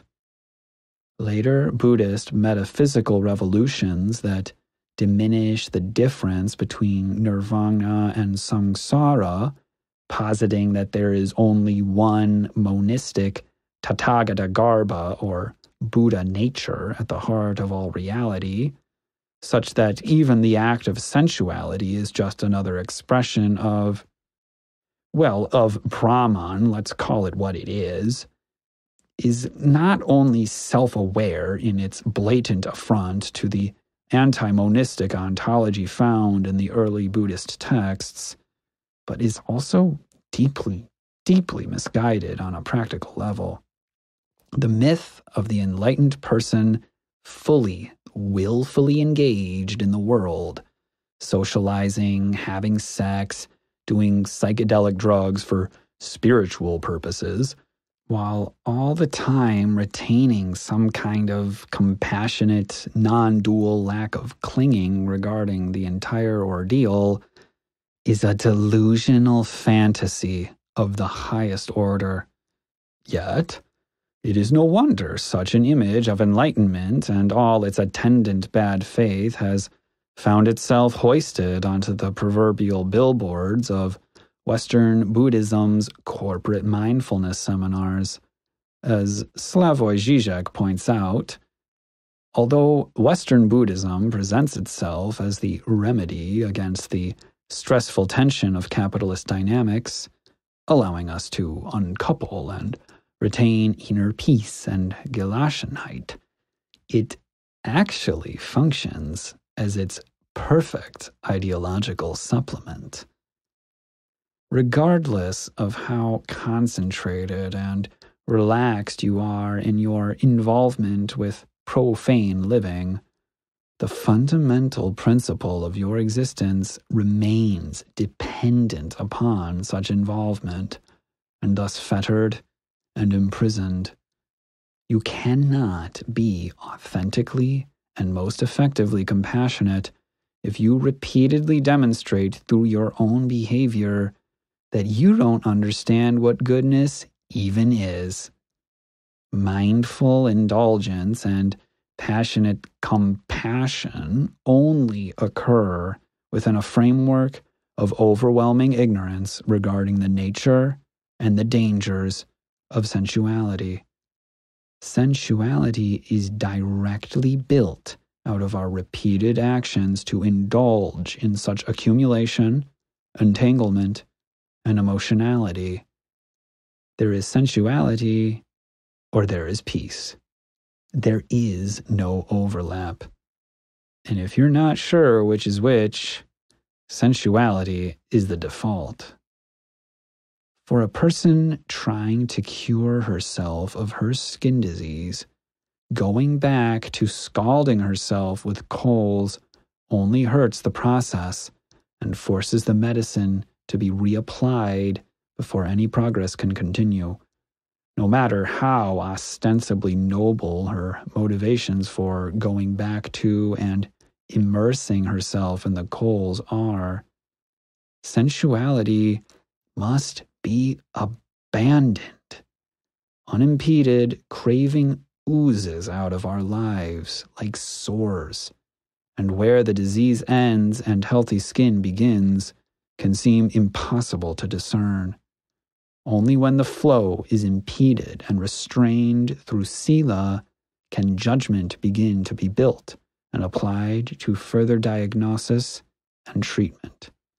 Once you've restrained the urge to indulge enough times, in enough magnitudes, and in enough contexts, the patterns of the mind can begin to be recognized. The difference between a harmless action necessarily taken to keep the body alive and comfortable for making effort towards further composure and an action willfully taken out of craving can begin to be discerned. Really homing in on this disambiguation leads to wonderful ascetic conundrums we have the fortune to be faced with in the modern world, like what I fondly refer to as the shower temperature problem. Is it satisfying a preference? Or is it craving? It can be hard to know at first, but luckily, Sila and its benefits are just as complex and robust as our biological bodies. Minor indulgences will not destroy years of ascetic discipline, and it is exactly those years of practice that will allow you to draw the line between indulgence and simply avoiding unnecessary hassle as we move around in this walking corpse. Viewing our body in just that way, as an oozing bag of bones that is a necessary but often inconvenient vehicle, is yet one more aspect of the context of relinquishment that Sila serves to reinforce. There is a natural progression from mundane virtue and generosity to greater forms of dispassion and letting go as the cool contentment we have built increases in strength and we gain in both the capacity and the motivation to protect and nurture that composure to even greater levels. To be unperturbed by the cares and defensiveness of an ego eternally holding on to a decomposing body is a truly divine and noble abiding in the here and now. But without the simultaneous development of wisdom, our Sila will forever remain as dry as any other deontology. Therefore, having nourished our faculties with the paradoxically rich food of asceticism, we must use those sharpened faculties to investigate the roots of the problem. To understand craving and the end of craving, we must recognize, understand, and let go of that most pernicious and fundamental of sources of dukkha, our very sense of self. Chapter 4 The Suffering Self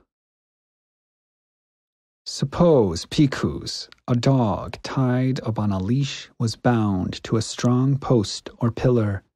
It would just keep on running and revolving around that same post or pillar. So, too, the uninstructed worldling regards form as self, feeling as self, perception as self, determinations as self, consciousness as self. He just keeps running and revolving around form, feeling, perception, determinations, around consciousness. As he keeps on running and revolving around them, he is not freed from form, feeling, perception, determinations, not freed from consciousness. He is not freed from birth, aging, and death, not freed from sorrow, lamentation, pain, displeasure, and despair, not freed from suffering, I say. Samyutta Nikaya 22.99 I once visited the Art Institute of Chicago and, while walking its halls, had a protracted and deeply troubling experience. As with any museum of such a high caliber, the Institute is filled with art pieces from around the world that are often hundreds, if not thousands, of years old. For whatever reason, during this particular visit, the insight struck me that what I was walking through was not simply a museum of pretty pictures, but a monument built out of tiny fragments of humanity left behind by a majority of very dead individuals. Every work of art sang a song that could only briefly reference an entire lifetime that was once lived by a very real person. Everywhere I turned, there was another life that had once been lived with equal complexity and texture as my own. One Renaissance painting depicted Roman chariot races. Lives within lives within lives. I felt pulled into those lives by each work, yearning to know, to see, to understand who these people were, how they were able to produce such beauty, and what motivated them to do so. But honestly, to me, their artistic capacities were almost irrelevant compared to the sheer magnitude of human emotion and sensitivity that their artwork represented.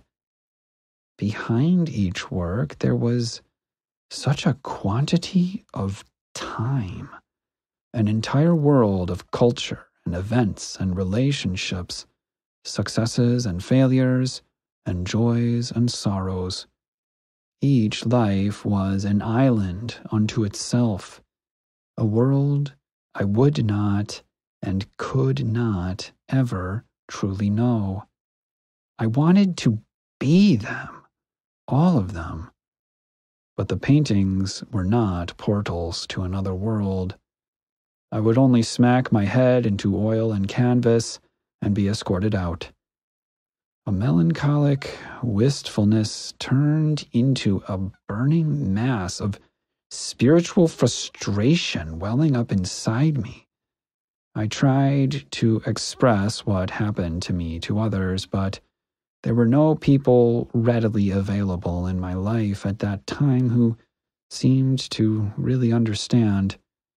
I hope, perhaps, that the kind of person who will have made it this far into a book like this will be able to sympathize with my experience.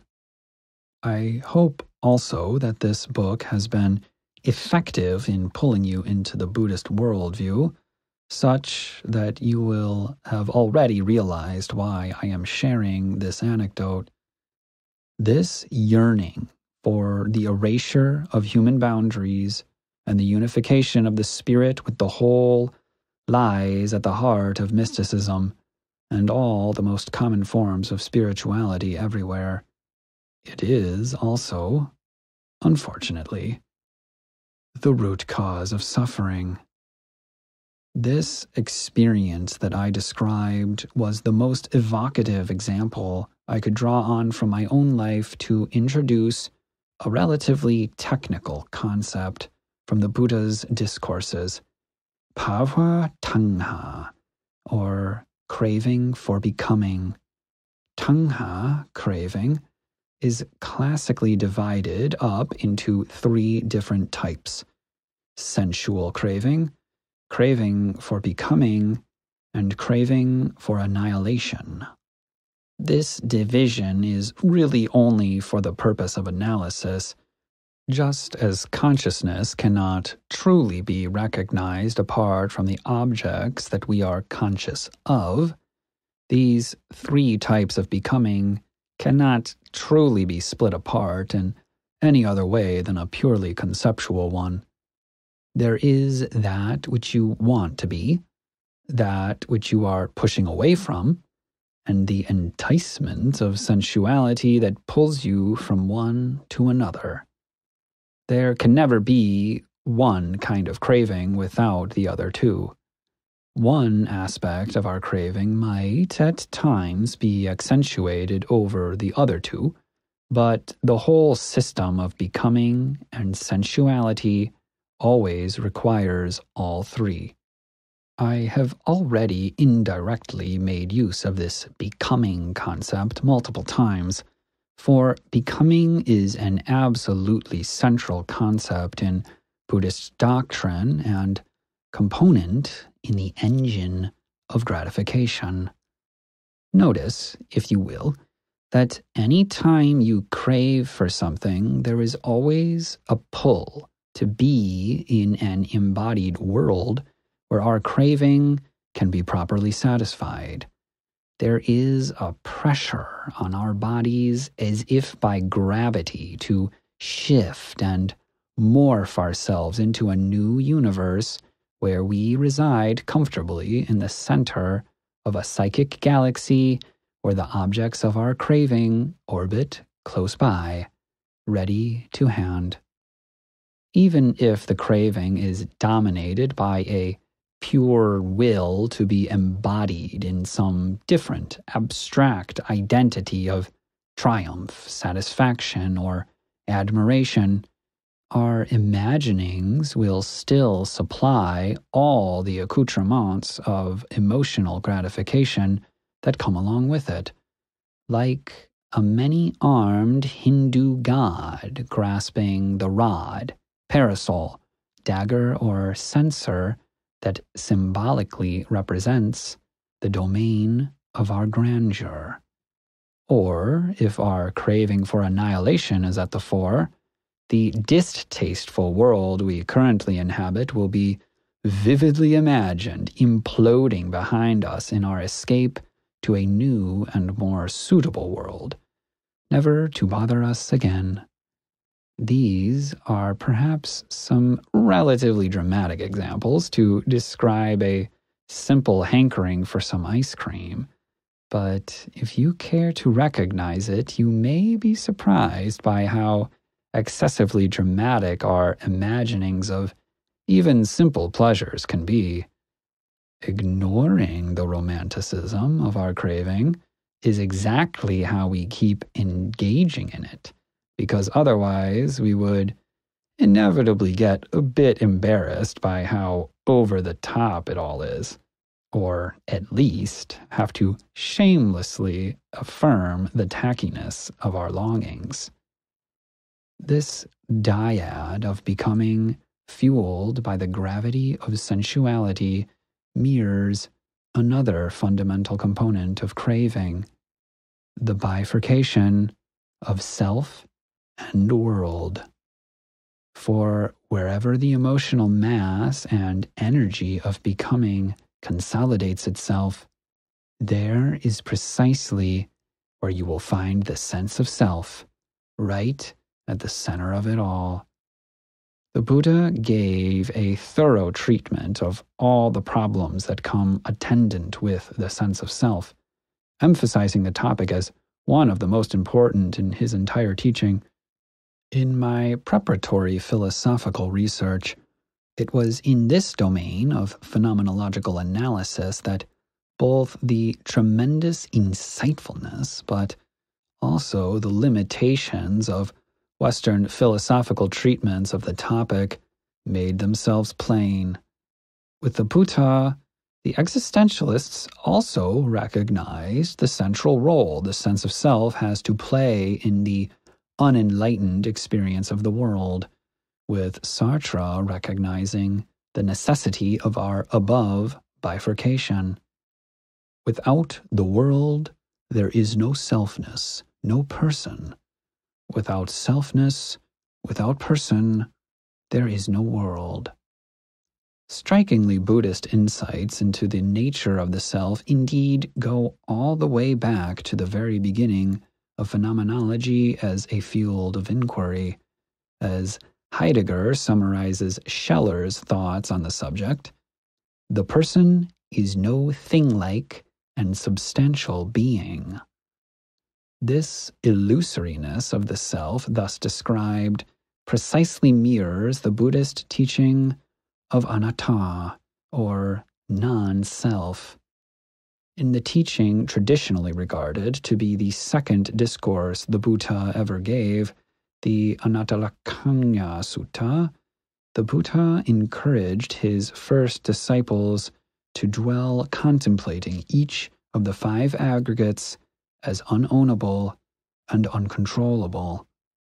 He reasons with them that we cannot and will never be able to dictate the unfolding of our experience, saying, let form be like this, or let perception not be like this. And thus, none of the various aspects of our experience can be ourselves or be authentically appropriated or owned by us in any way. Seeing this, a learned, noble disciple grows disillusioned with form, affective feeling, perception, determinations, and consciousness. Being disillusioned, desire fades away. When desire fades away, they're freed. Thus, phenomenology, through its approach to reality based on direct discernment first and foremost, rediscovered basic tenets of the Dhamma even in its very infancy as a branch of philosophy.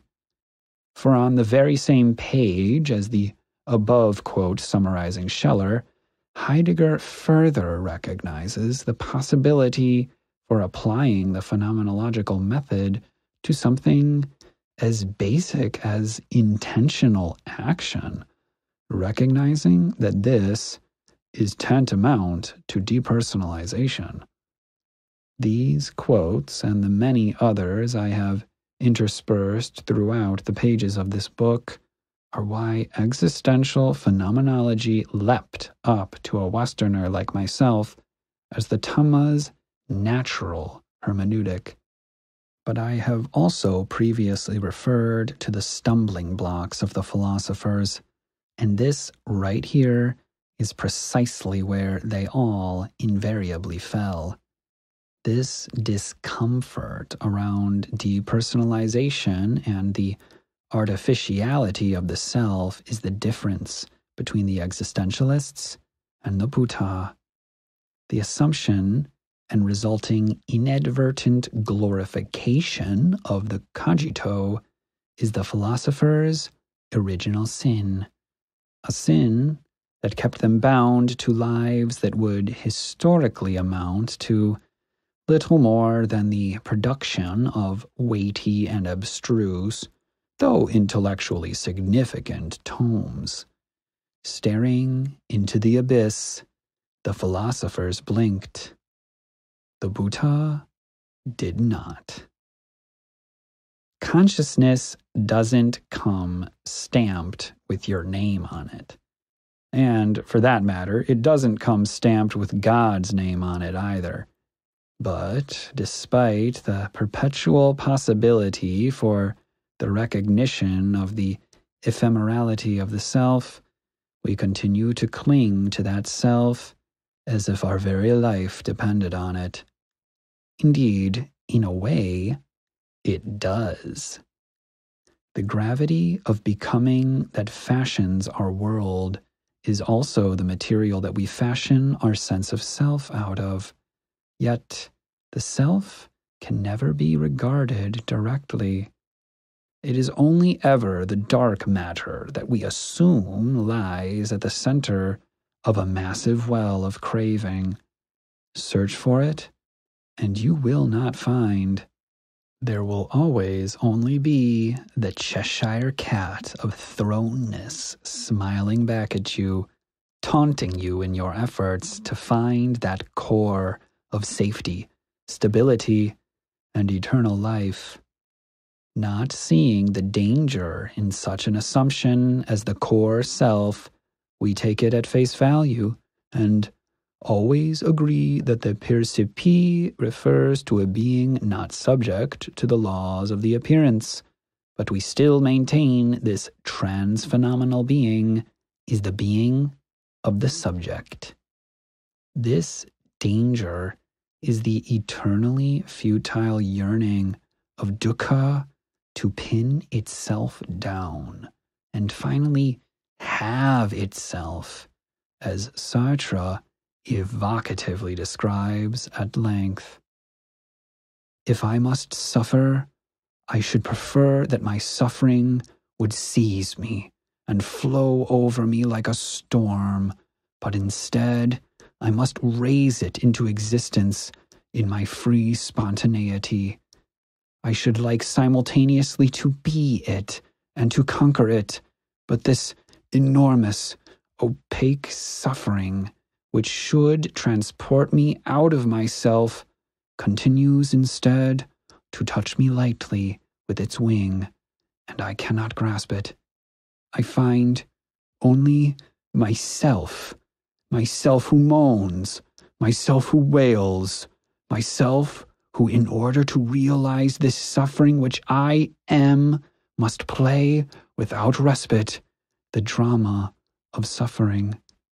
I wring my hands.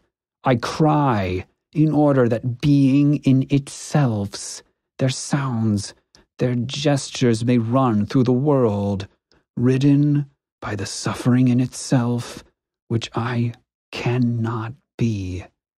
Each groan, each facial expression of the man who suffers aims at sculpturing a statue in itself of suffering. But this statue will never exist save through others and for others. My suffering suffers from being what it is not and from not being what it is. At the point of being made one with itself, it escapes, separated from itself by nothing, by that nothingness of which it is itself the foundation.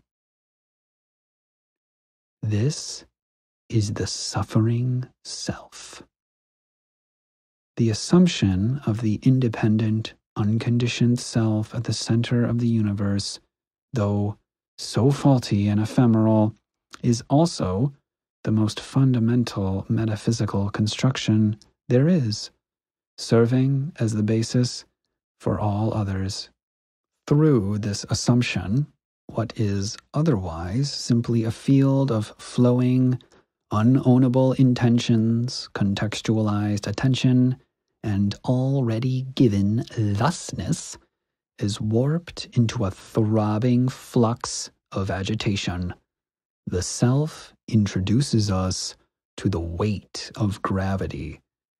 We act as the gravitational emissary of the self, frantically rushing out to pull the world into our orbit, running back and forth to grab new fuel for the fire of craving before tossing it back into an insatiable black hole, never to be seen again.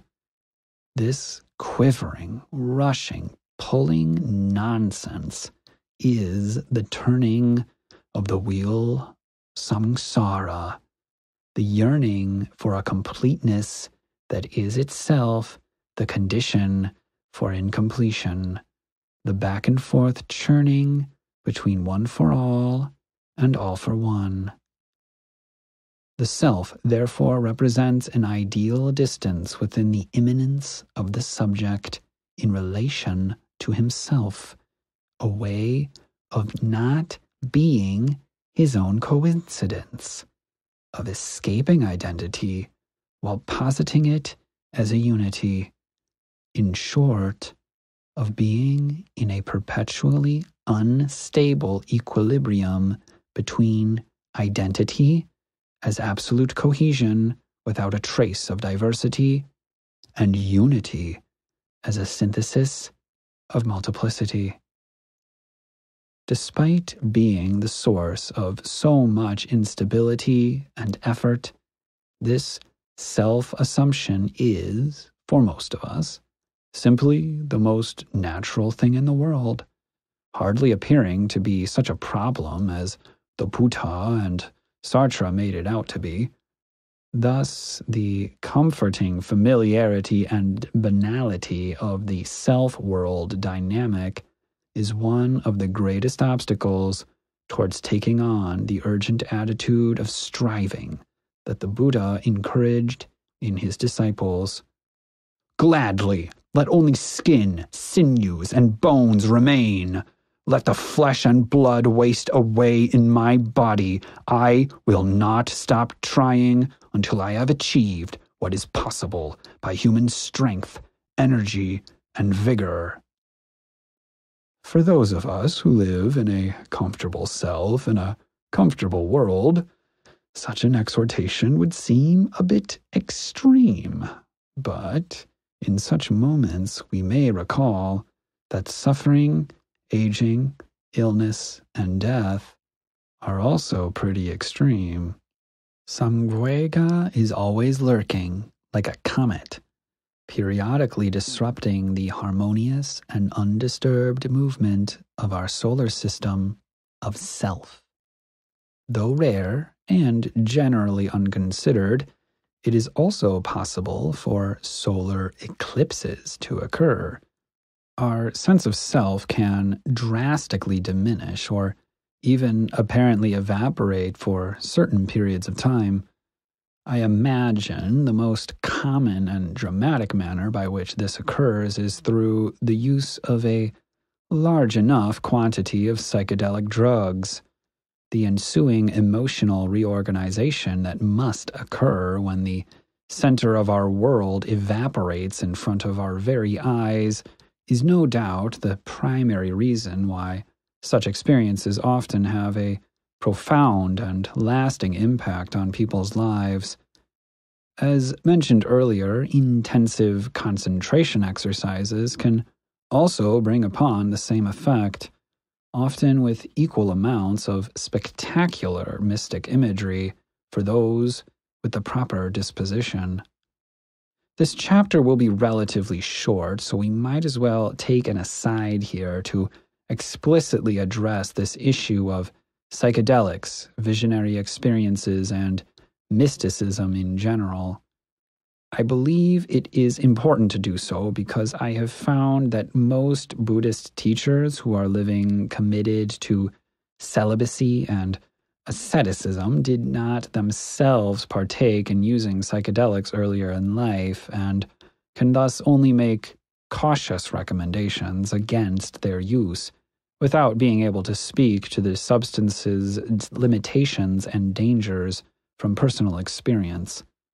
Like ex nihilists, there are not a great number of ex psychonauts or ex drug addicts amongst the most senior members of the Sangha, the community of Buddhist monastics, so I feel obligated to contribute my expertise. As I stated in chapter 3, psychedelic and or mystical experiences do not maintain any essential relationship with awakening as it was expounded by the Buddha. This is for very specific technical reasons, as we have described.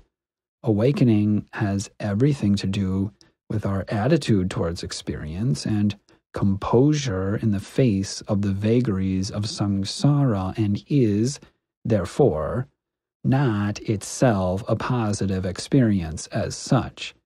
It is far more like a mood than a specific emotional experience. A mood that is cultivated and maintained over long periods of time to the expense of other possible moods until other moods and indeed, any possible mood at all has become impossible. But everybody knows that there are certain experiences that encourage certain kinds of moods. And with this recognition, we can begin to understand what the Buddha was talking about when he described his teaching as the kind of action that puts an end to action Unless you are already fully enlightened and do so by mistake, if you take 500 micrograms of LSD, your mood is going to change. The flood of images and emotions combined with the almost inevitable dissolution of the sense of self under such a large dose will literally rock your world to the core. Whatever attitude you previously held about reality will almost certainly need to change. For the average person, such a drastically alien experience cannot but have equally drastic emotional ramifications. Some of the long term effects on a person's attitude towards life as a result of a psychedelic trip can be and often are quite positive in the conventional sense, but this is a kind of positive attitude shift that is ultimately ignorant of itself. The principle of what makes a good attitude good and a bad attitude bad is invariably still obscured. Whatever wisdom is thus gained will be only temporary not penetrating into the nature of goodness, as we have previously described and encouraged. This kind of wisdom is equivalent to all the other kinds of mundane wisdom that can be gained over a lifetime of experiences and is just as resistant to further intentional development and cultivation. The same goes for other visionary experiences that are produced through any manner of non chemical means. Because the contextual shifts that occur via mysticism are most often not gained through intentional cultivation, but via grace, to make use of the Christian conception, they cannot themselves result in lasting wisdom or penetration into right view. Some aspects of the shift may be relatively long lasting, but those shifts that were most impactful in the moment, like the erasure of the sense of self, are often the same ones that have very limited duration before our long term habits of thought and behavior take back the reins. Because they are so connected with deeply uplifting and pleasurable feelings, mystical experiences can easily be conceived as the ultimate goal of the spiritual life, serving as a perennial trap for the mystically inclined. Like so many other things, even if you technically get the experience you're looking for by taking some mushrooms and communing with nature, you will not truly be gaining anything worth having in the ultimate sense. I cannot deny that the shock of such a thing could lead to the kinds of questions that demand to be answered, beginning a journey that could end up in a truly valuable place, but there are significant, undeniable dangers regarding such a beginning. The Buddha strongly discouraged the use of any substances that can lead to heedlessness, and I emphatically echo this sentiment from personal experience. True wisdom requires diligence and effort. There is no elevator to nirvana. So, beware. Beyond the danger of ecstatic heedlessness and the perpetual risk of the dreaded bad trip, it must be noted that these experiences actually never involve the total eradication of the sense of self. They only twist it into something so different as to be unrecognizable. Theistic mystics may be lifted out of themselves and merged with the divine, but in an attitude of ecstatic rapture, there is still maintained a very subtle sense of self, the same pulsing sensuality that energizes all the other more mundane selves that we normally inhabit.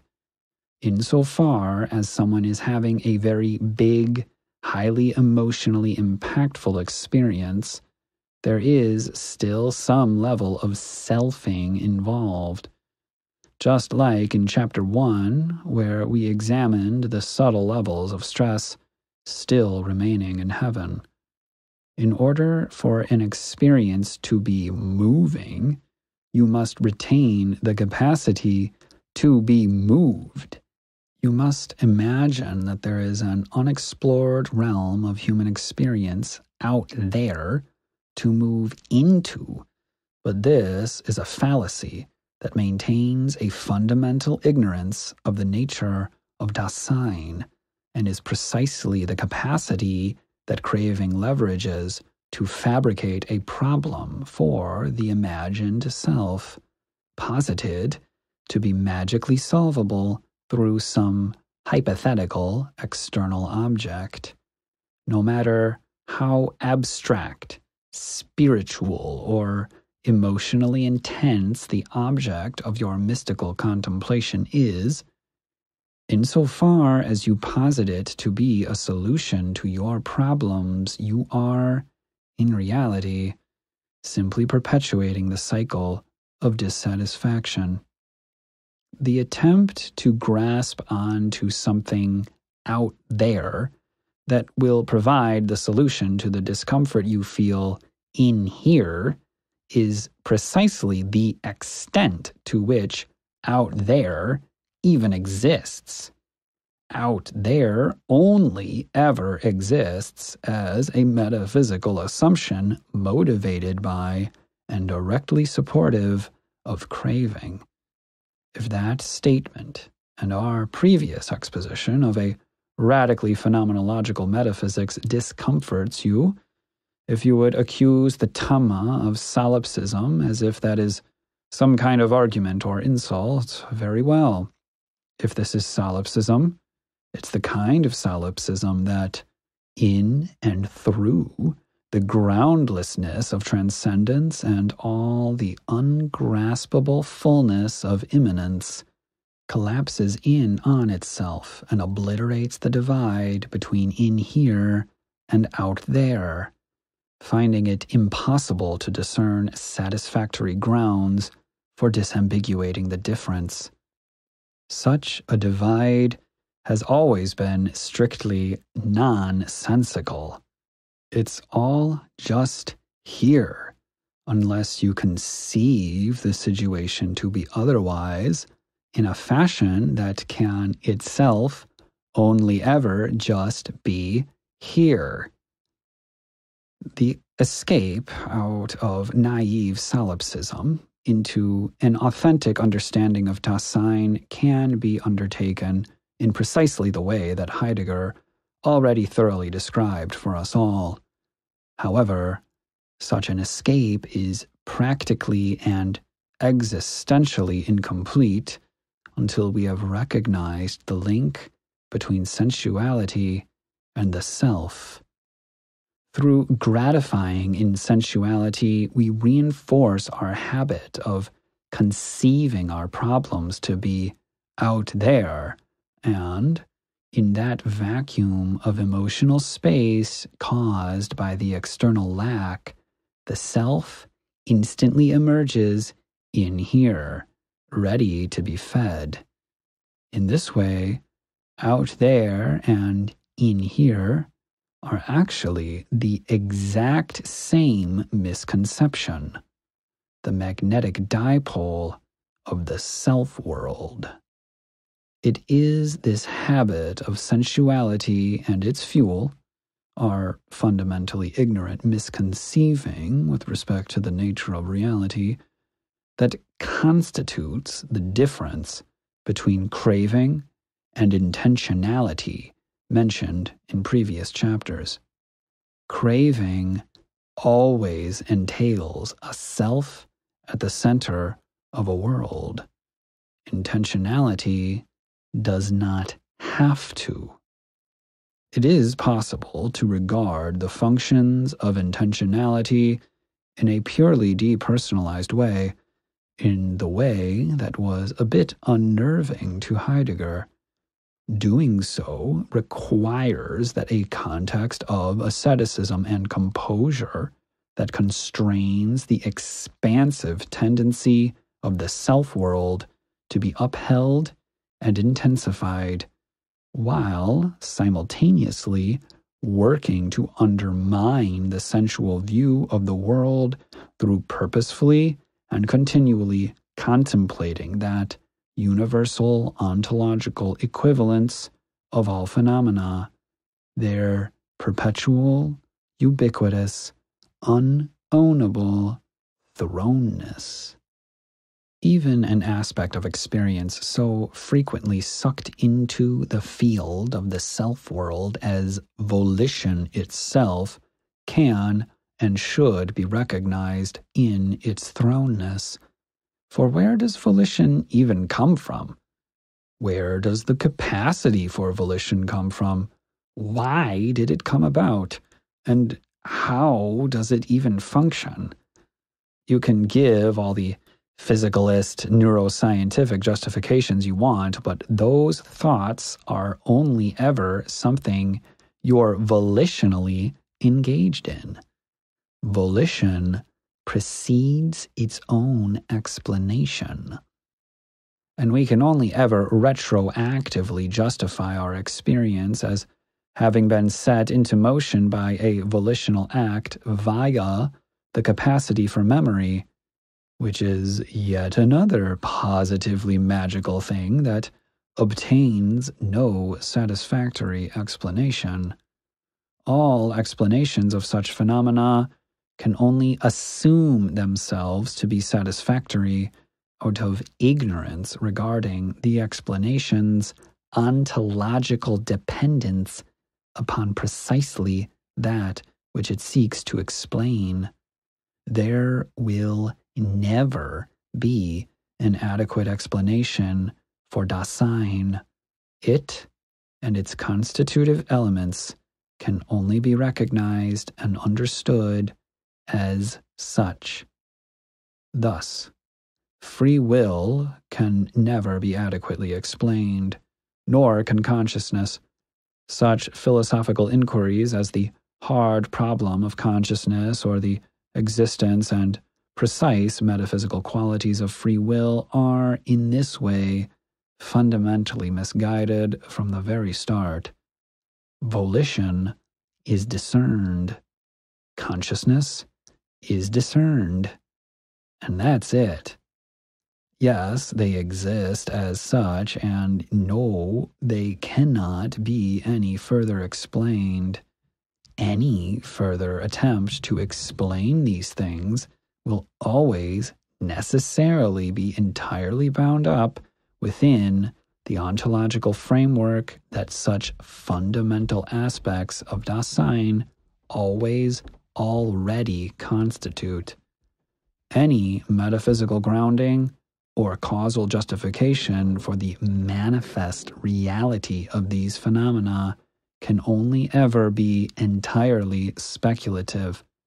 Speculative in a way that is almost certainly going to be ontologically backwards.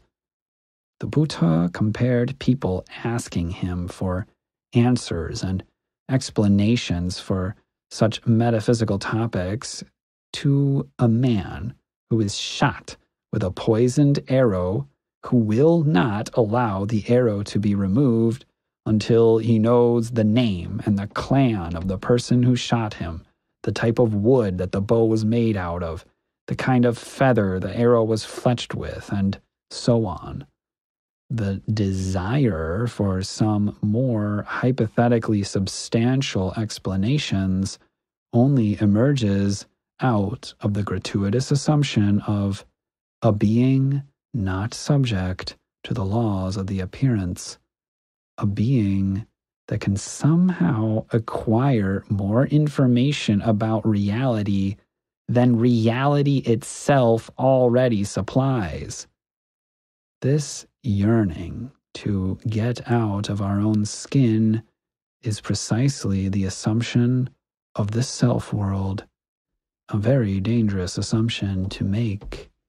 The self's attempts to ground itself in the world and to have itself are doomed from the very start at the most fundamental ontological level.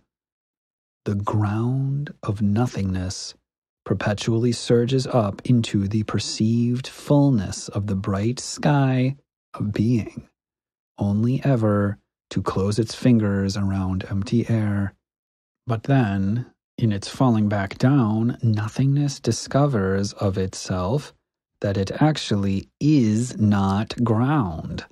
For in its falling, it falls down right back into being, once again founding itself through being as its own nothingness.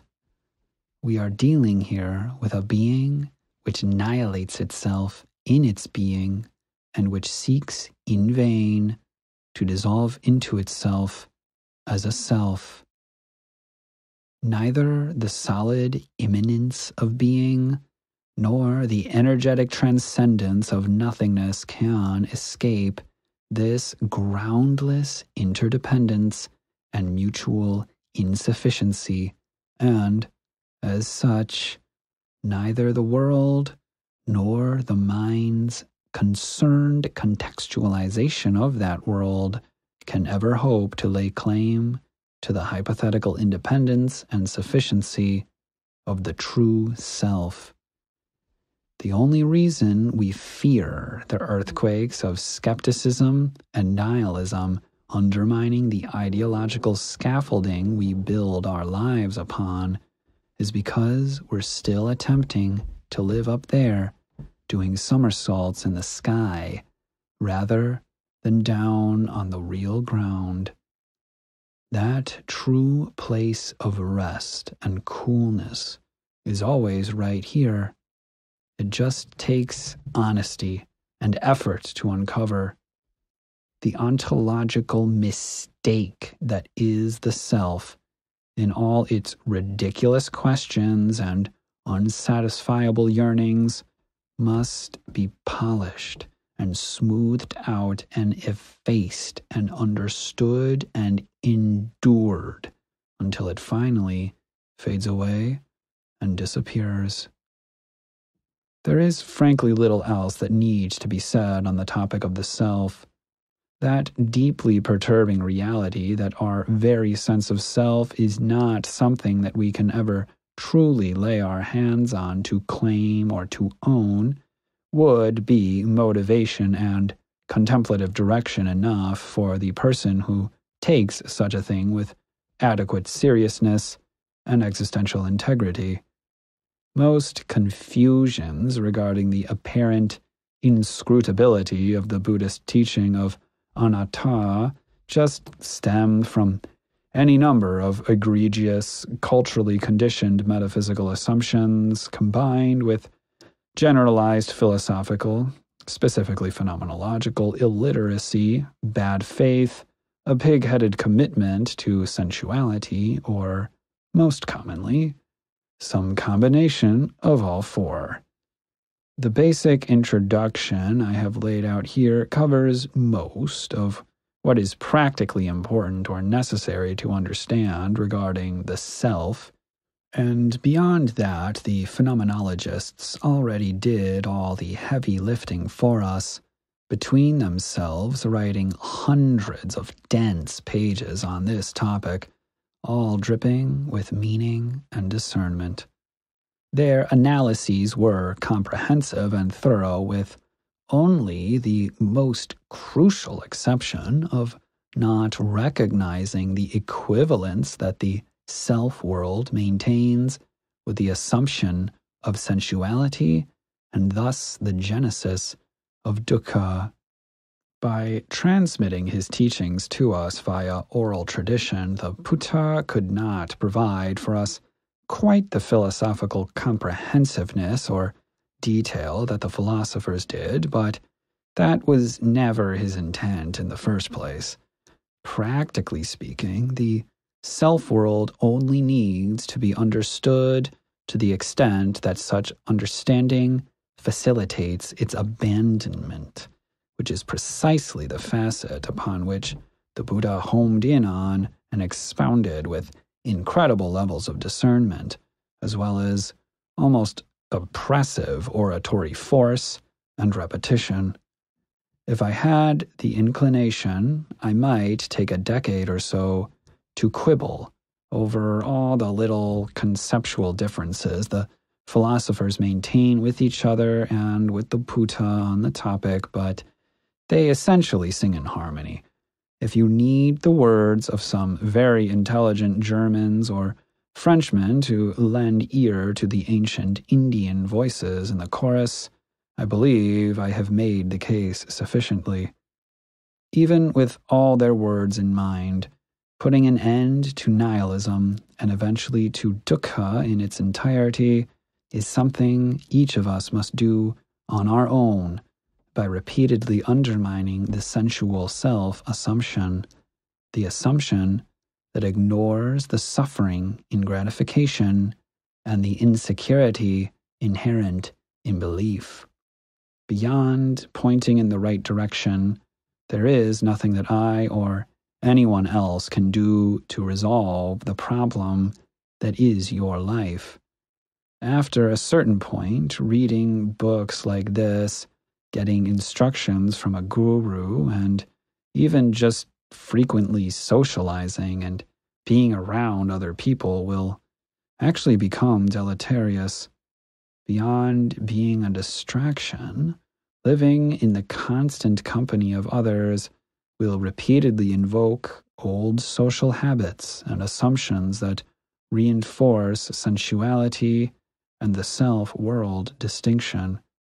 Upon eradicating the delusion permanently, there is no further necessity for isolation, or, for that matter, any necessity for anything at all. But prior to that point, living entangled in both the pressure and the gratification of the look will create constant roadblocks to the process of self effacement. For most, our social circle and that which defines it, the gratification and identification we derive from it, serve as the most essential aspect of our self world's gravitational dynamics. Company is, in the end, simply another shroud for us to conceal from ourselves the groundless thrownness and meaningless meaningfulness that constitute our lives. As such, making truly effective use of the information in this and other books is, ultimately, something you must do alone. The self world is a prison, but there is freedom to be found in a secluded dwelling, a wilderness, the shade of a tree, a mountain, a glen, a hillside cave, a charnel ground, a forest grove, the open air, a heap of straw. If you dare, go and find it. Mendicants. It's totally impossible that a mendicant who enjoys company and groups, who loves them and likes to enjoy them, should take pleasure in being alone in seclusion. Without taking pleasure in being alone in seclusion, it's impossible to learn the patterns of the mind. Without learning the patterns of the mind, it's impossible to fulfill right view. Without fulfilling right view, it's impossible to fulfill right composure. Without fulfilling right composure, it's impossible to give up the fetters. Without giving up the fetters, it's impossible to realize extinguishment. There's no way that one delighting in company can touch even momentary release. Heeding the solar kinsman's words, wander alone like a rhinoceros. Transcending the contortion of views, the sure way attained, the path gained, realizing, unled by others, I have knowledge arisen, wander alone like a rhinoceros, with no greed, no deceit, no thirst, no hypocrisy, delusion and blemishes blown away, with no inclinations for all the world, every world. Wander alone like a rhinoceros. Chapter 5 Buddhist Ruins. Gotami, the qualities of which you may know. These qualities lead to passion, not to dispassion, to being fettered, not to being unfettered, to accumulating, not to shedding, to self aggrandizement, not to modesty, to discontent, not to contentment, to entanglement, not to seclusion, to laziness, not to aroused persistence, to being burdensome, not to being unburdensome. You may categorically hold this is not the Dhamma. This is not the Vinaya. This is not the teacher's instruction. Anguttara Nikaya 8.53. A useful litmus test I have discovered, similar to the one given by the Buddha himself in the immediately preceding epigraph, for determining whether a particular teaching or practice, Western or otherwise, has anything at all to do with what the Buddha taught is to simply look for whether or not the values of renunciation, celibacy, austerity, seclusion, or sense restraint are discussed even a single time. I believe such a discriminatory tool can be so useful to the prospective disciple of the Buddha that we might dub it with an official title the Dhamma Domestication Detector. If you take such a tool into most Western retreat centers or almost any sufficiently large and well funded Buddhist temple or monastery in Asia, you will invariably hear all the alarm bells blaring at full blast. As Bhikkhu Sujato, a prolific translator of the Pali Canon and preeminent scholar of early Buddhism, put it when referring to that most populous stronghold of the Theravada Buddhist sect. There's a lot of Buddhism in Thailand, but not a lot of Dhamma. Such a phenomenon is not recent. It only took 500 years after the death of the Buddha for the Dhamma to be thoroughly domesticated. Everywhere it has traveled, Buddhism has undergone the same process again and again of being slowly declawed and integrated into the surrounding culture, continually corrupted from within and without, until some particular form of expression attained harmony with its surroundings and then simply faithfully replicated itself generation after generation for hundreds of years. Every form that has successfully replicated in this manner has necessarily been a significant departure from the originary ideal of solitary monks striving for awakening alone in the forest. Time and time again, the city monks start to outnumber the forest monks until solitary practice becomes rare and scholasticism becomes the dominant form until that too is partially abandoned for ritualized devotional practices, astrology, and traditional medicine. The Buddha inevitably becomes a franchise.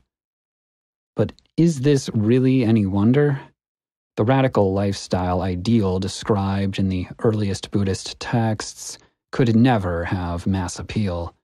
For Buddhism to become a religion at all, it was necessarily going to need to be adapted to the needs of the many, the many who have little, if any, urge or inclination to resolve the fundamental problems of existence in any final or lasting way.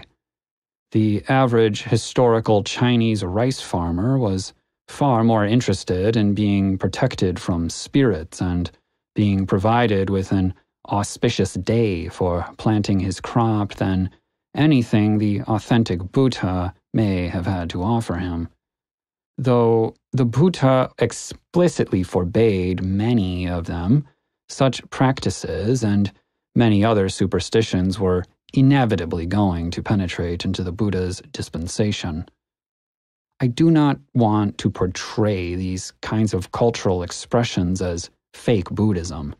In fact, domesticated Buddhism has been the dominant form that Buddhism has taken throughout its history. The problem is that this particular popular religious form is, at a practical, existential level, almost indistinguishable from any other. There is much to be said about the kind of large scale cultural and political impacts that different religions can have on the populations that live under their sway. I do not mean to equate any religion with any other on this macro level. There are indeed significant differences between the Christian, Muslim, Hindu, and Buddhist worlds that stem directly from the popular religious beliefs that are held sacred by each of those civilizational projects. What I mean to say is that for the average person, changing from one set of religious beliefs to another is likely not going to have a significant impact on his or her lifestyle. There are lazy, unvirtuous Muslims and lazy, unvirtuous Buddhists, as well as very devout, altruistic Muslims and devout, altruistic Buddhists. No religion has a monopoly on mundane goodness. But mundane goodness is not what we're interested in here. No popular religious form is going to encourage and facilitate the kind of burning existential angst and anxiety and subsequent radical internal transformation that is necessary to address and resolve nihilism and dukkha in the here and now. Nor, might I remind the reader, do secular forms offer us any greater hope. The contemporary project of secular Buddhism has invariably been just one more example of the Buddhist domestication process at work. And that's fine as far as it goes. It has simply proved insufficient for my purposes, and, I think, for anyone whose purpose is to truly go beyond common happiness.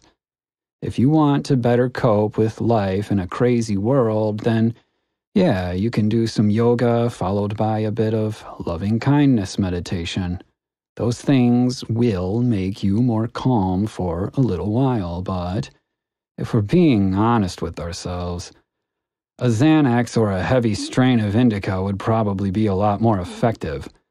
Again, I'm not encouraging drug use, but the point needs to be made that anything less than a total rejection of sensuality is not ultimately going to amount to anything more than coping with our existential condition as opposed to totally overcoming it. In addition to the great wandering on, samsara could also accurately be translated as the big cope. I would, frankly, prefer not to even have to write this chapter. I am indebted to secular Buddhism for providing me a palatable inroad to the Dhamma, though through such a journey I later rejected it. I have also come to a deep appreciation of a wide variety of Asian cultures through my study of Buddhism. There is a great deal of conventional happiness peace of mind, and dignity of character to be found in traditional Buddhist practices. I have seen the positive impact they have on people with my own eyes, an impact that does not require them to shave their heads, become celibate, and contemplate their impending death alone in the woods all day. I do not want to engage in the polemics of calling all of my own religions, cherished traditions, a bunch of uneducated, decadent, fundamentalist coping mechanisms that are distortions of the Buddha's teaching, distortions that could have been easily recognized as such if anyone had even bothered to actually read their own scriptures with a critical eye, rather than waiting for Westerners like Bhikkhu Sujato and Bhikkhu Analayo to come and dedicate their lives to doing the kind of rigorous scholarship and analysis that should have been done a hundred years ago. But I digress. I would like to not have to write this chapter, but because I have only very recently had to go through the laborious process of penetrating into the Buddhist ruins myself, a process of education and research that is perpetually ongoing, I sympathize with the position that I leave any of those whom all my previous words have successfully converted into being Buddha curious. It is the case that through simply living according to the gradual training and committing to the process of mindfulness, integrity, self scrutiny, and effacement that has already been described and can be further explored in the suttas, the sufficiently desperate and ardent person could completely eradicate suffering, or at least come quite close to doing so. Such a person would, at the very least, certainly overcome nihilism within no more than a few years at most. My case has already been made, and any further need for justification likely only comes from a place of terror at the prospect of sitting alone by yourself with nothing to do but be with your own mind for months on end. Such a terror is quite normal. I understand that the sufficiently evangelized reader will no doubt want to do a bit more research before committing any significant portion of their life to celibacy of both a physical and psychological variety. To that end, I wanted to write this chapter to address some of the most common trends of Dhamma domestication that I have identified commonly operating trans historically and trans geographically. This will inevitably involve either implicitly or explicitly criticizing most of what Buddhism is and has been, East and West, ancient and contemporary. I will endeavor to keep the criticism primarily implicit, both out of politeness and out of the recognition that this problem isn't a particular problem of a particular culture. There's no one to blame for this process because it keeps happening everywhere. This is human nature at work. And for most, a domesticated Dhamma is exactly the form that meets their personal needs. Domesticated does not need to be a pejorative, though I understand this has not so far been the impression. Domestication provides stability and broad access conditions that can serve as a breeding ground for the countervailing force of renunciation. There is a less powerful, less common, but equally pervasive recurring trend within Buddhism of small groups of monastics who retreat from the large monasteries with royal endowments back to the mountains and the forests to attempt to realize the truth of the Buddhist teaching for themselves. Alan Robert Lopez has identified Chan slash Zen Buddhism and the Thai forest tradition as the two most famous examples of such homegrown Asian Buddhist revivalist movements. It is my hope that the continuing research of early Buddhist studies will provide the resources for such movements to recur with even greater frequency in any time and in any place across the world well into the future. The early texts and the lifestyle they promote are simply incompatible with domestication of any kind, so cannot ever be divorced from their core existential value, which I have attempted to elucidate. It is precisely the degradation of existential immediacy and the urgency of samvega that constitutes domestication as a serious problem. If there is any force that has been more historically effective at theologically neutralizing the urge towards taking radical measures to resolve the problem of being, it is the perennial gravitational pull exerted on the Dhamma by Brahmanism. Vedic Brahmanism can very clearly be seen throughout the Pali Canon as the dominant Indian cultural milieu that the Buddha's teaching was necessarily in response to. The practices and beliefs of the Brahmins were frequently held up to criticism in the Pali scriptures, but it is not any specific ritualism described in the Vedas that concern us here. What concerns us is rather the metaphysical entity called Brahman that more fully developed in the early Upanishads and continues to serve as the foundational metaphysical construct within Hinduism to this day. Brahmanical monism has, unfortunately, been an idea that has consistently and usually successfully penetrated into the framing and interpretation of Buddhist ideas and practices. Whether it is interpreted in a monistic or pantheistic way, holding oneself to be an emanation of the divine ground of reality is one of the oldest, most subtle, and deeply pernicious of spiritual conceits, a conceit that most famously slithered its way back into Buddhism through the Mahayana Buddha nature doctrine previously mentioned in Chapter 3.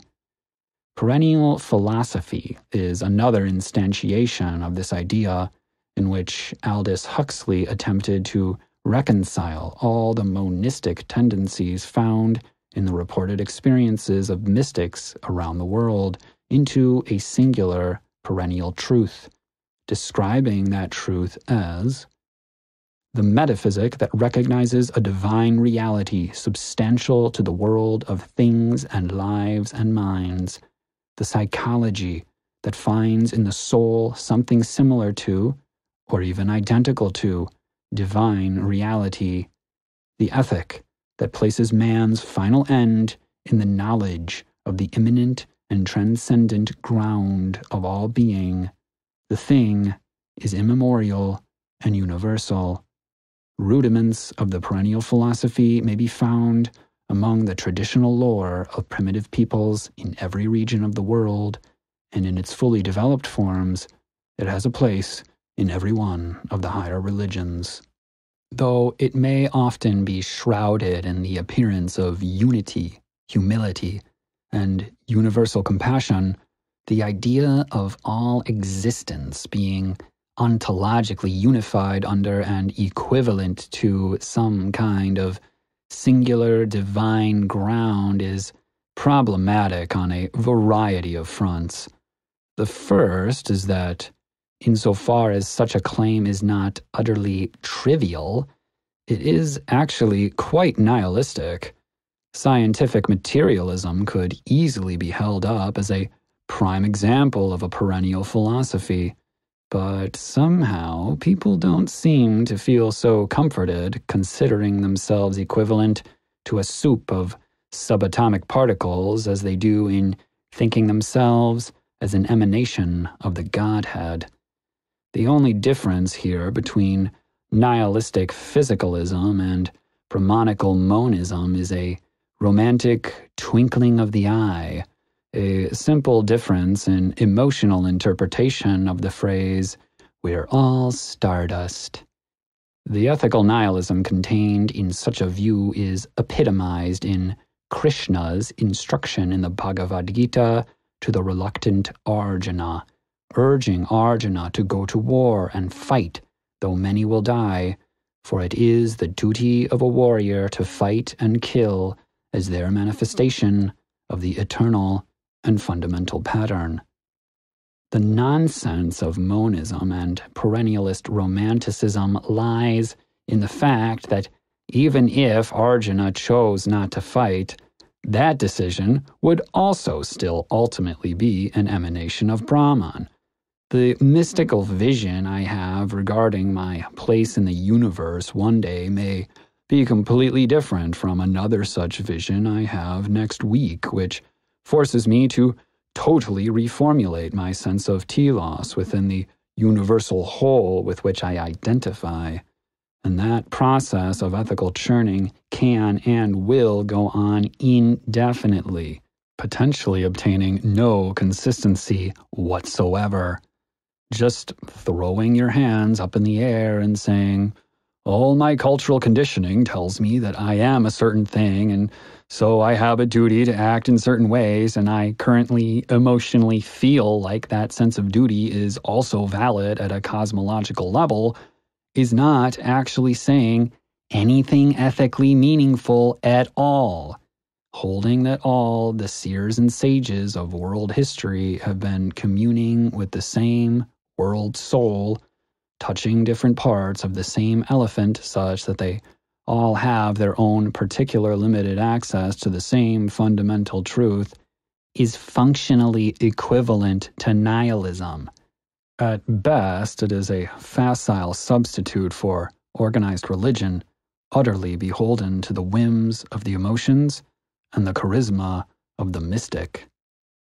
It is my suspicion a suspicion that I imagine 20th century political activist and member of the Untouchable caste, B.R. Ambedkar, would fervently agree with, that following one's dharmic life purpose as an emanation of Brahman most often simply serves as a metaphysical tool to justify resigning oneself to enact the social role that one is born into with as little critical reflection or existential discomfort as possible, to domesticate oneself.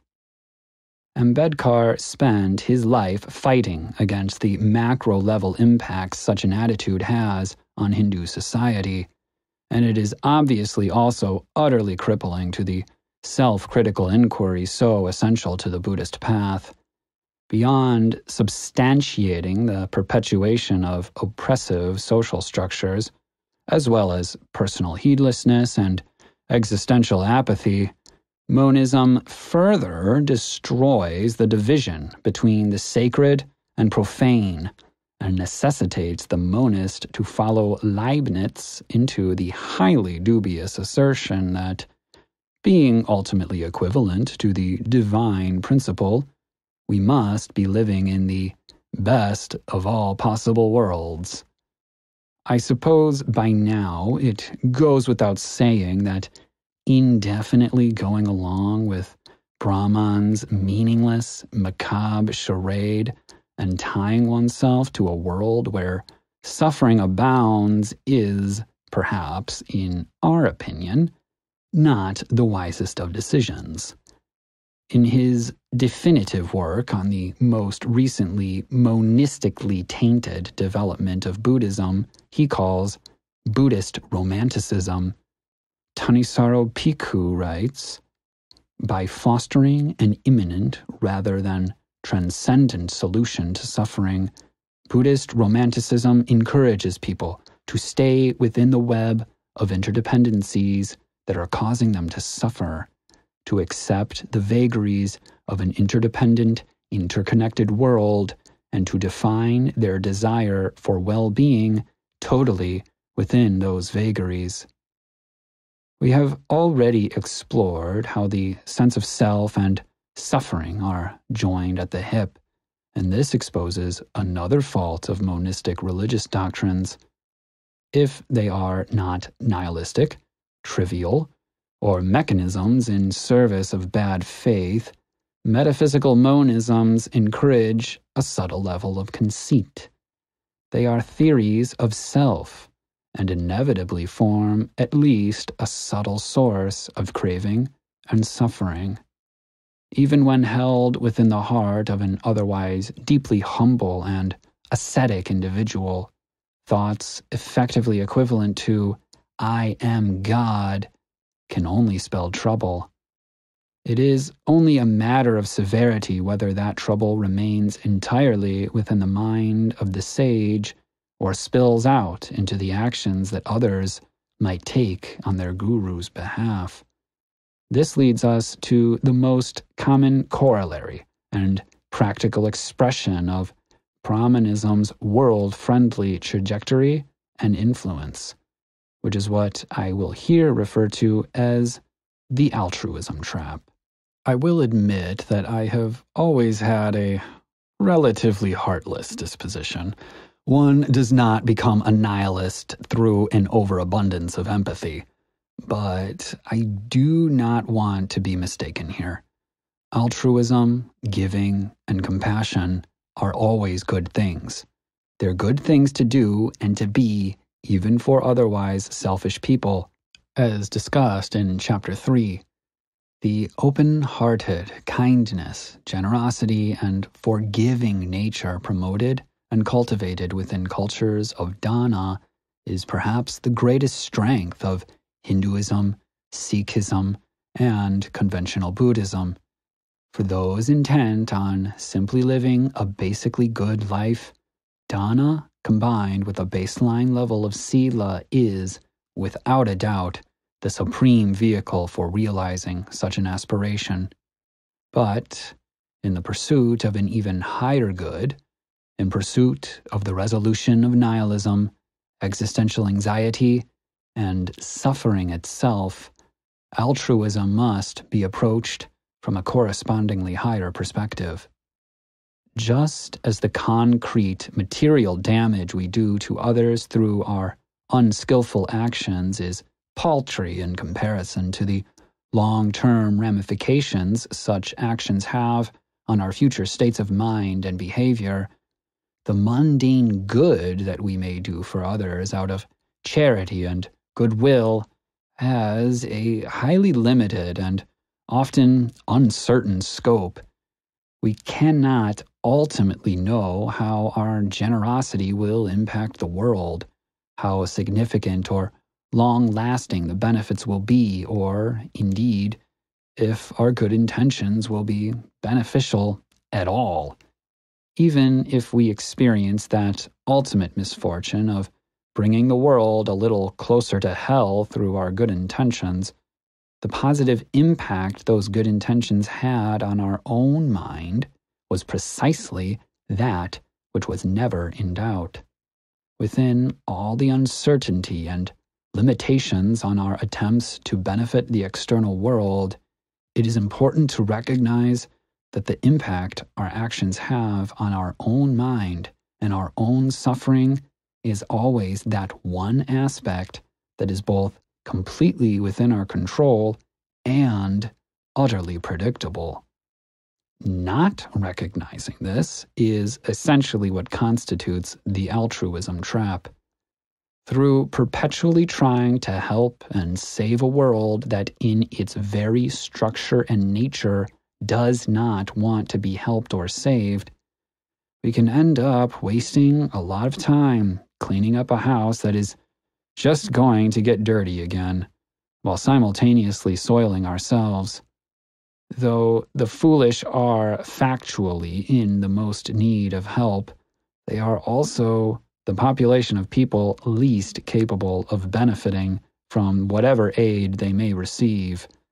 To criticize a metaphor that I once heard a Vajrayana Buddhist teacher employ, thinking oneself a peacock capable of digesting the poison of the world without being harmed, and indeed using such poison only to sprout beautiful plumage, is a deeply naive idealization.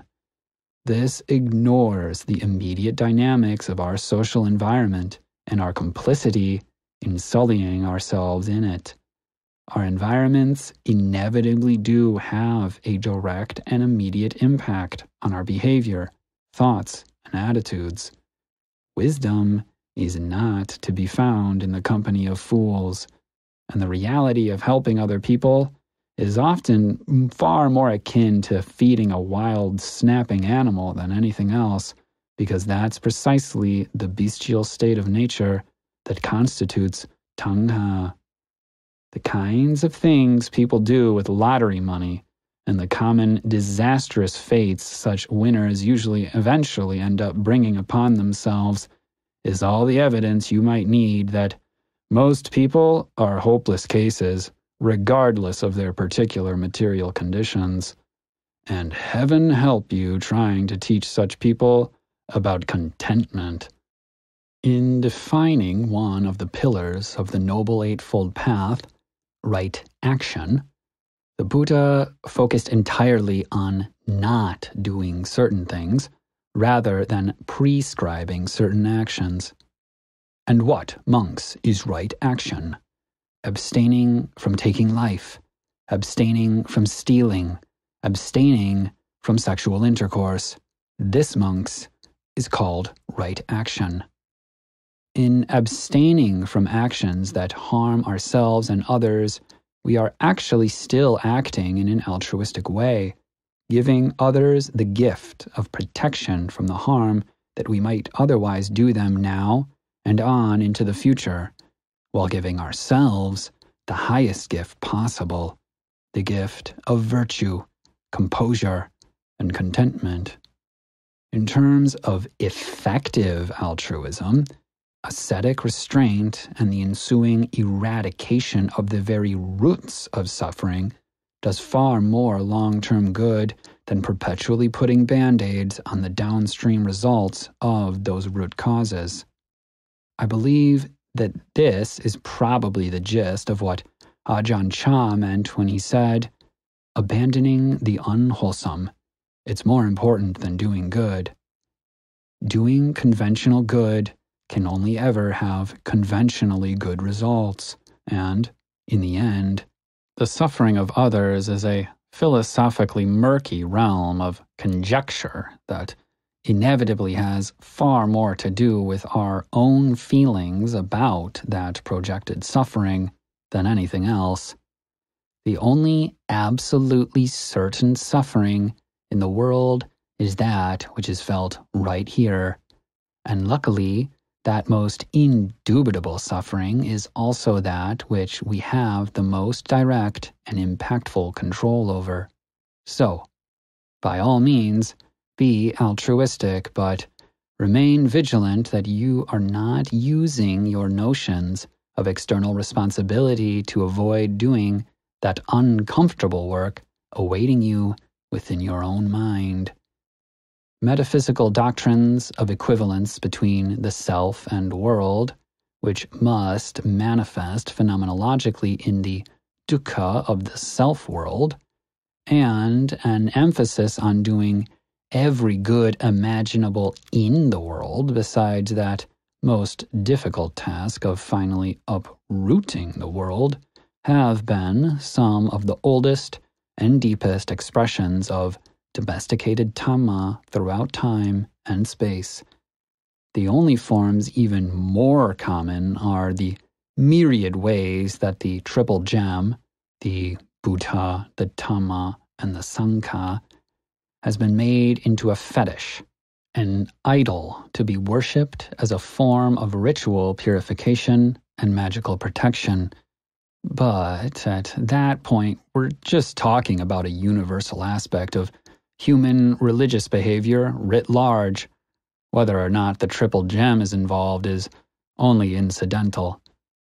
All these ideas, habits, and attitudes have been developed and maintained for millennia and will no doubt continue to hold sway in the minds of adherents and enthusiasts of Eastern spirituality around the world into the indefinite future and I will continue to be at pains to emphasize that that is all very well and good if that's what you're after, but don't mistake it for practicing the Dhamma. What are not so well and good are some of the newer additions to the Buddhist ruins that solely serve to distort and confuse without offering anything of remedial value in return materialist justifications and interpretations of the Dhamma are perhaps the most obvious offenders here in the world of Buddhist modernism. So let me be very, very clear. The Dhamma has absolutely nothing to do with neuroscience. The ontological assumptions and ultimate goals of neuroscience and positive psychology are completely at odds with the world renouncing conception of happiness put forward by the Buddha. Wisdom is not something that can ever be quantified or understood through a microscope. Attempting to pin down eudaimonia through brain scans or Psychometric indices will never resolve the very suffering and craving that motivates that scientific enterprise to begin with. Looking for some kind of therapeutic intervention or literal happy pill to solve dukkha is the epitome of bad faith. Your problems are not out there in your brain. But people don't want to hear that.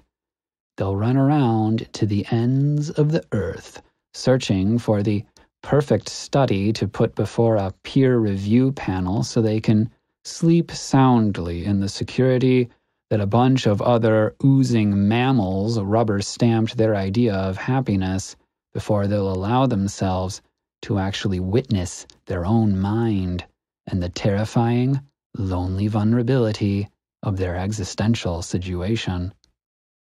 Physicalist medical hermeneutics can also have a devastating impact on Buddhist training when combined with the myriad meditative concentration exercises, positive emotion cultivations, and insight techniques on offer in today's burgeoning meditation marketplace. We have already once mentioned Merleau-Ponty's criticism of the notion of sensation as a pure, inscrutable, dot like impression. Merleau-Ponty really comes out of the gate swinging at this idea from the very first sentence of his Phenomenology of Perception, writing that we utterly misapprehend perception when we treat it as an incommunicable impression, because such impressions always come bundled with a richness of gestalt, context, and communicable meaning. I reiterate Merleau-Ponty's criticism here because I very much agree with the focus and intensity of his attack for it is an attack that is directly applicable to the conceptual framing of a great many meditation exercises being taught out in the wild. There are some people that believe that the purpose of meditation is to catch every fleeting sensation in their body as if they were some kind of human oscilloscope, perceiving the pure electromagnetic fluctuations in their nervous system with millisecond precision. Such people are utterly deluded and have entirely misapprehended the reality of their own experience. There is no such thing as a pure, isolated vibration of experience with a precise beginning, middle, and end. To conceive experience as such means that you are necessarily ignoring the mind, the existential realm of context, intuition, understanding, and authentic temporality as described by Heidegger, as well as the transcendent nothingness of Sartre. In doing so, you will have thus entirely closed yourself off from any understanding of Dasein as it actually is. Read the suttas, read the phenomenologists, and don't fall into this trap. As for the topic of meditation in general, I would simply advise caution and resolute skepticism. In A Critique of Western Buddhism, Glenn Wallis thoroughly points out all the ways that meditation is currently being co opted to serve as Zizek's perfect ideological supplement to late stage capitalism. To summarize his critique of this particular issue, putting the point very bluntly, if a set of meditative tools and techniques are being embraced by Google and the World Economic Forum, that should be an indication that there is probably nothing of any contemplative value in them at all. Living a conscientious life that gradually builds an unshakable foundation of Sila while moving towards minimizing trivial engagements, conflicts, and distractions in favor of broad wholesomeness, generosity, simplicity, reflection, and ease is going to do a lot more for you than 20 minutes of breath meditation a day. Consider instead simply spending those 20 minutes thinking about how to cultivate a greater level of contentment and generosity in your life and attempting to recollect any lapses in virtue, strategizing and resolving towards not repeating them or simply basking in the composure that your unbroken virtue has built for you. To further undermine ubiquitous assumptions about Buddhist meditation, it may surprise the reader to learn that many Buddhist traditions lifted their corpus of meditation techniques directly out of the Upanishads, the Yoga Sutras, and Qigong exercise traditions. The situation is perhaps the worst in the ostensibly conservative Theravada Buddhist sect. As Grzegorz Polak points out in Re Examining Jhana, the Theravada meditation tradition had all but completely died out prior to the 19th century and was only revived through referencing dubious, millennia old meditation manuals like the Visuddhimagga and combining the techniques found within with still extant yogic concentration exercises. If you look at the earliest texts, instructions to concentrate on a single point in the body or to even really concentrate anywhere in particular at all are completely absent.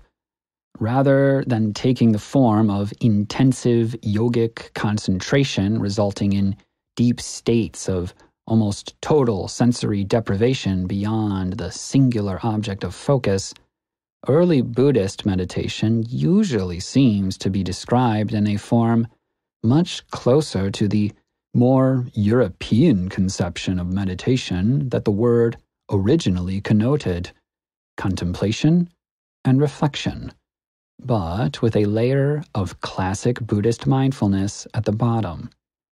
And this does have some sense to it. Just like you wouldn't be able to learn about how an engine works by simply staring at one of its pistons for hours on end, you will not come to an understanding of the mind by repeatedly, mindlessly attending to a particular physical sensation. You will come to an understanding of the mind by surprise, surprise, trying to understand it. Beyond the Theravada, the meditation traditions found in Vajrayana Buddhism as well as Chan slash Zen are older, more diverse, and more open about their extra Buddhist influences. Zen techniques, in particular, are, in their sometimes inscrutable simplicity and emphasis on broad, open awareness, perhaps most aligned with what the Buddha may have had in mind out of all the traditional Asian lineages. Chan is, after all, the oldest and most vibrant continuous Buddhist meditation tradition in the world. Of course, we will never, as a collective, definitively know anything for certain about what the historical Buddha did or did not teach, though scholars like Keren Arbel, Alexander Wynne, Tilman Vetter, and the other early Buddhist scholars previously mentioned have all contributed to deepening our understanding of early Buddhist meditation. Given the atmosphere of ongoing research and debate that permeates this topic, it would be foolish to express an early Buddhist fundamentalist viewpoint here, for there truly is no such absolutely coherent or unassailable perspective. Through exposing the history of Buddhist meditation, I only wish to promote an attitude of free inquiry, open mindedness, and healthy skepticism regarding the topic of meditation. If you disagree with my dismissal of yogic praxis and would really like to explore some fixed attention, single pointed concentration exercises, that is your prerogative. I can only reiterate that the dimension of the mind is not going to be found in the shimmering flux of your breath. It will be found in the always simultaneously present phenomenological context and constitutive ontological basis for the very capacity to be conscious of the body in the first place. Regardless, Thanissaro Bhikkhu has called the Dhamma holographic, in that each individual element of the teaching contains within it a compressed view of the whole. I am confident that anyone who successfully works her way through the first six or seven steps of the gradual training would be able, with enough self transparency, self questioning, intensive research, and rigorous experimentation, to finish the jigsaw puzzle on her own without needing the Buddha himself to hold her hand. So, meditation has been co opted by capitalism to suit its own needs, and Buddhist meditation is itself of complex origins. But these are really only background issues. The main issue with meditation is the common tendency that I already mentioned in Chapter 3 that it is often taken to be the totality of Buddhist practice, with everything else being preparatory or supplemental. This attitude is perhaps the most subtle and ingenious version of Dhamma domestication that has ever been devised. In being transformed into a daily routine of mental exercises, the Dhamma is neutered into a form of mental hygiene, like a toothbrush for the mind. But, as with physical health, the ignored reality here is that an ounce of prevention is worth a pound of cure, and to extend the oral analogy, it's much more important to stop drinking the sugary beverages that are rotting your teeth at the roots than perpetually working on perfecting your brushing form. It is a travesty and a scandal that the absolutely central topic of sensuality and its dangers is so totally ignored in so much of popular Buddhist discourse. I roar my lion's roar and take a categorical stand on this point.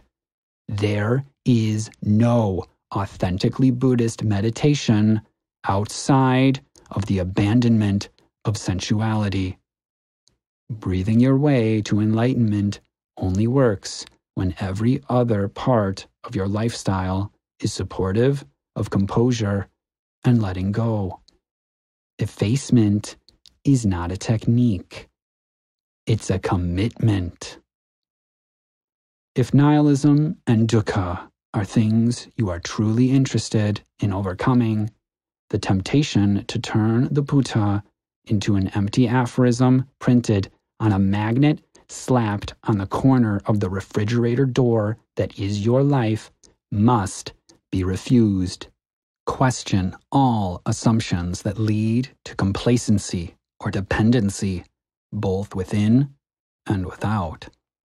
It is imperative that you allow the wilderness of existential angst and personal responsibility to penetrate the pasture of your life to whatever extent your chosen lifestyle will support.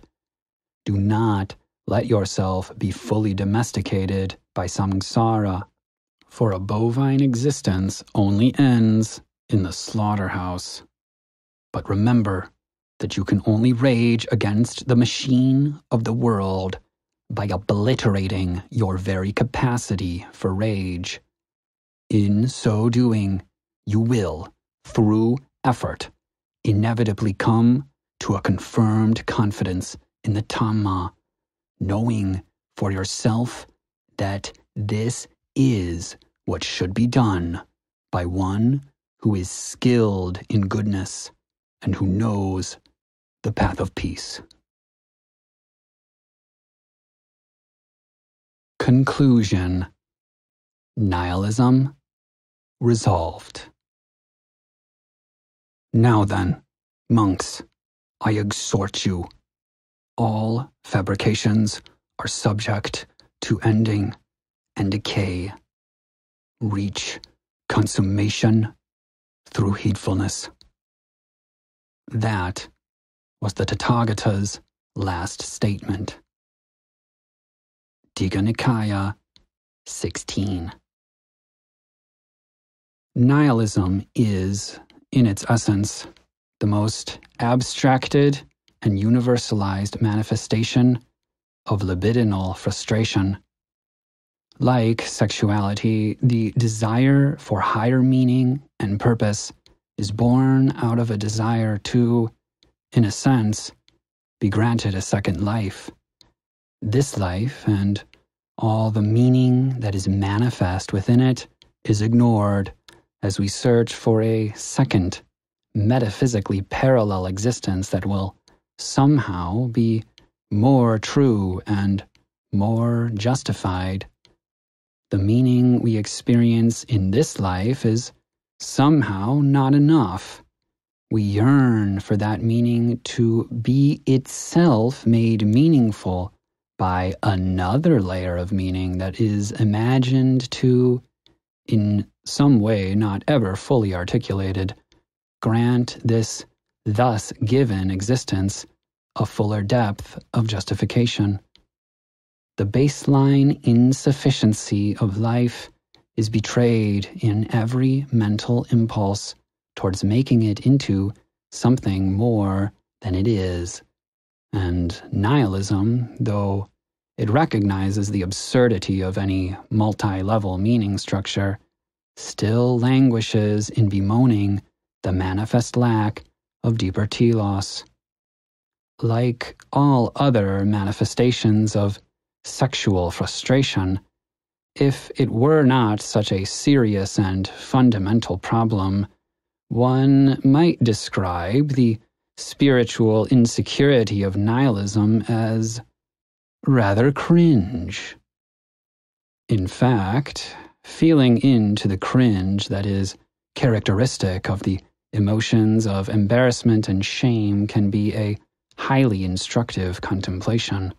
Specifically, consider the actions and attitudes that lead to cringy behavior.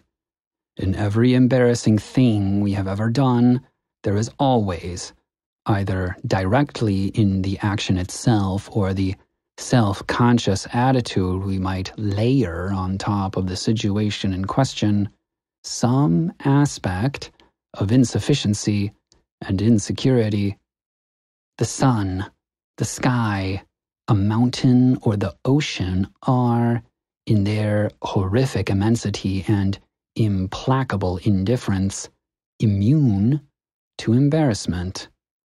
Our slimy human sensuality and passion in all their myriad forms, from hatred, defensiveness, and aversion to lust social neediness and greed always lie at the heart of our shame. In this recognition, we may find common ground with Nietzsche as he exhorts us towards surpassing our shamefulness. What is the ape to man? A laughing stock, a thing of shame. And just the same shall man be to the Übermensch, a laughing stock, a thing of shame. In casting sensuality aside, it is only an arahant, a fully awakened being that has put behind her shame and has joined those forces of nature in becoming something more, or perhaps something less.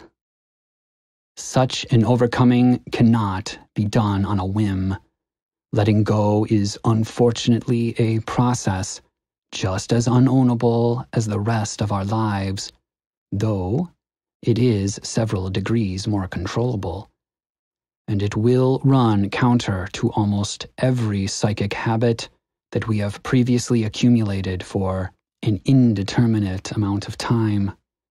Practicing the Dhamma can at times feel incredibly Kafka esque deciphering and implementing the instructions of ancient texts of unverifiable validity that were the product of organic, repetitive oral transmission, modification, and expansion in order to somehow resolve a problem that you don't even fully understand and yet has the most immediate and pressing relationship with your perpetually treacherous and stressful existential situation is not a project for the faint of heart.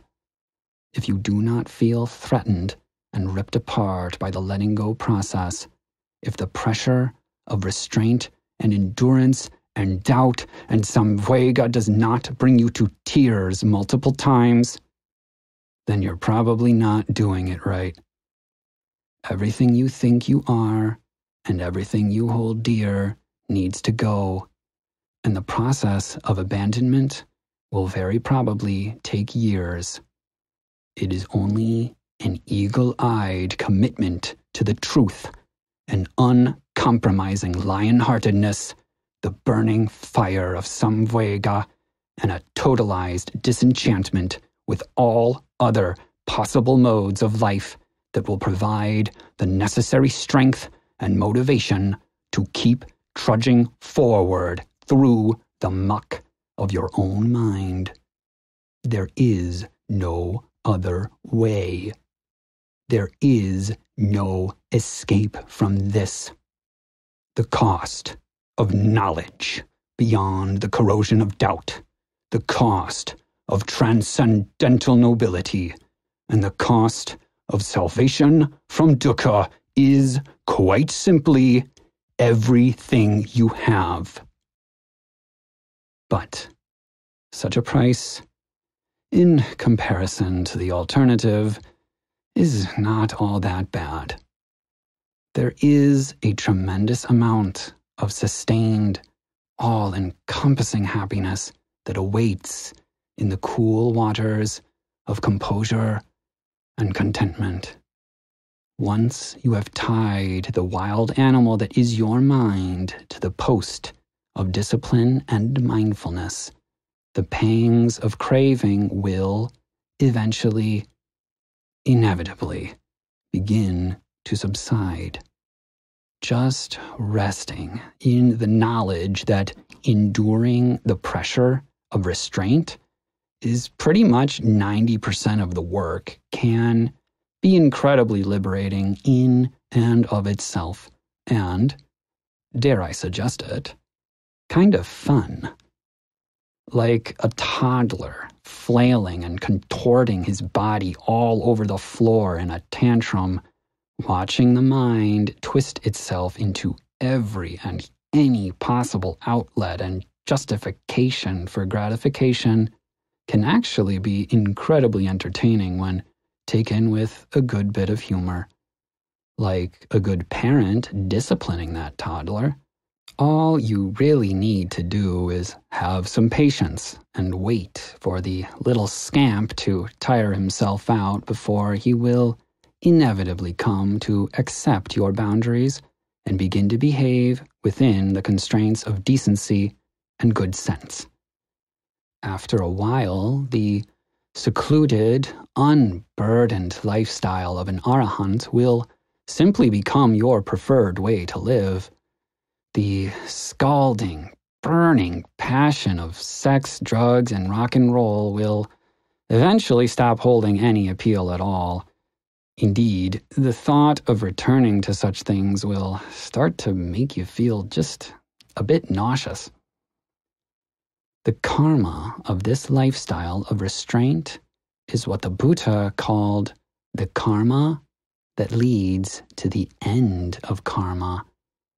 I think it's relatively obvious to everyone that, in general, and for a wide variety of intersecting reasons, more good things happen to people who are disciplined, hardworking, considerate, kind, and generous. At the very least, such people avoid all the additional misery that befalls the stupidity of acting in ways oppositional to virtue. In a mundane sense, this is pretty much the total extent to which an understanding of karma needs to be taken. But going deeper into a life of renunciation, we can begin to discern directly what it means to be putting an end to karma. By engaging in sensuality, we build and contribute to an ongoing narrative that is directed and colored by our habitual intentions and perceptions of identity. The more subtle, the more aloof and composed those intentions and identities become, the more translucent, airy, and simple the narrative grows.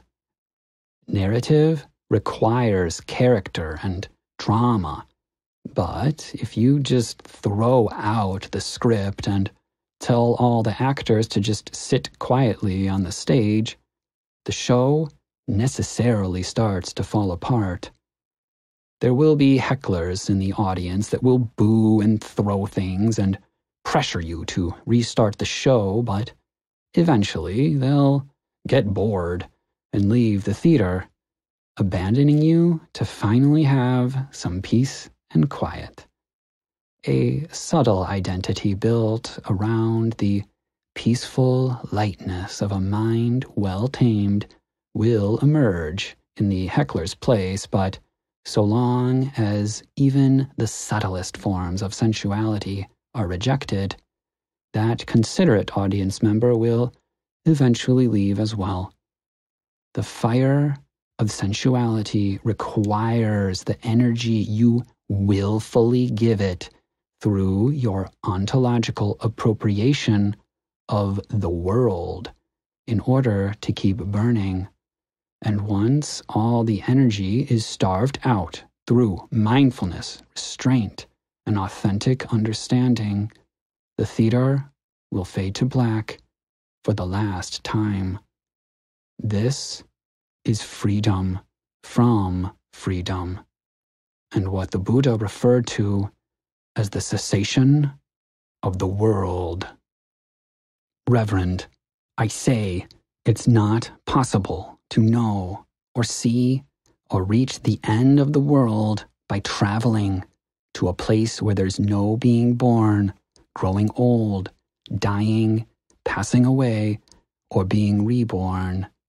But I also say there's no making an end of suffering without reaching the end of the world. For it is in this fathom long carcass, with its perception and mind, that I describe the world, its origin, its cessation, and the practice that leads to its cessation.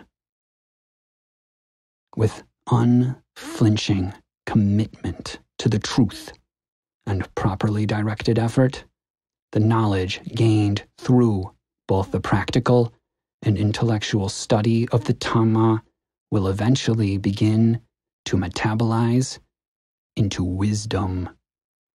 Wisdom will, and by its nature must, affect an image ground reversal. The inquiry is turned on itself, and the bounds of the problem are finally delimited. When you go to the ends of the world, you will be met with a stunning, accusatory silence. The silence, the void at the heart of existence, will not yield to criticism or scrutiny. It will gently embarrass you for having ever expected to find anything of value anywhere else. For those other avenues would, could, only ever lead back to the silence. This truth is discerned. In the silence, there is the end of transvaluation, and there is only a single question it will answer. Approaching, humbled, one may ask, How do I stop suffering? The silence will respond. Sit down and let me kill you.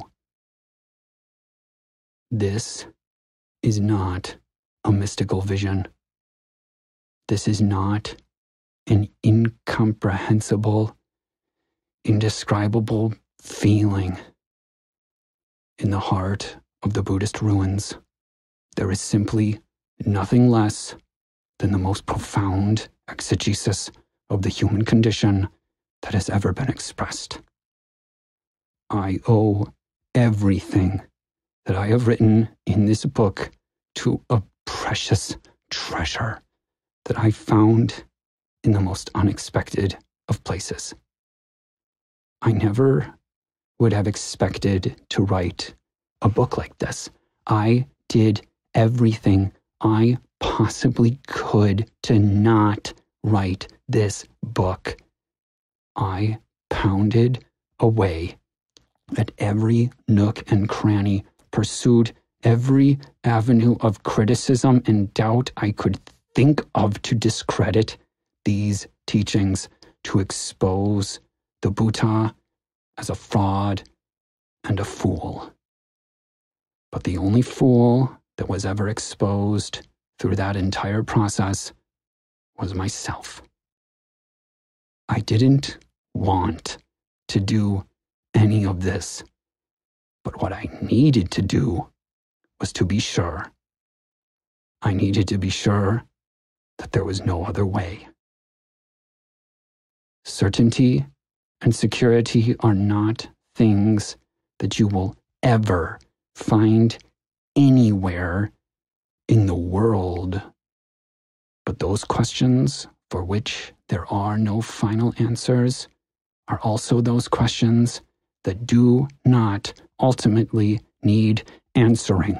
I exhort you keep throwing out everything that is irrelevant and uncertain until an answer bursts forth from your own heart, covering heaven and earth. Time is short. The tools are there, available to be put to use. Or are you still willing to resign yourself to life as you assume it must be? Are you willing to gamble your life on the meek, cowering, pathetic position on nihilism and suffering taken by Robert Rosen as he writes? The truth is that instead of solving our, his problems and thereby incurring the disaster of a final solution, man must reconcile himself to a perpetual process of approximations, of prudential adjustments and accommodations, sometimes in the direction of daring, sometimes in the direction of caution. Is that really all your life is worth to you? An accommodation? The days and nights fly past. Death is coming. Stare long enough into the void, and you may find yourself prepared to meet it.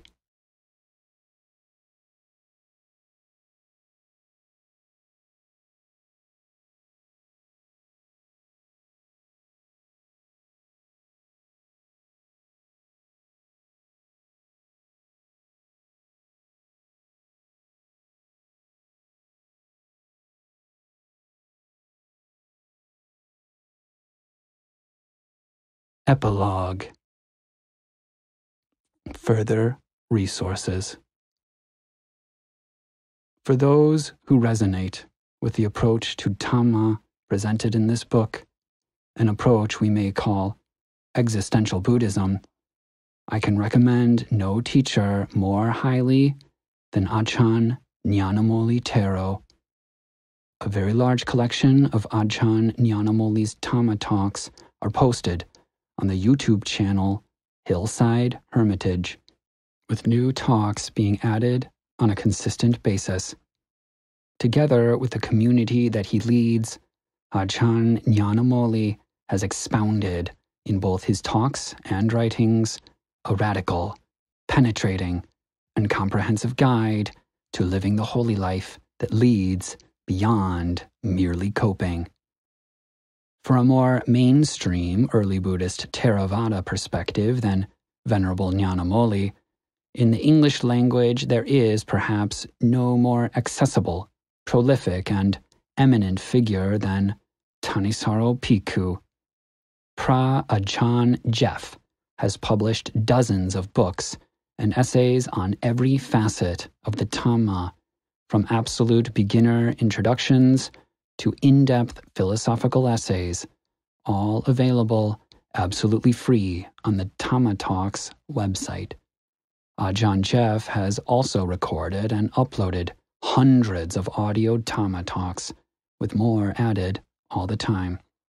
If there is any particular aspect of the Dhamma you would like to research and learn more about, uh, Ajahn Geoff has almost certainly given a talk about it and probably has also written multiple essays and published an anthology of discourses from the Pali Canon that address the very topic you are interested in, all translated himself. I highly recommend reading his Pali discourse anthologies as a means of immersing yourself into a broader familiarity with the suttas. Ajahn Geoff is also perhaps the foremost Western expert on the Vinaya, the Buddhist monastic code.